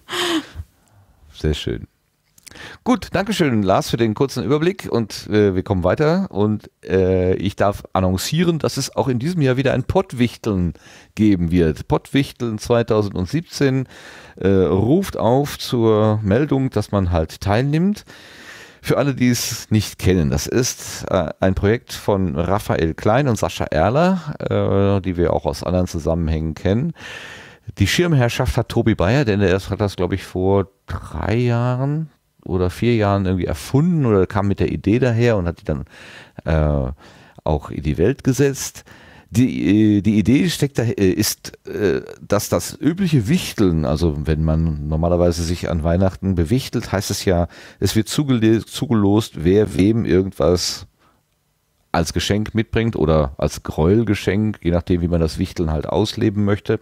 Also es gibt eine 1 zu 1 äh, Zuordnung, die aber vorher unbekannt ist. Also die wird im Hintergrund ausgelost, den Beteiligten mitgeteilt, aber im Verborgenen, im Verschwiegenen. Und dann gibt es halt die große Überraschung am Ende, wer, wer hat jetzt für wen was vorbereitet. Und genau das Gleiche äh, machen die Organisatoren Raphael Klein und Sascha Erler eben fürs Podcastland. Aus der Selbstbeschreibung lese ich mal eben vor. Podcast-Machende bekommen durch Zufall einen anderen Podcast zugelost und produzieren eine Gastepisode. So erstellt Podcast XYZ nicht seinen eigenen Podcast, sondern tut so, als ob er der Podcast ABC wäre. Die Spannung bei all dem ist natürlich besonders groß, wenn man seinen eigenen Podcast durch fremde Personen gesprochen bekommt. Ein schöneres Geschenk kann es doch eigentlich gar nicht geben, oder? Ja, das hat in den letzten Jahren ziemlich ähm, Furore gemacht. Also da haben doch zahlreiche Menschen mitgemacht und äh, manche haben gebibbert und gezittert, so nach dem Motto, hoffentlich ziehe ich nicht methodisch inkorrekt oder irgendwie sowas. Äh, haben sich aber teilweise sehr, sehr wacker geschlagen. Also die Ergebnisse, ich habe nicht alle gehört, aber alle, einige Ergebnisse, die ich da gehört habe, die haben mich wirklich beeindruckt, mit welcher Fantasie, Kreativität und auch Mühe die Leute da herangegangen sind. Und wer da mitmachen möchte, das ist natürlich auch eine gute Gelegenheit, seinen Podcast oder sein Podcast-Angebot ein bisschen bekannter zu machen, einfach mal anderen Leuten mitzuteilen, hallo, mich gibt es und ja, mein Name taucht irgendwo mal auf. Man kann sich noch bis zum 9. November anmelden und zwar einfach unter pottwichteln.com. Äh, oder wenn man das auf Twitter verfolgen will, dann ist es eben @pottwichteln. Da kann man mal nachgucken. Also anmelden, mitmachen, Freude haben und Freude schenken. Okidoki, das war das. Und damit sind wir auch schon beim Blühkalender.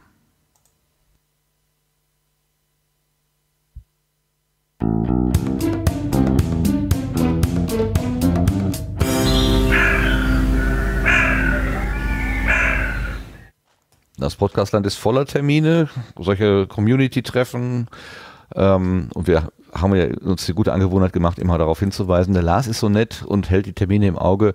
Ich vermute mal, das Jahr geht zu Ende, so ganz viele wirst du nicht mehr haben, aber was hast du denn? Jetzt hast du mir den Einleitungssatz geklaut. Oh, Schande, Entschuldigung, ich nehme Ja. alles zurück, wir Ähm, spulen nee, zurück. kein- Ja, also blablub. Ähm, das Jahr geht zu Ende und die Liste wird immer kürzer. Äh, ist nur noch eine Seite mit äh, einigen Einträgen. Ein neues Wiki für 2018 ist noch nicht da, also endet's jetzt nochmal beim Jahresende. Los geht's mit einem Workshop-Tag vom Pod äh, nochmal. Los geht's mit einem Workshop-Tag vom Pod-Appler. Der findet statt am 11. November von 9 bis 19 Uhr im Institut für neue Medien am Frankfurter Osthafen. Und am gleichen Tag, also auch am 11. November, ist die fünfte Night of the Pots, die wurde ja heute hier schon genannt. Die ist wieder auf dem Raucherbalkon der Pot WG. Los geht's hier um 13 Uhr. Für die nächste Veranstaltung schauen wir dann mal ins Ausland, nämlich nach Dänemark, ins Zentrum von Kopenhagen. Da gibt's am 19. und 20. November ein Podcast-Festival. Laut eigener Beschreibung das erste Dänemarks. Weitere Infos gibt's im Netz unter www.podcastfestival.dk. Man muss für die Seite allerdings Dänisch lesen können. Eine anderssprachige Fassung habe ich dort nicht gefunden. Das Podcast Meetup München trifft sich auch nochmal dieses Jahr. Das wird auf dem Christkindlmarkt in München sein, am 2. Dezember von 16 bis 21 Uhr. Vorschläge zum Treffpunkt sind dann noch bis Ende November willkommen und um, am, und um Anmeldung wird gebeten. Und zu guter Letzt gibt's vom 27. bis zum 30. Dezember den Chaos Communication Kongress, den 34C3, dieses Jahr auf dem Messegelände in Leipzig. Zu den ganzen Veranstaltungen gibt's natürlich weitere Infos. Äh, Links sind überall im Wiki, im Sendegate mit verzeichnet. Da kann man sich dann auch weiter informieren. Ganz herzlichen Dank, Lars. Ich darf noch was ergänzen, Ja. weil Shame on Us steht es noch nicht drinnen, aber wir haben es auch noch nicht offiziell angekündigt. Am 9. Dezember 2017 findet das nächste Podcast, Podcasting Meetup Österreich in Wien statt und die Location werden wir noch bekannt geben. Eventuell was Weihnachtliches. Auch aber nachdem wir die noch nicht genau wissen, äh, steht es noch nicht drin. Aber 9. Dezember. Save the date, please. Mhm. Okay. Gut, dann haben wir das durch. Wir kämen jetzt zu den Setzlingen, aber ich habe auf dem Seitenkanal gehört, äh, zwei unserer Podcasterinnen möchten sich verabschieden. Das wäre jetzt, glaube ich, eine ganz gute Gelegenheit in diesem Moment. Oder habt ihr einfach noch die Geduld äh, durchzuhalten und äh, noch den, zumindest den Blütenschatz, nein, den Setzling von Ulrike anzuhören? Es geht um Liebesbriefe. Ja, natürlich. Das kann ich klar. mir noch nicht entgehen lassen. Alles klar, dann machen wir jetzt die Setzlinge.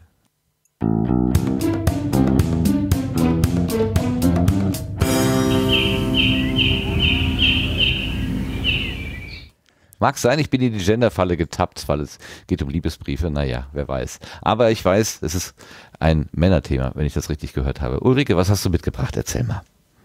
Ähm, für äh, die, die es eilig haben, habe ich gleich äh, Setzling und Blütenschatz in eins verpackt. Ähm, Super, als hättest du es gewusst. Ich, ich komm, wusste nicht genau, wo ich es einordnen soll. Das gehört in die Reihe vom Chris äh, Mumpitz und Glitzer, worunter ja, er ja schon so mehrere ähm, Unterpodcasts äh, hat. Ich weiß gar nicht, wie sich das entwickelt hat, aber zum Beispiel äh, Dragfight oder Fab Pieps oder Blickwechsel ähm, und, und viele andere. Und jetzt hat er nämlich noch was Neues angefangen, wo ich hoffe, dass da noch äh, einiges kommt.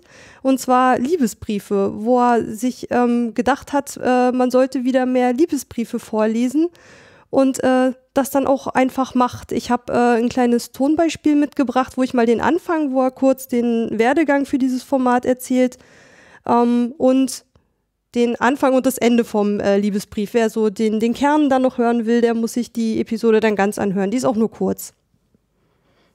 Okay, dann hören wir uns da mal rein.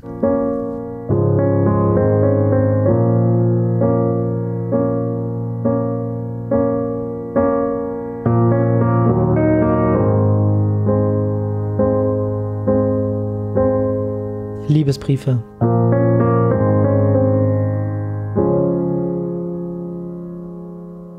Hallo, hier ist der Chris und das ist Liebesbriefe. Ein Podcast, in dem ich Liebesbriefe vorlese. Die Idee ist mir damals gekommen, als ich den Film Sex and the City geguckt habe und Carrie, die Hauptdarstellerin, sich ein Buch mit dem Namen Liebesbriefe großer Männer rausgesucht hatte und diese vorlas. Ich fand einige davon wahnsinnig schön und dachte mir, warum nicht einfach einen Podcast damit machen und somit ganz viele alte Liebesbriefe so vielen Menschen wie möglich zugänglich machen. Mag sein, dass einige von diesen Liebesbriefen unfassbar kitschig sind, aber die sind auch so wahnsinnig schön. Und nach einigen Liebesbriefen in denen ich äh, wirklich mit den Tränen gekämpft habe, weil ich die wahnsinnig schön und rührend fand, möchte ich damit dann auch anfangen. Liebe mich immer, liebe mich immer. Du bist die höchste, die vollkommene Liebe meines Lebens. Eine andere kann es nicht geben. Ich war zu der Ansicht gekommen, dass es edler und schöner sei zu bleiben. Wir hätten nicht zusammenbleiben können. Ich wollte mich nicht Feigling oder Deserteur schimpfen lassen. Ein falscher Name, eine Verkleidung, ein gejagtes Dasein, das alles passt nicht zu mir, dem du enthüllt wurdest auf jenem hohen Hügel, wo das Schöne verklärt wird. O süßester Knabe, geliebteste Liebe, meine Seele umfasst deine Seele, mein Leben ist dein Leben, und in allen Welten des Leides und der Lust bist du der Inbegriff meiner Bewunderung und Freude. Oscar.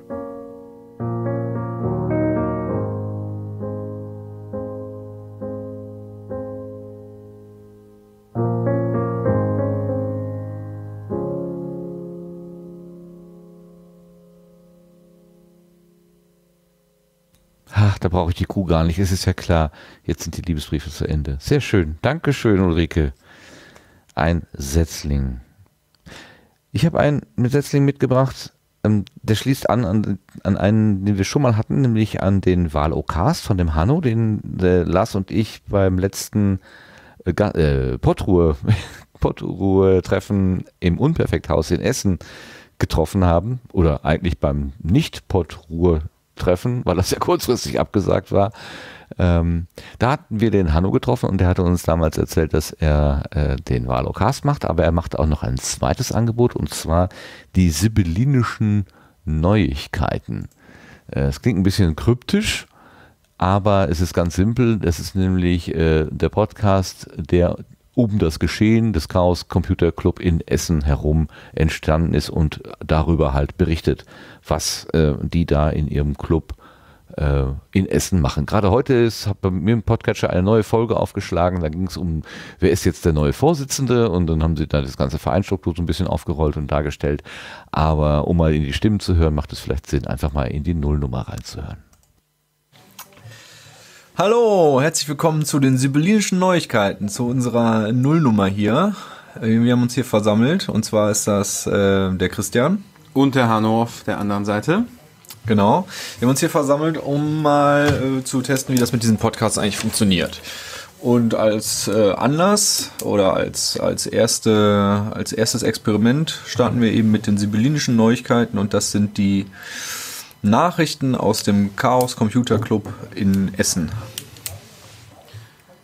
Ganz genau. Ich freue mich darauf, äh, dieses Experiment mit dir zusammen machen zu können. Und wir werden mal sehen, wo wir da hinkommen. Vielleicht wird es nochmal eine ganz große Nummer. Oder vielleicht backen wir erstmal die kleineren Brötchen. Wir werden es erleben. Kleine ähm, Käsekuchentörtchen zum Beispiel. Ja, kleine Käsekuchentörtchen. Okay, warum heißt der Podcast Sibyllinische Neuigkeiten? Da bin ich sehr gespannt. Ähm, während ich vorhin kurz was zu trinken geholt habe, ist dieser Name entstanden. Äh, ich glaube, du kannst das ein bisschen besser erklären als ich. Naja, der Chaos Computer Club Essen residiert ja hier in Essen Süd äh, in der Sibylla-Straße Nummer 9. Und die Sibylla-Straße hat mich dann direkt mal inspiriert zu den sibyllinischen Nachrichten, während sibyllinisch ja bedeutet geheimnisvoll und so. Und Neuigkeiten deswegen, weil wir jetzt erstmal über die Sachen reden wollen, die im Chaos Computer Club Essen hauptsächlich neue geschehen sind. Und dann gucken wir mal, was daraus wird. Gut, würde ich sagen, können wir ja mal anfangen. Ja, das war unsere Nullnummer. Dann ähm, tschüss und bis bald. Ja, wie man hört, eine recht entspannte und wenig aufgeregte Situation und so geht es eigentlich auch die ganze Zeit weiter, aber ähm, hörbar, sehr schön zum ja, Mitverfolgen, was da eigentlich passiert in so einem äh, Club. Und der letzte Setzling, den wir hier in dem, in dem Gartenkorb haben, das ist eine Zuschrift von der Silke, äh, die kennen wir unter Mini Lancelot. Die hat uns vor einiger Zeit einen, einen netten Brief geschrieben, also ein Mail sozusagen, hat sich erstmal bedankt für das, äh, was wir hier so machen. Anscheinend ist sie mit unserem Angebot ganz zufrieden und hat die Gelegenheit auch genutzt, gleich Empfehlungen äh, für die Setzlinge reinzureichen. Und in diesem Fall ist es ähm, der Skalar 25 Querbeet Podcast. Das ist, dahinter steckt Marco, sein Twitter-Name ist Skalar25. Man kennt ihn auch vom Camping Caravaning Podcast und vom Allgäuer Geocaching Podcast. Und jetzt macht er auch einen Personal Podcast, hat sich also dazu durchgerungen, noch ein extra Angebot, ein Zusatzangebot zu machen. Und das heißt Skalar 25 Querbeet. Das ist natürlich ein schöner Name, weil es mit dem Kartenthema bei uns so schön passt. Hören wir doch mal kurz rein, was er selber in der Nullnummer erzählt.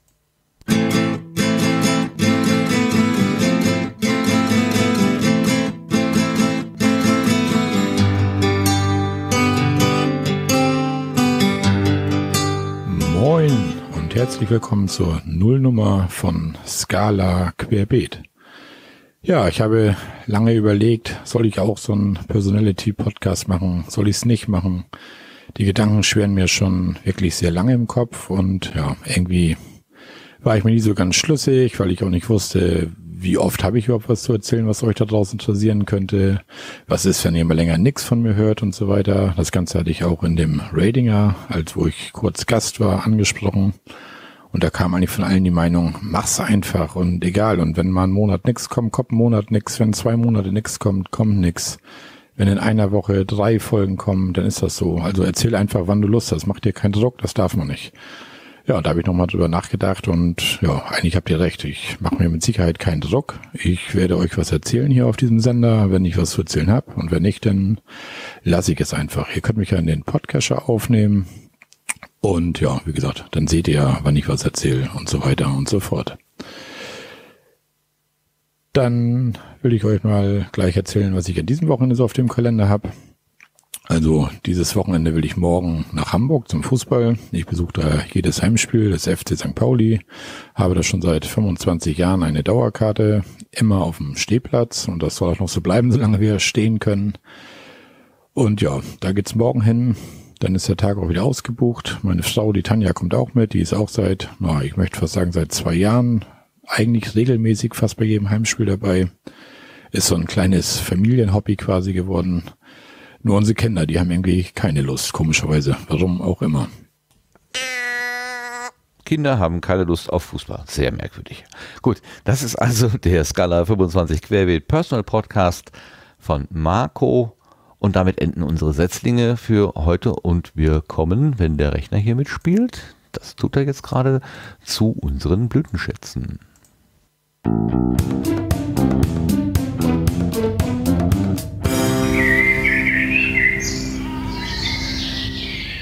Blütenschätze, das sind ja die Sachen, die uns irgendwie besonders angesprochen haben im Podcastland ähm, oder auch irgendwo anders, wo wir was aufgeschnappt haben. Äh, ich habe in dem Zusammenhang mit äh, Werbung und so weiter, äh, habe ich äh, was gehört.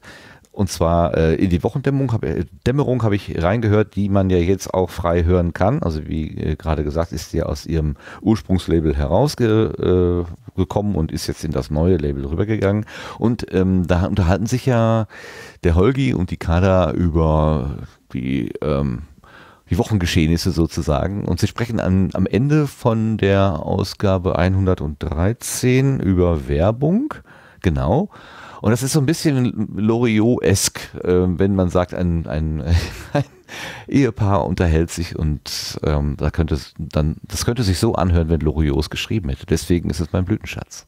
Es war von an, also jetzt am Anfang gar nicht so geplant, ähm, dass wir die Wochendämmerung auch noch übernehmen. Da wussten, als wir das gestartet haben, wussten wir auch gar nicht, dass es bei Audible nicht weitergeht, sondern es war ein ganz so anderes ja, ja. Ziel.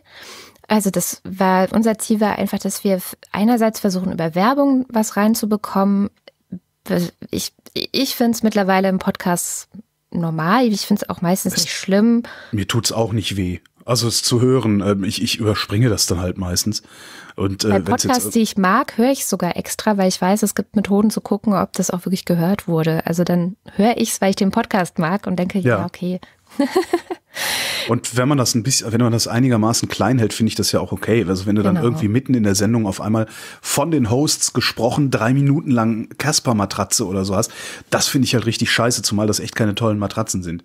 Ähm, ja, jetzt haben wir gerade heute einen lila Podcast veröffentlicht, wo wir drei Minuten lang mitten in der Sendung ähm, eine Werbung machen.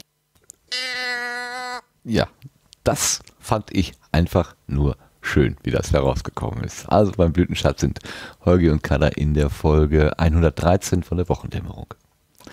Melanie, was hast du mitgebracht? Ja, man glaubt es kaum, aber ich möchte ein Video empfehlen. Und zwar äh, möchte ich ein Video empfehlen, das der Tim im Rahmen seiner Keynote vorgestellt hat. Und zwar ähm, hat er im Rahmen des Forschergeist-Podcasts, äh, den er ja ähm, sozusagen, da steht ja der Stifterverband äh, dahinter, den er für ähm, diese, diese große Forschungsgemeinschaft macht, äh, ein Video erstellt wo man äh, in sehr schöner Weise dargestellt hat, in was für Situationen man äh, denn alles Podcasts hören kann. Und ich habe das so toll gefunden. Erstens, weil es sehr schön gemacht ist, ähm, sehr aufwendig gemacht und äh, die ganzen Situationen nochmal so in eine Minute 38 zusammenfasst. Und ich äh, freue mich schon auf den nächsten Fall, wenn mich wieder jemand fragt, wann soll ich das alles hören? Es ist ja so lang. Ähm, das hört doch keiner äh, dann werde ich dieses Video äh, verwenden, um das zu zeigen. Also kann ich nur empfehlen. Auf, dem, auf der Forschergeist äh, kann man das auch sehen. Das ist auch, wie ich gerade sehe, auf Twitter sehr gut angekommen. Das ist ja, auch wirklich sehr witzig. Ja, es ist sehr witzig gemacht und es fasst aber doch äh, sehr gut äh, viele Situationen zusammen, in denen man doch wunderbar Podcasts hören kann. Äh, und ja, es ist auch von den, die Hörbeispiele sind, finde ich, ganz gelungen eingebaut, weil sie dann doch immer Bezug auf das nehmen, was man gerade sieht. Das ist total schön umgesetzt. Also ich kann es allein von der Machart empfehlen. Mir hat das sehr gut gefallen. Alles klar. Mich hat das erinnert an die Aktion, was ich sehe, wenn ich Podcast höre. Also das Mhm. gibt ja diesen, diesen Hashtag dazu, W-I-S. Genau, ja. Geht auch in so PH. Ja, ne? genau. Und das ist sozusagen die Be- Bewegtbildfassung davon. So kam mir das Ja. vor. Ja. Sehr schön. Also kann man gut gebrauchen, glaube ich, weil alle Genau. diese Frage, glaube ich, von dieser Frage ist, sind ja alle im Podcastland flächendeckend betroffen, früher oder Genau. später. Äh, da kann man das gut gebrauchen. Kann man das einsetzen. Super, schöner Blütenschatz. Sebastian, was hast du denn mitgebracht? Ja, auch von der Subscribe äh, inspiriert äh, habe ich mitgebracht einen Podcast, ähm, auf dem mich Tine äh, aufmerksam gemacht hat.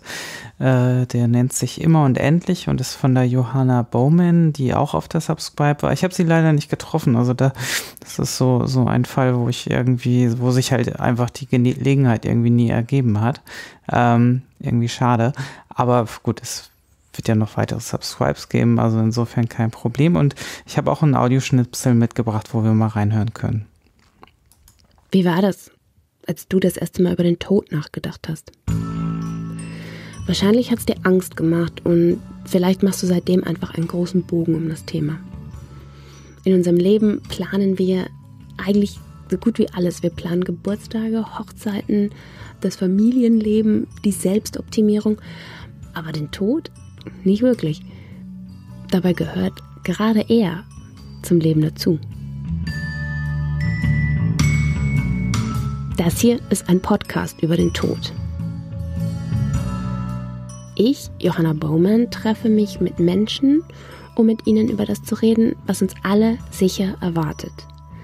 Das aber kaum jemand wagt anzusprechen. Warum ich das mache?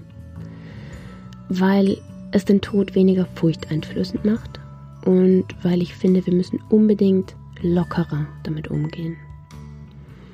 Das Wichtigste ist aber, wenn du dir bewusst bist, dass das hier jeden Moment vorbei sein könnte, dann siehst du nicht nur den Tod mit anderen Augen, du siehst auch das Leben mit anderen Augen. Das hier ist also auch ein Podcast über das Leben. Auch sehr schön. Genau. Klingt gut. Klingt richtig gut. Macht Freude, da so reinzuhören. Schön. Dankeschön für den Blütenschatz. Äh, Nele, du hattest gesagt, du hättest keinen. Hat sich das inzwischen geändert? Oder äh, ich will jetzt nicht dein, ähm, dein, dein kreatives Moment übergehen hier. Aber wenn du keinen hast, ist okay. Also fühl dich jetzt nicht vors Gästebuch gezerrt, du musst ja irgendwas reinschreiben oder so. Dann, ähm, das hat Melanie so schön ähm, vor einiger Zeit, als wir noch im äh, Portunion-Magazin unterwegs waren. Mehr, wie war das? Mehr Mut zu keinem Highlight. Genau, das ist der, der alte Schlacht. Gilt nach wie vor. Das gilt nach wie vor, richtig. Ähm, ja, lustigerweise, ich habe genau ähm, Johannas äh, Podcast mit auf der Liste gehabt. Äh, hätte ich jetzt auch gerne vorgeschlagen. Es gibt aber, da habe ich kein Audio dazu, aber aktuell eine, die aktuellste Episode des Internet History Podcast, also ein englisches Format, ähm, die sich mit äh, so ein Interviewformat, äh, wo es um die Geschichte des Internets geht, äh, sozusagen, und mit führenden Entwicklerinnen, ähm, Personen, die wichtig waren für die Internetentstehung, äh, sozusagen unterhalten wird.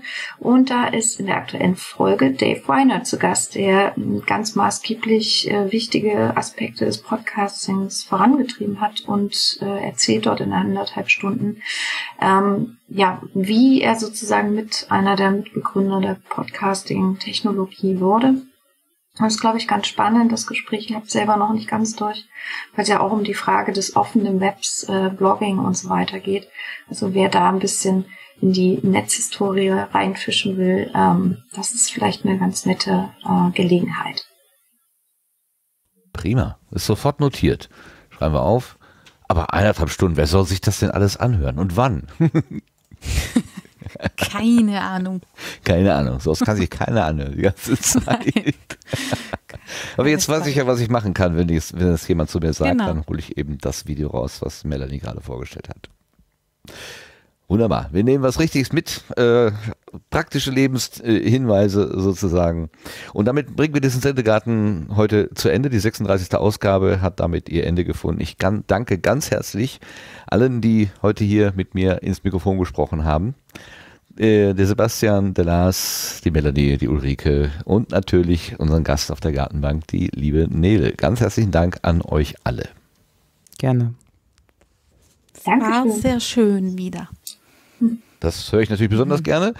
Ähm, und ich denke, dass das auch die Hörerinnen und Hörer gerne hören, denen jetzt mein nächster Dank gilt, nämlich der Dank dafür, dass sie das hier sich anhören, mitmachen. Die Menschen, die im Chat mitgechattet haben, die uns Informationen reingereicht haben, beziehungsweise unsere Worte äh, na, kommentiert haben und mit Bemerkungen versehen haben. Das macht immer große Freude. Äh, und egal, ob ihr jetzt hier im Chat direkt und live dabei seid oder das in der Konserve hört, äh, ganz herzlichen Dank für eure Aufmerksamkeit. Ganz herzlichen Dank fürs äh, Runterladen. Und was ich eingangs sagte, lasst mal von euch hören. Schreibt uns mal einen Kommentar. Schreiben einen Kommentar. Ja, das habe ich jetzt übernommen vom Christian Oboermann.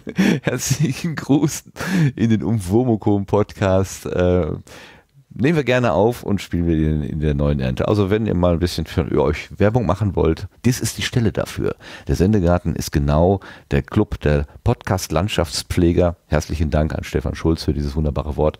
Ähm, und da machen wir genau das. Und jetzt genug geredet, wir gehen in die Nacht. Ähm, Nochmal ganz herzlichen Dank und bis zum nächsten Mal. Tschüss. Tschüss. Tschüss. Ciao. Ciao.